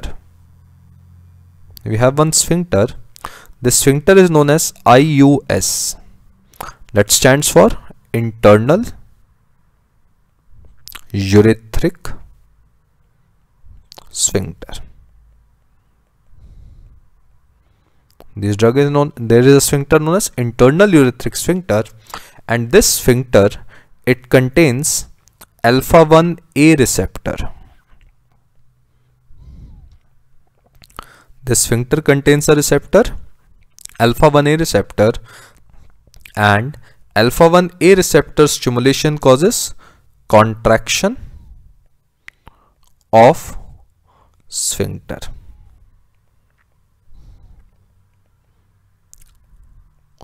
Okay? Now behind this neck of the bladder or the sphincter there is a gland. There is a gland behind this neck of the sphincter. There is a gland. This gland is known as prostate gland. Okay? Now what happens with age with age increasing age especially after 60 years of age the size of this prostate increases. Size of prostate increases which is known as benign prostatic hypertrophy. When the size of this prostate increases this prostate causes contraction of sphincter. This prostate causes contraction of sphincter hence the patient will have symptoms of urinary retention. If this sphincter gets closed, can we say the urine of a, a person will not able to pass out the urine? If this sphincter is closed, can we say the urine which is present in the bladder will not able to pass out? Okay. Hence, in treatment of BPH, we will inhibit hence in the treatment of BPH we will inhibit alpha 1a receptors. Because if we will inhibit alpha 1a receptor it will lead to opening of opening of IUS IUS stands for internal urethric sphincter. Okay? So let's see what are the drugs we have let's see what are the drugs we have. So for the drugs for BPH are divided into alpha 1 blockers. Okay? The alpha 1 blockers they are of two type. The drugs which will block alpha 1a plus alpha 1b okay? Alpha 1a as well as alpha 1b receptor and second drug we have is that is only and only alpha 1a blocker. Okay? Okay? Now we know that in internal urethric sphincter which receptor is present? Only alpha 1a so can we say that alpha 1a blockers can we say that this alpha 1a blockers they are specific drug these drugs are also known as uroselective blockers. These drugs are also known as uroselective blockers. Okay? Okay? But what about alpha 1b so in alpha 1a is present in ius okay? This alpha 1b is present on blood vessel. And if we will block this alpha 1b receptor it will lead to vasodilation. Vasodilation. Okay? So let's see what are the drugs and where they are used. The drug which are both alpha 1A and alpha 1B blocker are prazosin, terazosin,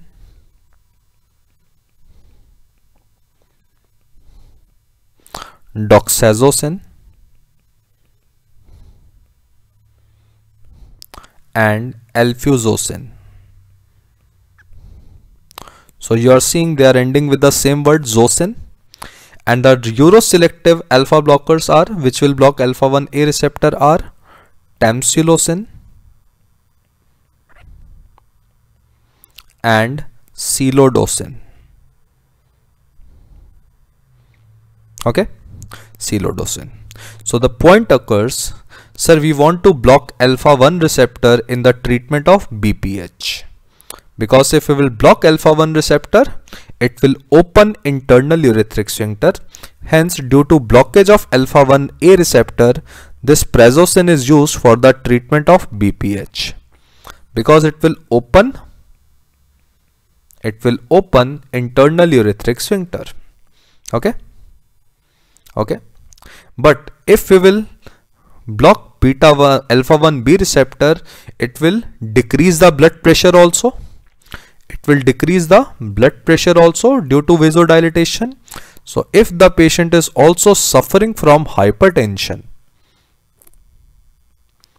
then the drug of choice for benign prostatic hyper hypertrophy BPH with hypertension is prazosin. Why BPH? Because it will open internal urethric sphincter by blocking alpha 1A and by blocking alpha 1b it will further reduce blood pressure. Hence the drug of choice for bph with hypertension is prazosin. Okay? But if we talk about tamsulosin so tamsulosin is only blocking alpha 1a receptor which is present in ius and there will be just opening of internal urethric sphincter if the patient is only suffering from BPH, then the drug of choice is tamsulosin. So tamsulosin is the drug of choice for BPH, while prazosin is the drug of choice for BPH with hypertension. Okay, because of alpha 1 B action also. Okay, you will write one additional point. These drugs they have additional prazosin they have additional apoptotic activity on prostate. That means these drugs they can decrease the size of prostate. Okay? While tamsulosin and silodosin do not have any apoptotic activity. Okay? They cannot decrease the size of prostate.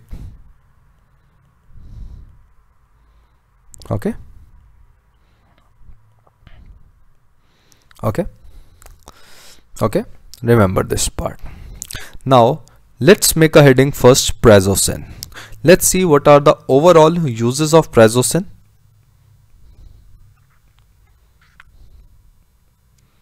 okay. Now prazosin is the drug of choice for BPH with hypertension. Okay. It is a drug of choice for BPH with hypertension. Okay. And it is also favorable or good for or good for the patients who are suffering from diabetes mellitus and dyslipidemia. Now the point is why? Because of this BPH, benign prostatic hypertrophy is seen in old age, hypertension is also seen in old age. And diabetes dyslipidemia, all these diseases are commonly seen in old age. Okay.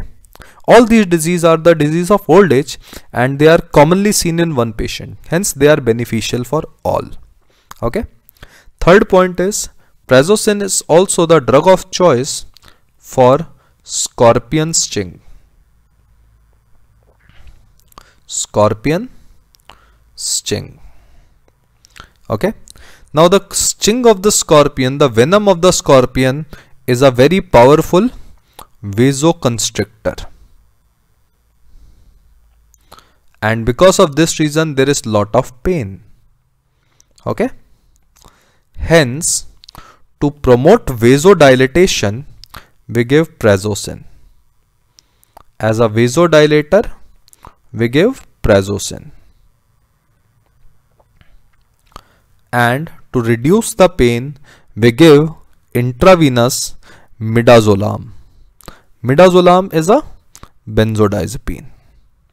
Okay, we give midazolam. So this is the treatment of prazosin. This is the treatment of scorpion sting. Okay, now let's see what are the side effect of prazosin. The first side effect of prazosin is priapism. We have already discussed that alpha blockers due to unopposed action on due to blockage of alpha 1 alpha receptor there is unopposed beta 2 action there will be increase in blood supply to the penile area okay to penis Hence they cause priapism. Now the second side effect of prazosin is prazosin causes postural hypotension.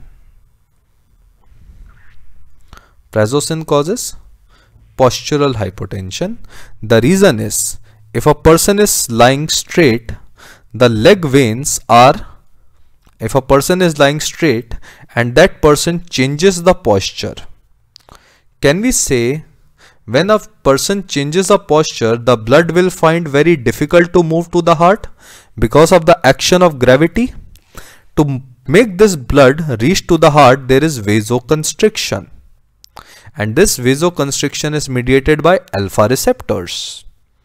And if we will give prazosin, when the person will change the posture, there will be no vasoconstriction and hence there will be only vasodilatation Due to vasodilatation, the blood will pool downwards. If the blood will pool downwards due to vasodilatation, it will not go to the heart. From heart, it will not go to the brain. Hence, the person will feel postural hypotension and dizziness and syncope in brain. Now, this postural hypotension due to prazosin is also known as first dose effect. It is also known as first dose effect. Now why it is known as first dose effect? Because it is seen when we start prazosin. When we start or when we give first dose of prazosin. first dose of prazosin. But what happens when a person takes continuously, gradually, gradually tolerance develops. To this first dose effect, gradually tolerance develop and this first dose effect, it gradually becomes asymptomatic, it becomes normal. Okay. Now the point is how to treat this prazos first dose effect. So how to is the treatment? The treatment is tell give this prazosin at that time when a person does not have to stand. So at that time we will write give prazosin at which time when a person does not have to stand give prazosin at bedtime. Before going to bed a person will take prazosin so that a person do, does not have to stand. Start with low dose. Start with low dose and you can gradually increase the dose. Okay. Gradually increase the dose. So how to treat this first dose effect? Give prazosin at bedtime so that a person should not have to stand and start with low dose of prazosin. But if it is very severe, if it is very severe, then you will write the drug of choice for postural hypotension is midodrine.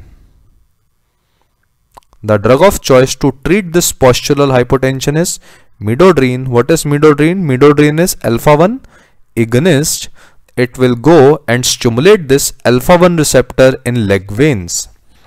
Okay? It will go and stimulate alpha 1 receptor on leg veins. Now the last side effect of prazosin is floppy iris syndrome. Okay? The last side effect of prazosin is floppy iris syndrome because of it is because of blockage of blockage of alpha 1a receptor on radial muscles of iris.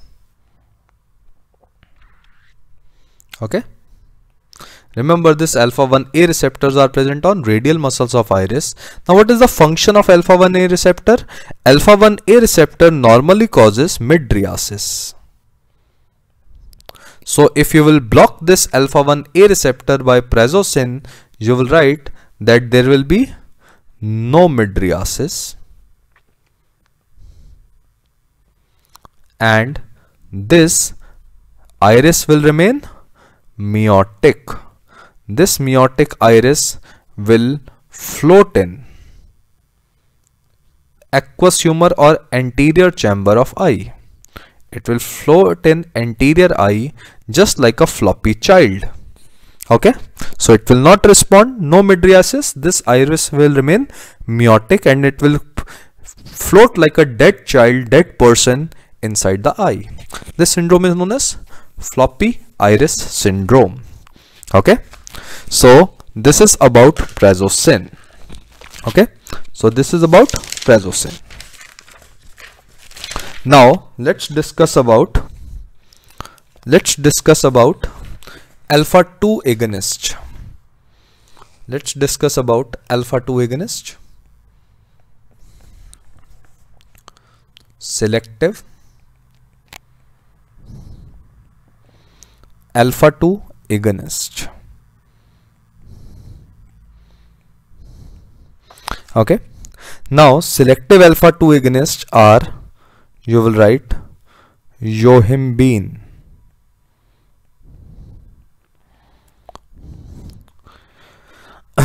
idazoxan.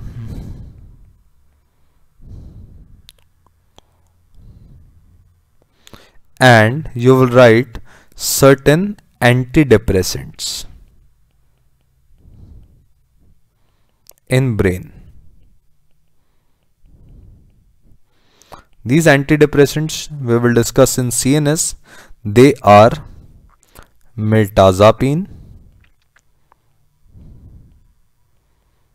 and mianserin mianserin okay? So these antidepressants we will discuss in brain. Okay? Now what about these two drugs? So these two drugs are not used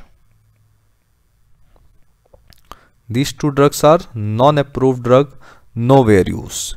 But this yohimbine it is a plant product and this yohimbine it produces priapis it produces priapis because of this reason it is a plant product certain cultures or certain societies they eat this plant to increase libido or you will write sexual desire Any drug which increases libido or sexual desire is known as aphrodisiac. Okay, it is known as aphrodisiac. But remember, this yohimbine is a non-approved drug. It is non-approved drug, but certain cultures or societies they used to eat a plant which contains yohimbine to increase sexual desire. Any drug which increases libido or sexual desire is known as aphrodisiac, but it is not an approved drug. Okay, Hello friends, now today we will be starting with beta blockers. Okay. Now beta blockers they block beta sympathetic receptors okay? Now these beta sympathetic receptors are of three type beta 1 beta 2 and beta 3 okay? Let's see where they are located. Beta 1 receptors they are present on heart okay they are mainly present on heart or cardiac muscles and they are present on JG cells of kidney. Okay. Now, when we stimulate beta 1 receptor, remember it stimulates all the parameters of heart. It stimulates SA node, AV node, it stimulates the muscle fibers and it improves conduction also. And when JG cells of the kidney are stimulated by beta 1 receptor, this JG cell of kidney releases renin and renin increases blood pressure by RAS system by system known as RAS. RAS stands for renin angiotensin aldosterone system. Now let's see the locations of beta 2. Beta 2 receptors they are present mainly on skeletal muscles. And if we stimulate beta 2 receptor on skeletal muscle it leads to tremors or muscle contraction. Secondly, beta 2 receptors they are also present on smooth muscles. While in smooth muscle they have opposite action, in skeletal muscle they promote contraction and tremors, while in smooth muscle they promote relaxation. Okay? In smooth muscle they rather promote relaxation, hence they cause bronchodilation in bronchus. Hence they are used for the treatment of asthma. They're also present on blood vessels. And on blood vessels they cause vasodilation. They also are present on uterus. And on uterus they also cause relaxation of uterus relaxation of uterus is known as tocolytic effect. Okay? Tocolytic effect. Finally they are also present on beta cells of pancreas. In beta cells of pancreas where they promote insulin release. Where they promote insulin release. Okay? And lastly they are present on liver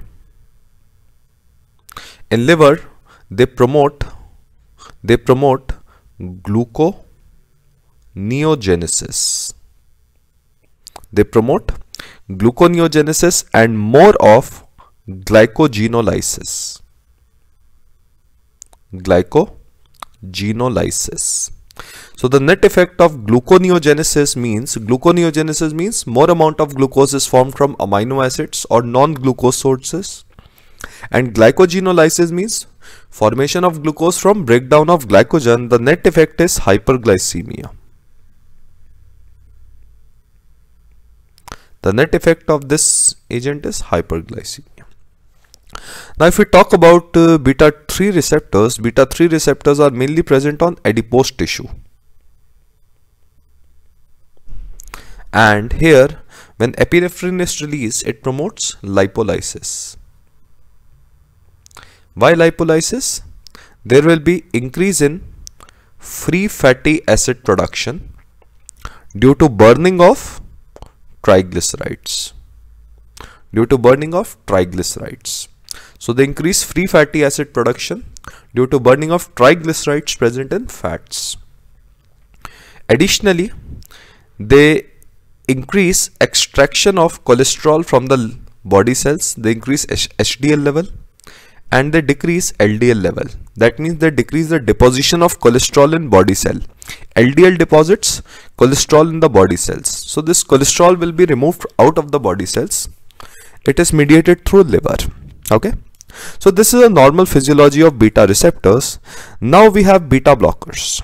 Okay, let's see if we have beta blockers, what effect will be produced? Beta blocker will reverse all these effect. Okay. Beta blockers will reverse all these effects. So let's see what are the different beta blockers we have. The drugs among beta blockers. Okay. Now beta blockers they are divided into certain generations the first beta blockers which we have formed, which we made was known as first generation beta blockers. They were known as first generation beta blockers. This first generation beta blockers, they are also known as non-selective beta blocker.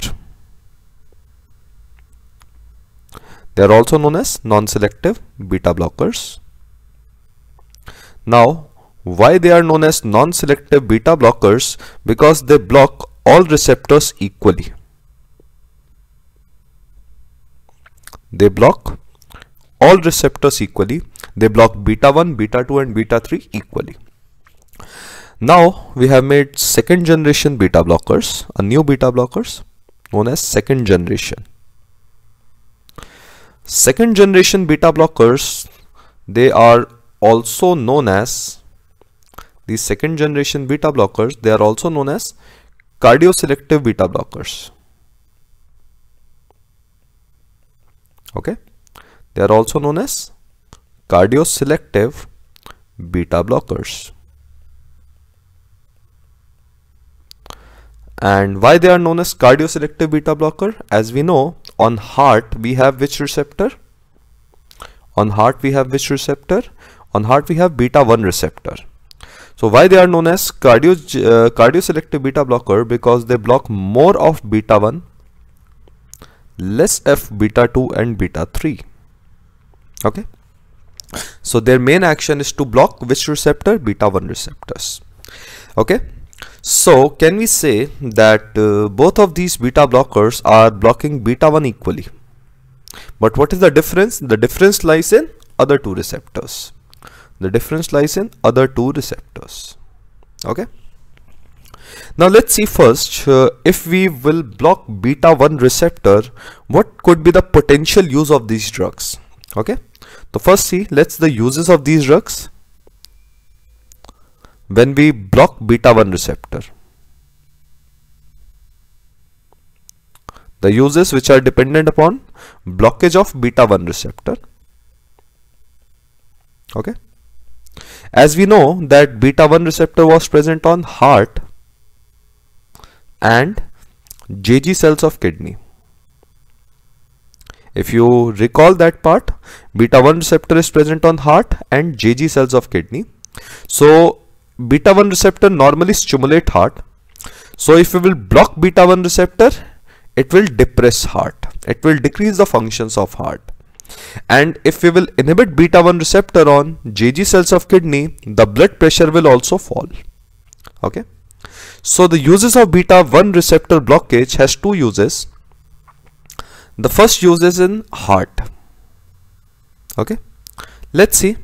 If we will block beta 1 receptor on heart what will be the effect? Okay? The first effect is there is blockage of AV node. They block AV node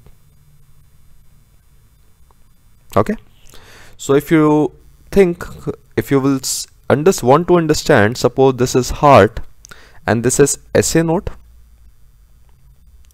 this is AV node bundle of his Purkinje fibers. Above one is atria lower one is ventricle. Okay? And these are the muscle fibers. Okay? Now remember the sympathetic nerves they come from thoracic lumbar region and they release norepinephrine. This norepinephrine which is released, it acts on SA node, it acts on SA node, it acts on AV node, it acts on the muscle fibers, it acts on the muscle fibers of atria and ventricle and this stimulate all of them. This norepinephrine stimulates all of them. So let's see what are the effect. Normally norepinephrine Normally, norepinephrine stimulate SA node. If we will block this beta 1 receptor which are present on SA node, can we say there will be inhibition of SA node? Inhibition of SA node. Okay. As there is inhibition of SA node, can we say that they will decrease heart rate? Because SA node is the main node which which is responsible for maintenance of heart rate. As they are decreasing the heart rate can we say that they have negative chronotrophic effect? Decrease in heart rate is known as negative chronotrophic effect. Now this negative heart rate or negative chronotrophic effect where it can be used Beta blockers, they have become now the drug of choice for tachycardia.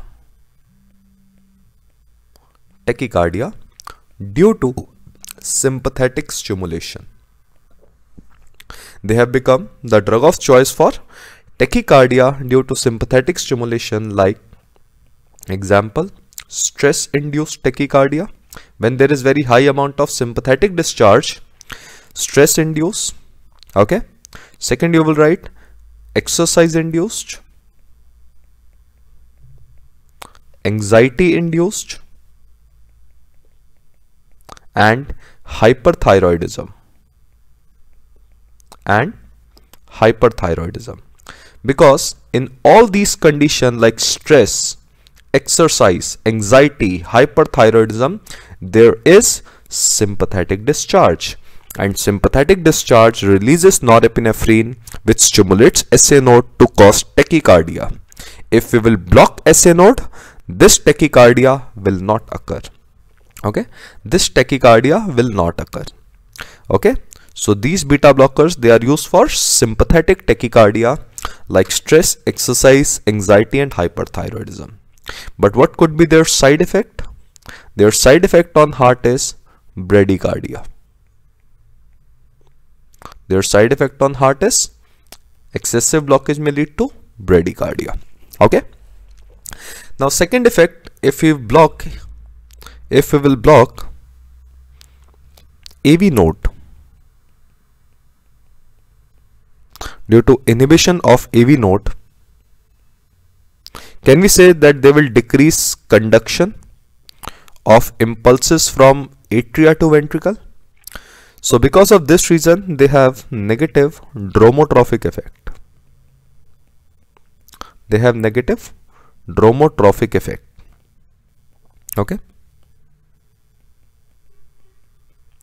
Okay. So because of this property, can we say the impulses which are arising from atria will not able to reach to the ventricle Because of this reason, they are used for one arrhythmia known as supra ventricular arrhythmia. Okay. Because of the virtue of this property, they block SA node, AV node, sorry. Hence, they are used for supraventricular arrhythmia. Now, what is supraventricular arrhythmia? In supraventricular arrhythmia, it, as the name suggests you, the impulses from atria are arising very fast. Now remember, this atria, if it is going in very high rate, there is very high impulses in atria, this SVT is not a problem for us. If atria is beating in very high rate, it is not a problem for us. The problem is if this impulses from atria reaches to the ventricle, through AV node, the ventricle will also go into tachycardia. And if ventricle will enter into tachycardia, that person will suddenly die. Because the treatment of SVT or supraventricular tachycardia is to prevent VT. VT means ventricular tachycardia.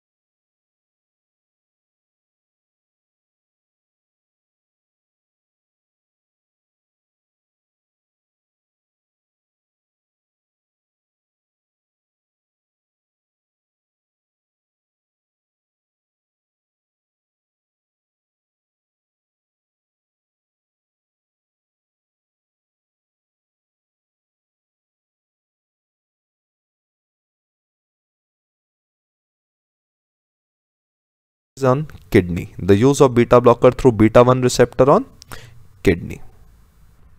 So after heart we will make a heading. So we have learnt about heart first. So just recapitulate then we will come to kidney. They inhibit SA node, they decrease heart rate.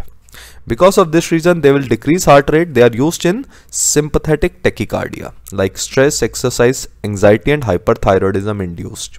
Okay but their side effect is bradycardia. They also inhibit AV node. As they are inhibiting AV node they will decrease conduction through AV node. So hence the impulses from atria will not reach to the ventricle and if the atria is beating very high that arrhythmia is known as supraventricular tachycardia the main aim of treatment of supraventricular tachycardia is to prevent the impulse to reach to the ventricle. Okay, the main aim of treatment of SVT is to prevent VT. Hence, they will they are used to prevent VT in cases of SVT. The example is digoxin-induced SVT. Then they reduce cardiac output. Hence, they have negative inotropic effect. Okay, hence they can reduce systolic blood pressure. But the main antihypertensive effect is through kidney, they inhibit renin release. And finally, they also inhibit ventricular hypertrophy. Muscles of the ventricle, they will not get hypertrophy as they are beating less now. Gradually and gradually their size will decrease and ventricular hypertrophy is the hallmark of congestive heart failure. So beta blockers, they are used in congestive heart failure. They will reduce ventricular hypertrophy, which is also known as cardiac remodeling. Okay? Because of this reason they are also used in hyper hypertrophic obstructive cardiomyopathies. Okay? Now let's see the effect of beta blockers on kidney. The second organ is kidney.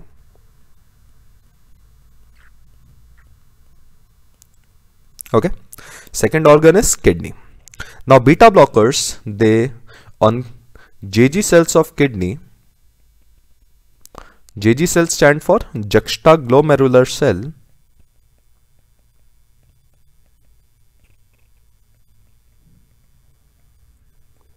juxtaglomerular cells of kidney.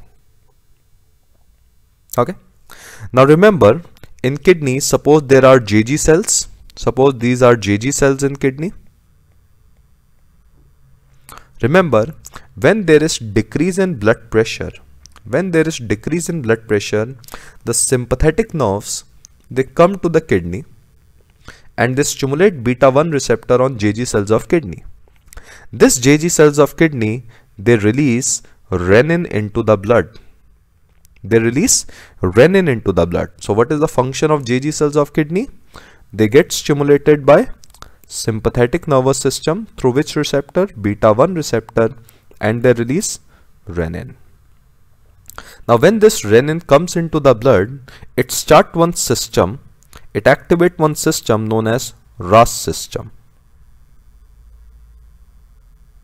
RAS stand for renin, angiotensin,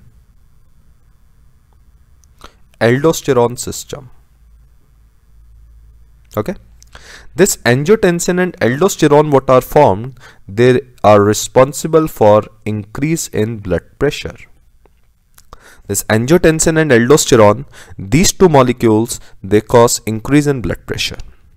Hence, what is the effect of beta blocker in kidney?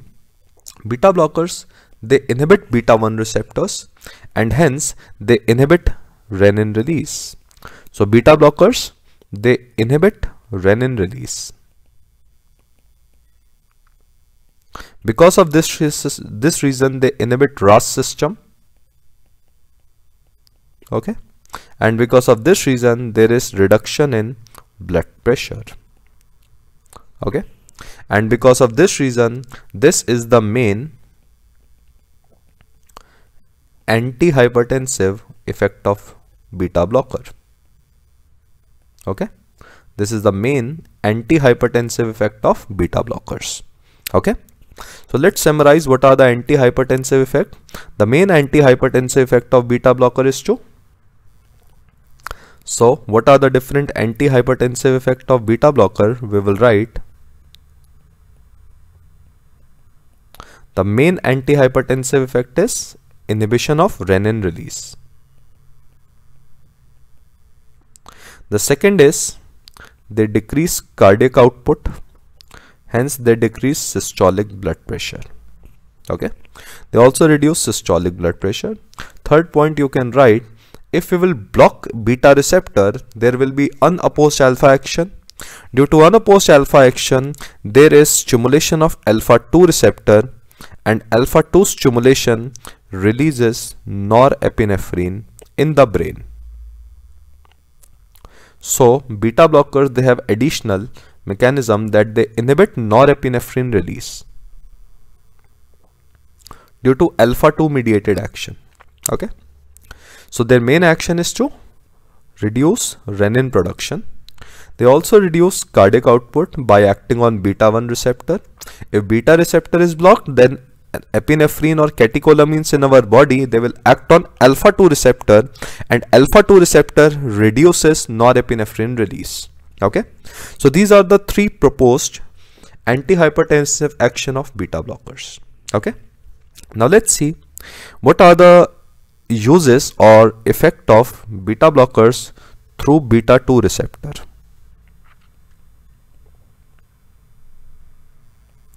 Through beta 2 receptors. Okay. Now, we know that beta 2 receptor is present on skeletal muscle and skeletal muscles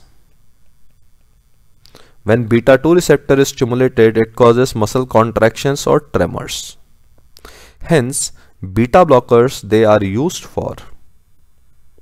Beta blockers that block beta 2 mainly they are the drug of choice for essential tremors. Okay? These tremors are also seen in cases of anxiety. Okay, anxiety means very restlessness, feel. Okay, so anxiety. So in anxiety there are tremors also. Okay, so beta blockers they are used for the treatment of essential tremors. They are used for the treatment of anxiety. Okay. Now, beta 2 receptors they are present on skeletal muscle. There is one effect of beta receptors on skeletal muscle. We will write, sorry. Now,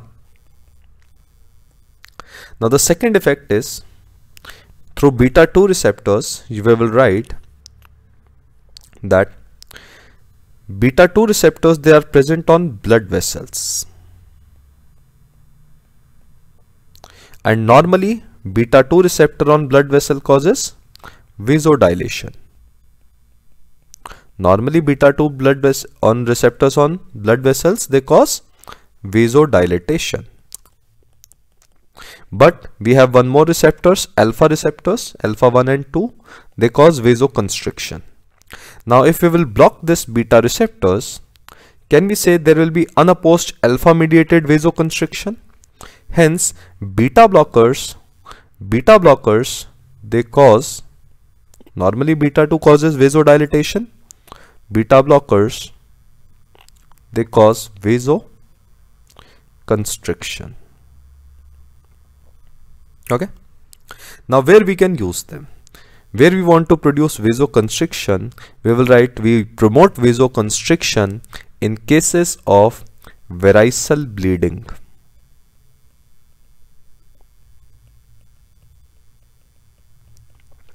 variceal bleeding or you will write esophageal varices.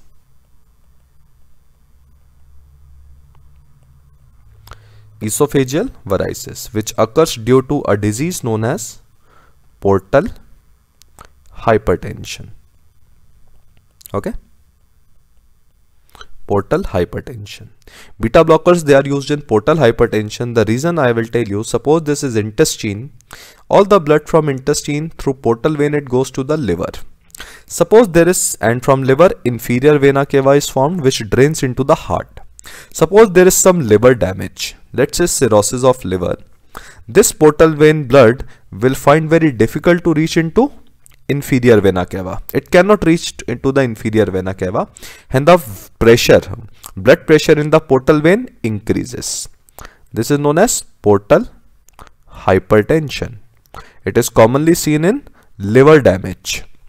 So this portal vein blood will find certain other routes to reach to the inferior vena cava. This is known as porto caval anastomosis. One of this anastomosis is located between our esophagus and stomach. There is a vein between our esophagus and stomach. Through this vein, this portal vein blood can reach to the inferior vena cava. These veins are known as these veins are known as short left sorry these veins are known as left gastric veins. These veins are known as left gastric vein.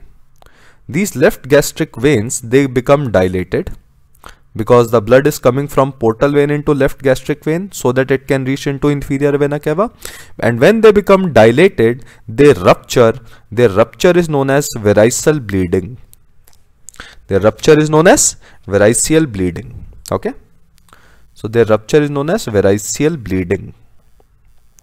So why we give beta blockers? Because beta blocker they cause constriction or collapse of this vein. Okay, beta blockers they cause collapse or constriction of this vein. Hence, because of beta 2 blockage, there is vasoconstriction. Hence, they are used in cases of variceal bleeding. Okay. Second, they are used in prophylaxis of migraine. We will discuss that beta blockers they have become the drug of choice for prophylaxis of migraine headache. Now why in migraine? Migraine is a type of headache. What happens in migraine? Due to vasodilatation in brain, there is release of various inflammatory mediators. There is release of various inflammatory mediators due to vasodilatation in the brain arteries. Hence we promote vasoconstriction. Hence we promote vasoconstriction so that these inflammatory mediators are not released. Okay. So the second use of beta blockers by blocking vaso by promoting vasoconstriction is prophylaxis of migraine. The third use of beta blockers due to due to beta 2 action is glaucoma. And this part we have already discussed that in glaucoma remember suppose this is ciliary process and this is iris. From the ciliary process aqueous humor is formed aqueous humor is formed and aqueous humor is secreted. It is secreted into the eye. Suppose this is lens and this is your cornea. Aqueous humor is secreted into the eye with the help of a receptor known as beta 2 receptor. Beta 2 receptor increases secretion of aqueous humor in eye so if we will block beta 2 receptor can we say that these beta blockers in eye they will reduce aqueous humor production. They will reduce aqueous humor production. And beta 2 blockage they are reduce aqueous humor production hence they will reduce intraocular tension. They will reduce intraocular tension and in glaucoma there is increase in intraocular tension normally. In glaucoma there is increase in intraocular tension. Now the last use of blocking beta 2 receptor is they are used for the treatment of hemangiomas. Okay? They are used for the treatment of hemangiomas. Okay now why hemangioma hemangiomas are the lesions where on the skin the blood vessels become dilated. These are dilated blood vessels. Hemangiomas is dilated blood vessels. Here we give topical beta blocker. Here we give topical beta blockers. And these topical beta blockers due to blockage of beta 2 receptor will cause constriction of these vessels they will cause constriction of these dilated blood vessels. Hence they are used for the hence they are used for the treatment of hemangiomas. Okay? So we have discussed the uses of uh, beta 2 receptor by uses of beta blockers by blocking which receptor? By blocking beta 2 receptors. So in first must first beta 2 receptor causes muscle tremors. Hence beta blockers they are used for the controlling symptoms of muscle tremors like in essential tremors and in anxiety. Second beta 2 receptor normally causes vasodilatation. If we will block beta 2 receptor there is vasoconstriction. So it is used in the treatment of variceal bleeding prophylaxis of migraine okay? It is used in hemangiomas and lastly glaucoma.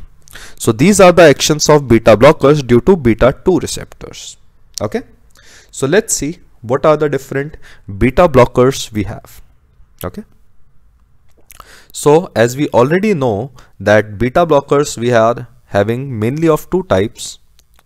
The drugs among beta blockers are of two types. The first one we have is non-selective beta blocker. Non-selective and second we have is cardioselective beta blocker.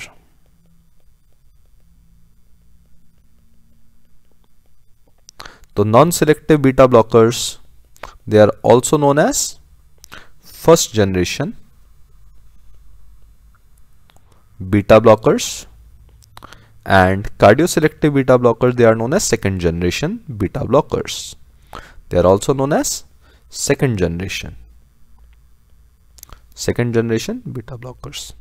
So we know that these beta blockers they will block beta 1 as well as beta 2 equally and cardioselective beta blocker beta 1 more than beta 2 and beta 3 okay? So let's see what are the drugs we have. Among non-selective beta blockers among non-selective beta blockers the drugs we can write is pentop.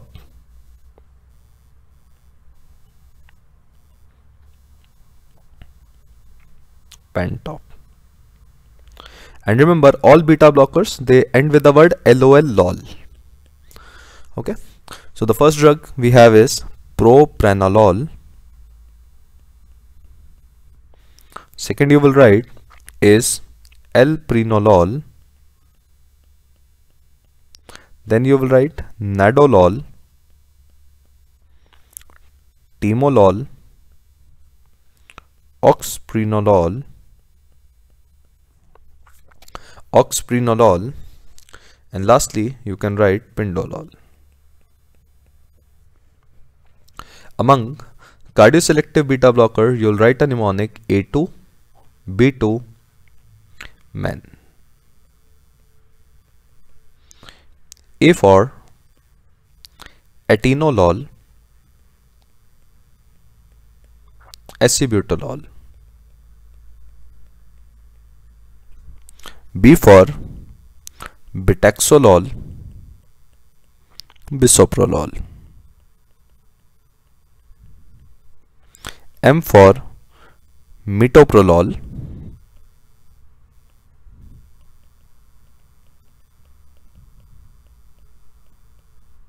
E for esmolol and N for nebivolol.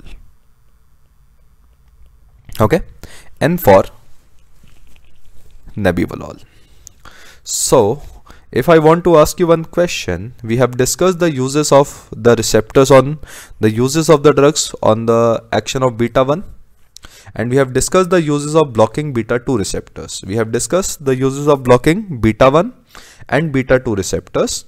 Now remember these cardioselective beta blockers they are mainly used they are mainly used for those condition where you want to block where you want to block beta 1 receptors. Where you want to block beta 1 receptors. And these non-selective beta blockers are used where you want to mainly block beta 2 receptors. Okay? Okay? Now so let's see where they are used. These cardioselective beta blockers, they are used for the treatment of hypertension. they are used for the treatment of hypertension because on heart they will reduce systolic blood pressure through beta 1 and on kidney they will reduce renin release through beta 1 receptor they are also used for the treatment of tachycardia okay due to sympathetic overactivity. Okay? Due to sympathetic overactivity third you will write they are used for the treatment of SVT they are used for the treatment of SVT supraventricular tachycardias or you will write arrhythmias. Arrhythmias. Finally you will write they are also used for the treatment of CHF they are also used for the treatment of congestive heart failure they are also used for the treatment of HOCM. HOCM is hypertrophic obstructive cardiomyopathy. Okay. Plus you will write they are also used in other heart disease example. Sorry. They are also used for the treatment of angina. They are also used for the treatment of angina. As they reduce the ventricular contraction there will be reduction in demand of the heart. Plus they are also used in mitral valve prolapse. They are also used in mitral valve prolapse. They are also used in tetralogy of Fallot's okay? They are also used in tetralogy of Fallot okay? Now where you want to block beta 2 receptors? Beta 2 receptors they are mainly used for the treatment of glaucoma. Okay? Glaucoma. Second you will write they are also used for the treatment of essential tremors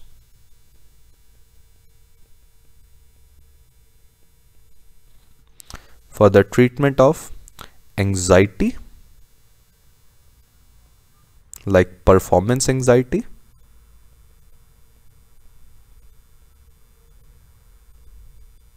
like akathisia.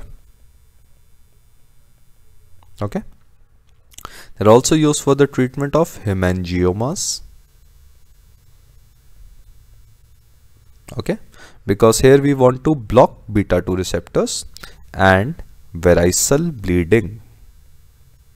Variceal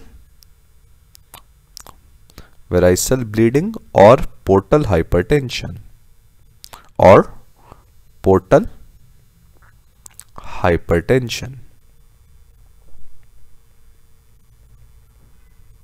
Okay?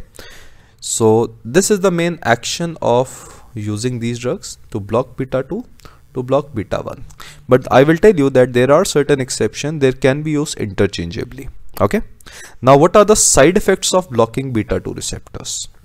What are the side effects of blocking beta 2 receptor? And what are the side effects of blocking? Because they both block beta 1 receptor equally. Now what are the side effect of blocking? Beta 1 receptor because both both non-selective as well as cardioselective beta blockers they block beta 1 receptor equally okay now what are the side effect of blocking beta 2 receptor? We will write they provoke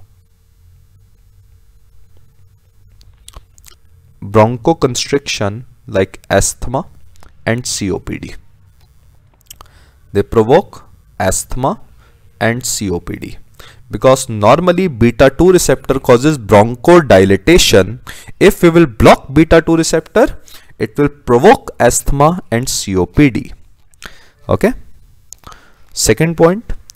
We know that beta 2 receptor causes vasodilatation. If we will block beta 2 receptor there will be vasoconstriction. Because of vasoconstriction they provoke they provoke peripheral vascular disease in peripheral vascular disease there is vasoconstriction and the blood supply to the organ is reduced. Beta blockers they themselves causes vasoconstriction and they provoke peripheral vascular disease like example if this vasoconstriction is occurring in fingers that peripheral vascular disease is known as Raynaud's disease. That peripheral vascular disease is known as Raynaud's disease. If it is occurring in coronary artery, coronary artery vasospasm is known as vasospastic angina. It is known as vasospastic angina and when this vessel constriction vasoconstriction is occurring in lungs it is known as pulmonary artery hypertension. Pulmonary artery hypertension. Okay? So can we say that in these uh, and the last point we will write last point we will write by blocking beta 2 receptor by blocking beta 2 receptor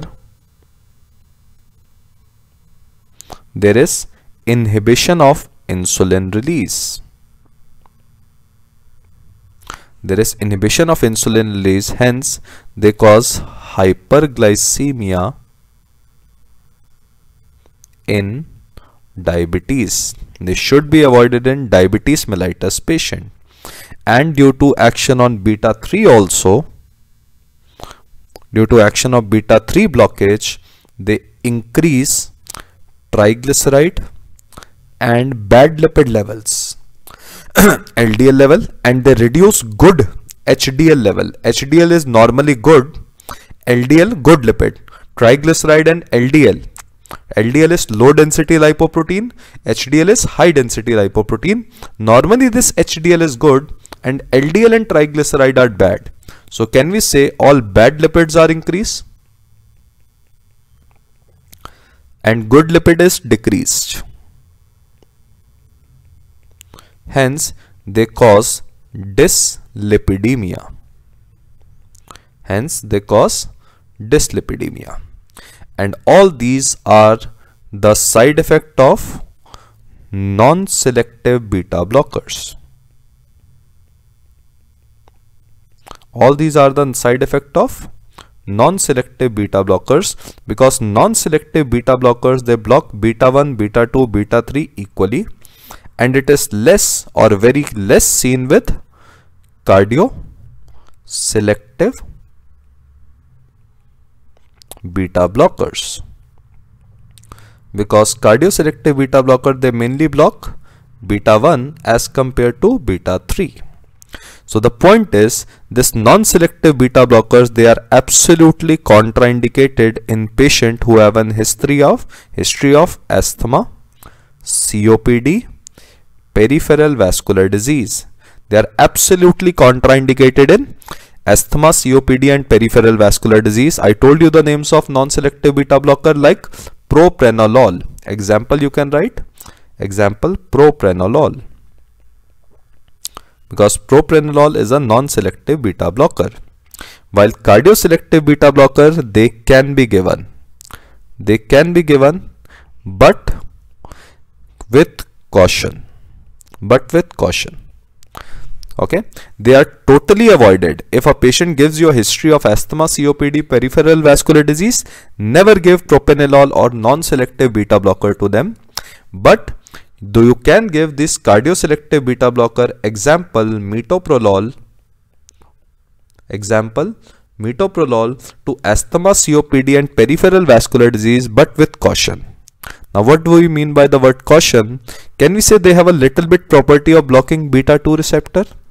So normally they can be given but if there is asthma attack, if there is attack of asthma or any other disease, we should stop them when the patient will have acute attack of asthma, COPD and peripheral vascular disease, stop them.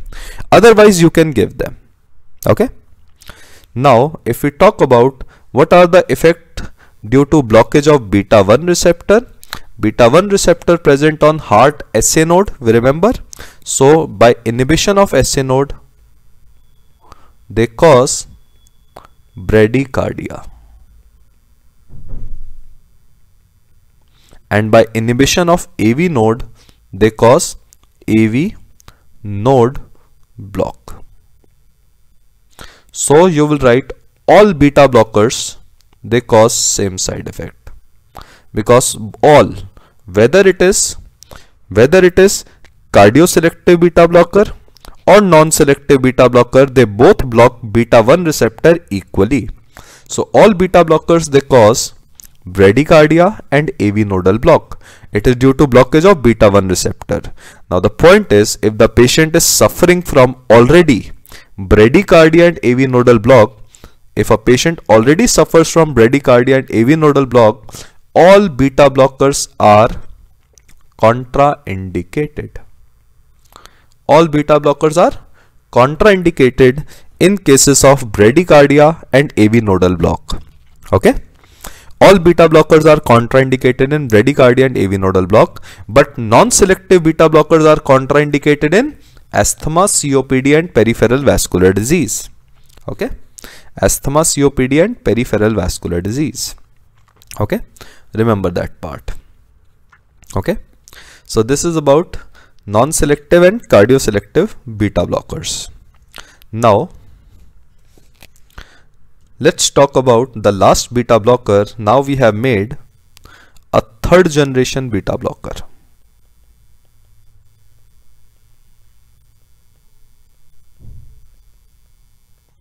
Third generation beta blockers. Remove this part sorry. Don't keep this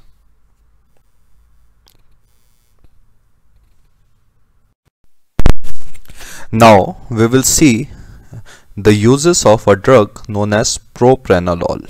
Let's discuss one beta blocker in detail that is propranolol. Okay? Propranolol is a non-selective beta blocker. It is a non-selective beta blocker. That means it will block all beta receptors equally. That is beta 1, beta 2 and beta 3. Okay. And it was the first beta blocker to be made. It was the first beta blocker to be made. And this beta blocker propranolol was synthesized by a scientist known as Sir James Black. It was synthesized by a scientist, Sir James Black, and this Sir James Black is now considered as a father of modern pharmacology. He is considered as a father of modern pharmacology. Okay. Now, let's see what are the uses of propranolol and then we will see the side effects of propranolol. The first use of propranolol is in CVS system, cardiovascular system. Cardiovascular system. So propanolol is used and due to virtue of which property? Due to virtue of blockage of beta 1 receptor. So it is used for the treatment of hypertension, hypertension, angina, CHF, MI, arrhythmias like tachycardia and SVT supraventricular tachycardia You'll write HOCM, hypertrophic obstructive cardiomyopathy, MVP, mitral valve prolapse, and TOF. TOF stands for tetralogy of Fallot. Now the point is, in this cardiovascular system, as we know that propanolol will block also beta 2 receptor, we want this, we don't want this action for this disease. For the uses of hypertension, angina, CHF-MI, nowadays we rather use, we rather use cardioselective beta blockers. We rather use cardioselective beta blockers. Because we don't want the action of beta 2. Because of beta 2 blockage, it will produce lot of side effects. Okay. Now let's see the uses of propanolol through beta 2 receptors. Through beta 2 receptor, propanolol is the drug of choice for prophylaxis of migraine. It is all it is the drug of choice for prophylaxis of migraine. Okay, because in migraine we need vasoconstriction and beta 2 if we will block beta 2 there will be vasoconstriction and hence the inflammatory mediators will not be released. And we can use other non-selective beta blocker as well apart from propanolol. You can use propanolol. We can also use nadolol. We can also use timolol. Okay? Timolol. And with nadolol you will write nadolol overall is the longest acting drug. It is the longest acting beta blocker. The second use is it is also the drug of choice for portal hypertension. It is also the drug of choice for portal hypertension or you will write to prevent bleeding of esophageal varices. To prevent bleeding of esophageal varices. Okay? Because if we will constrict esophageal varices blood vessels the bleeding will not occur. Okay? But okay portal hypertension. Second use is?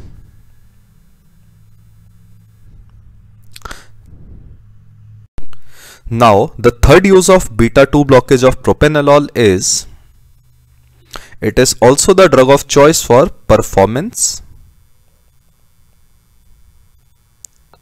anxiety. Okay? It is the drug of choice for performance anxiety it is also used for anxiety-like situation known as akathisia. This is an anxiety-like situation which is due to antipsychotic drugs. It is due to one side effect of antipsychotic drug. Okay. It is also the drug of choice for essential tremors because beta 2 receptors are present on skeletal muscles which causes contraction. And it is also seen in anxiety like situation or in old age also. Okay? Essential tremors. Now it is also now we will see the use of beta blockers propranolol due to blockage of both beta 1 as well as beta 2 okay? Due to beta 1 as well as beta 2 blockage okay?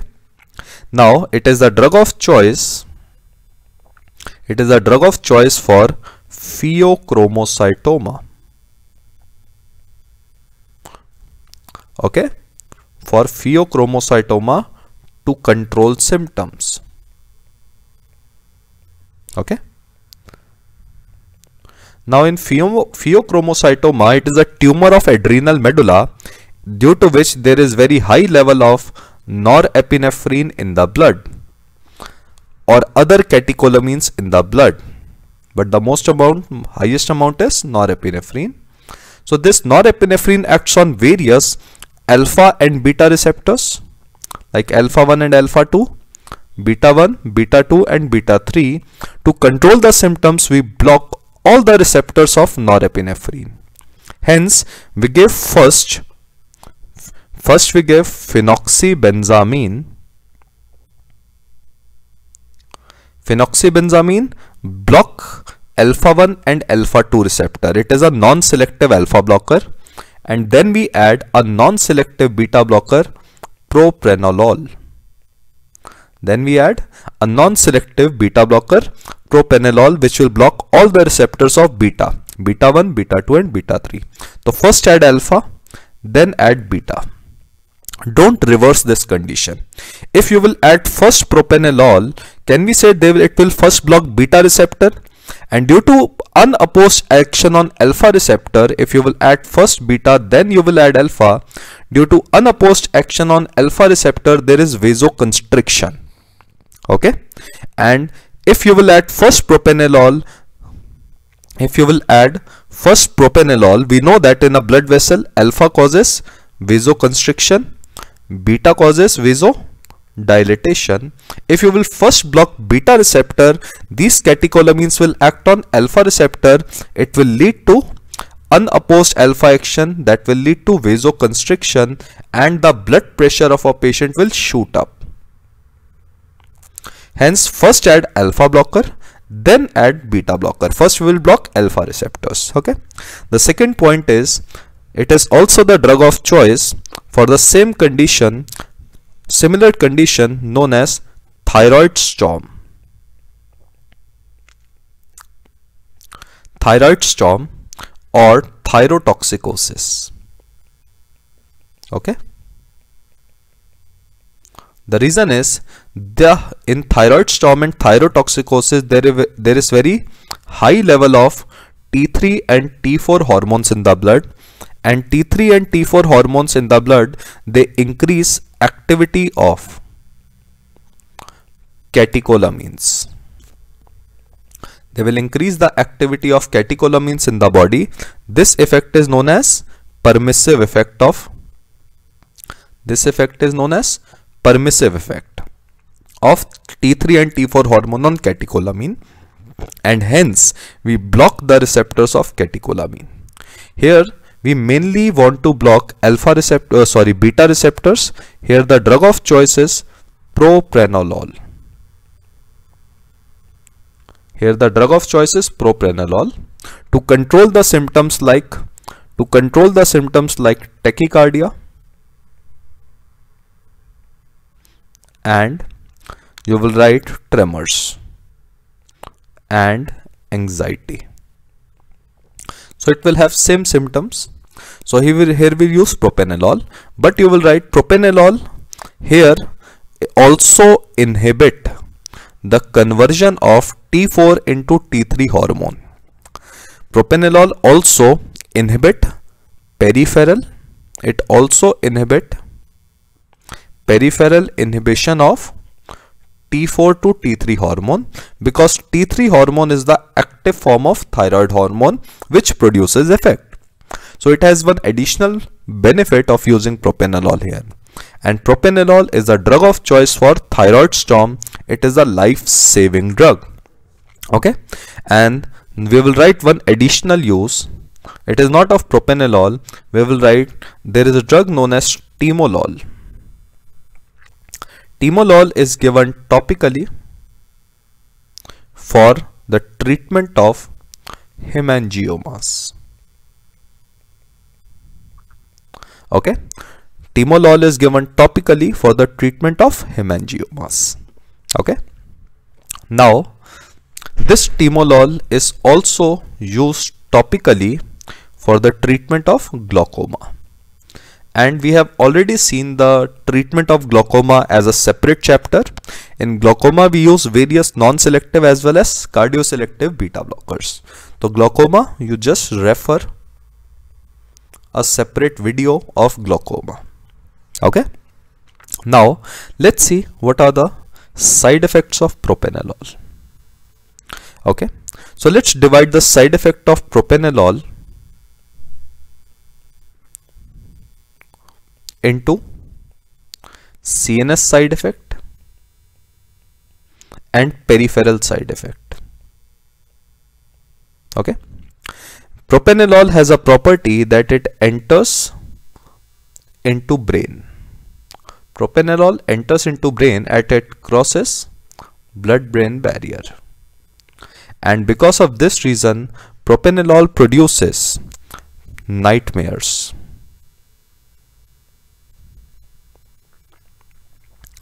Excessive dreaming. Excessive dreaming okay it produces nightmares it produces excessive dreaming, it may cause insomnia, and in very high dose it may also cause seizures. In very high dose it may cause seizures.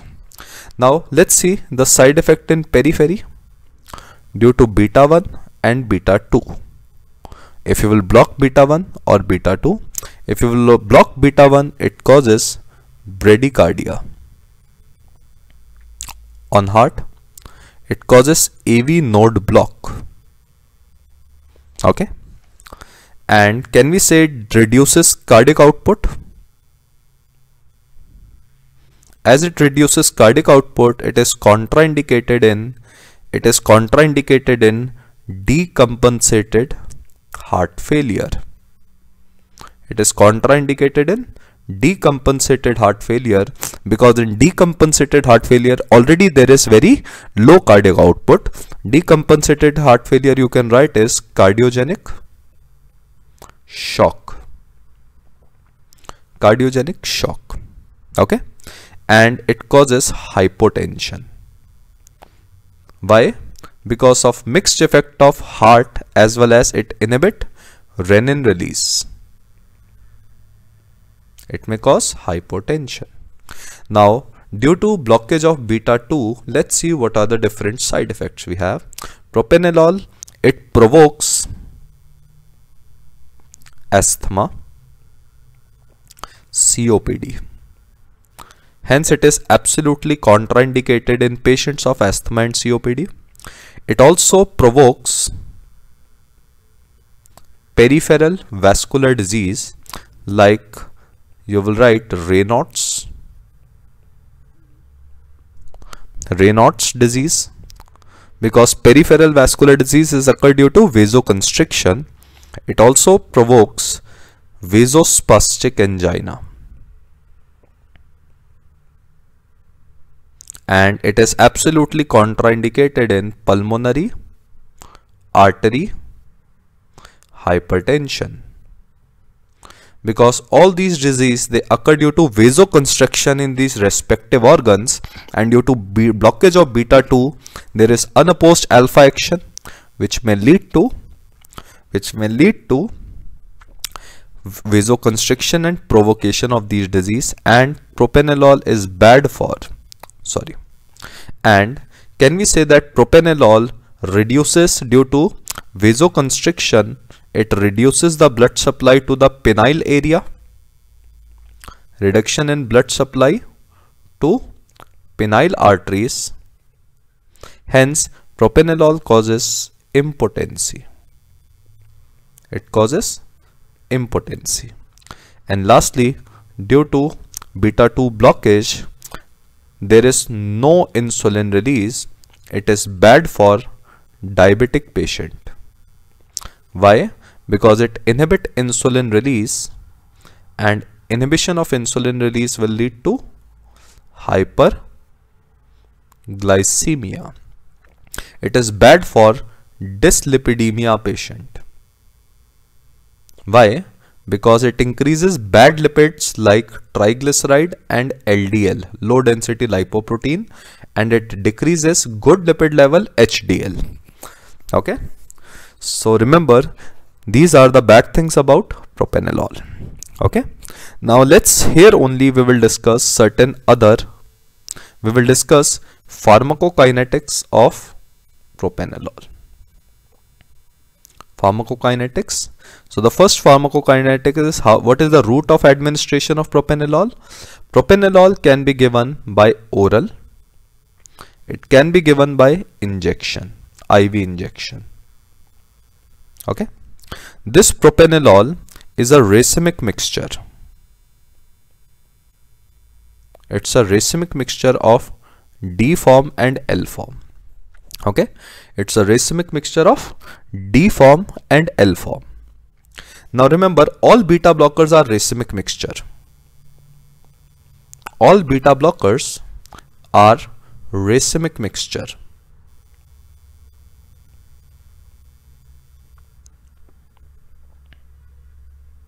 Racemic mixture except timolol except timolol okay? So timolol is not a racemic mixture. So this is an important point. You must remember that timolol is not a racemic mixture. Okay? Now the third point you will write with the third point you will write is that so root what is the oral bioavailability? The oral bioavailability of propranolol is just 26% that means if you will give 100 milligram of propranolol orally only 26% will get reabsorbed into the blood. Okay? It only it will get reabsorbed into the blood. Now now you will write other non-selective beta blockers. Other non-selective beta blocker. Among them you will write nadolol. Nadolol among non-selective beta blocker is longest acting. Among non-selective beta blocker nadolol is the longest acting beta blocker so we have written the list of all non-selective beta blocker that is pentop. Okay. So p for propranolol alprenolol nadolol which is the longest acting timolol. Timolol can be given topically. Oxprenolol and pindolol. Okay? So it can be given given topically for glaucoma as an eye drops. And it can be given topically on a skin for hemangiomas. Now which congeners of these timolol can be given topically for glaucoma? There are new drugs. You will write levobunolol levobunolol carteolol carteolol and metipranolol these are the new non-selective beta blockers. Just like timolol they are given for the treatment of glaucoma as an eye drops. Okay? So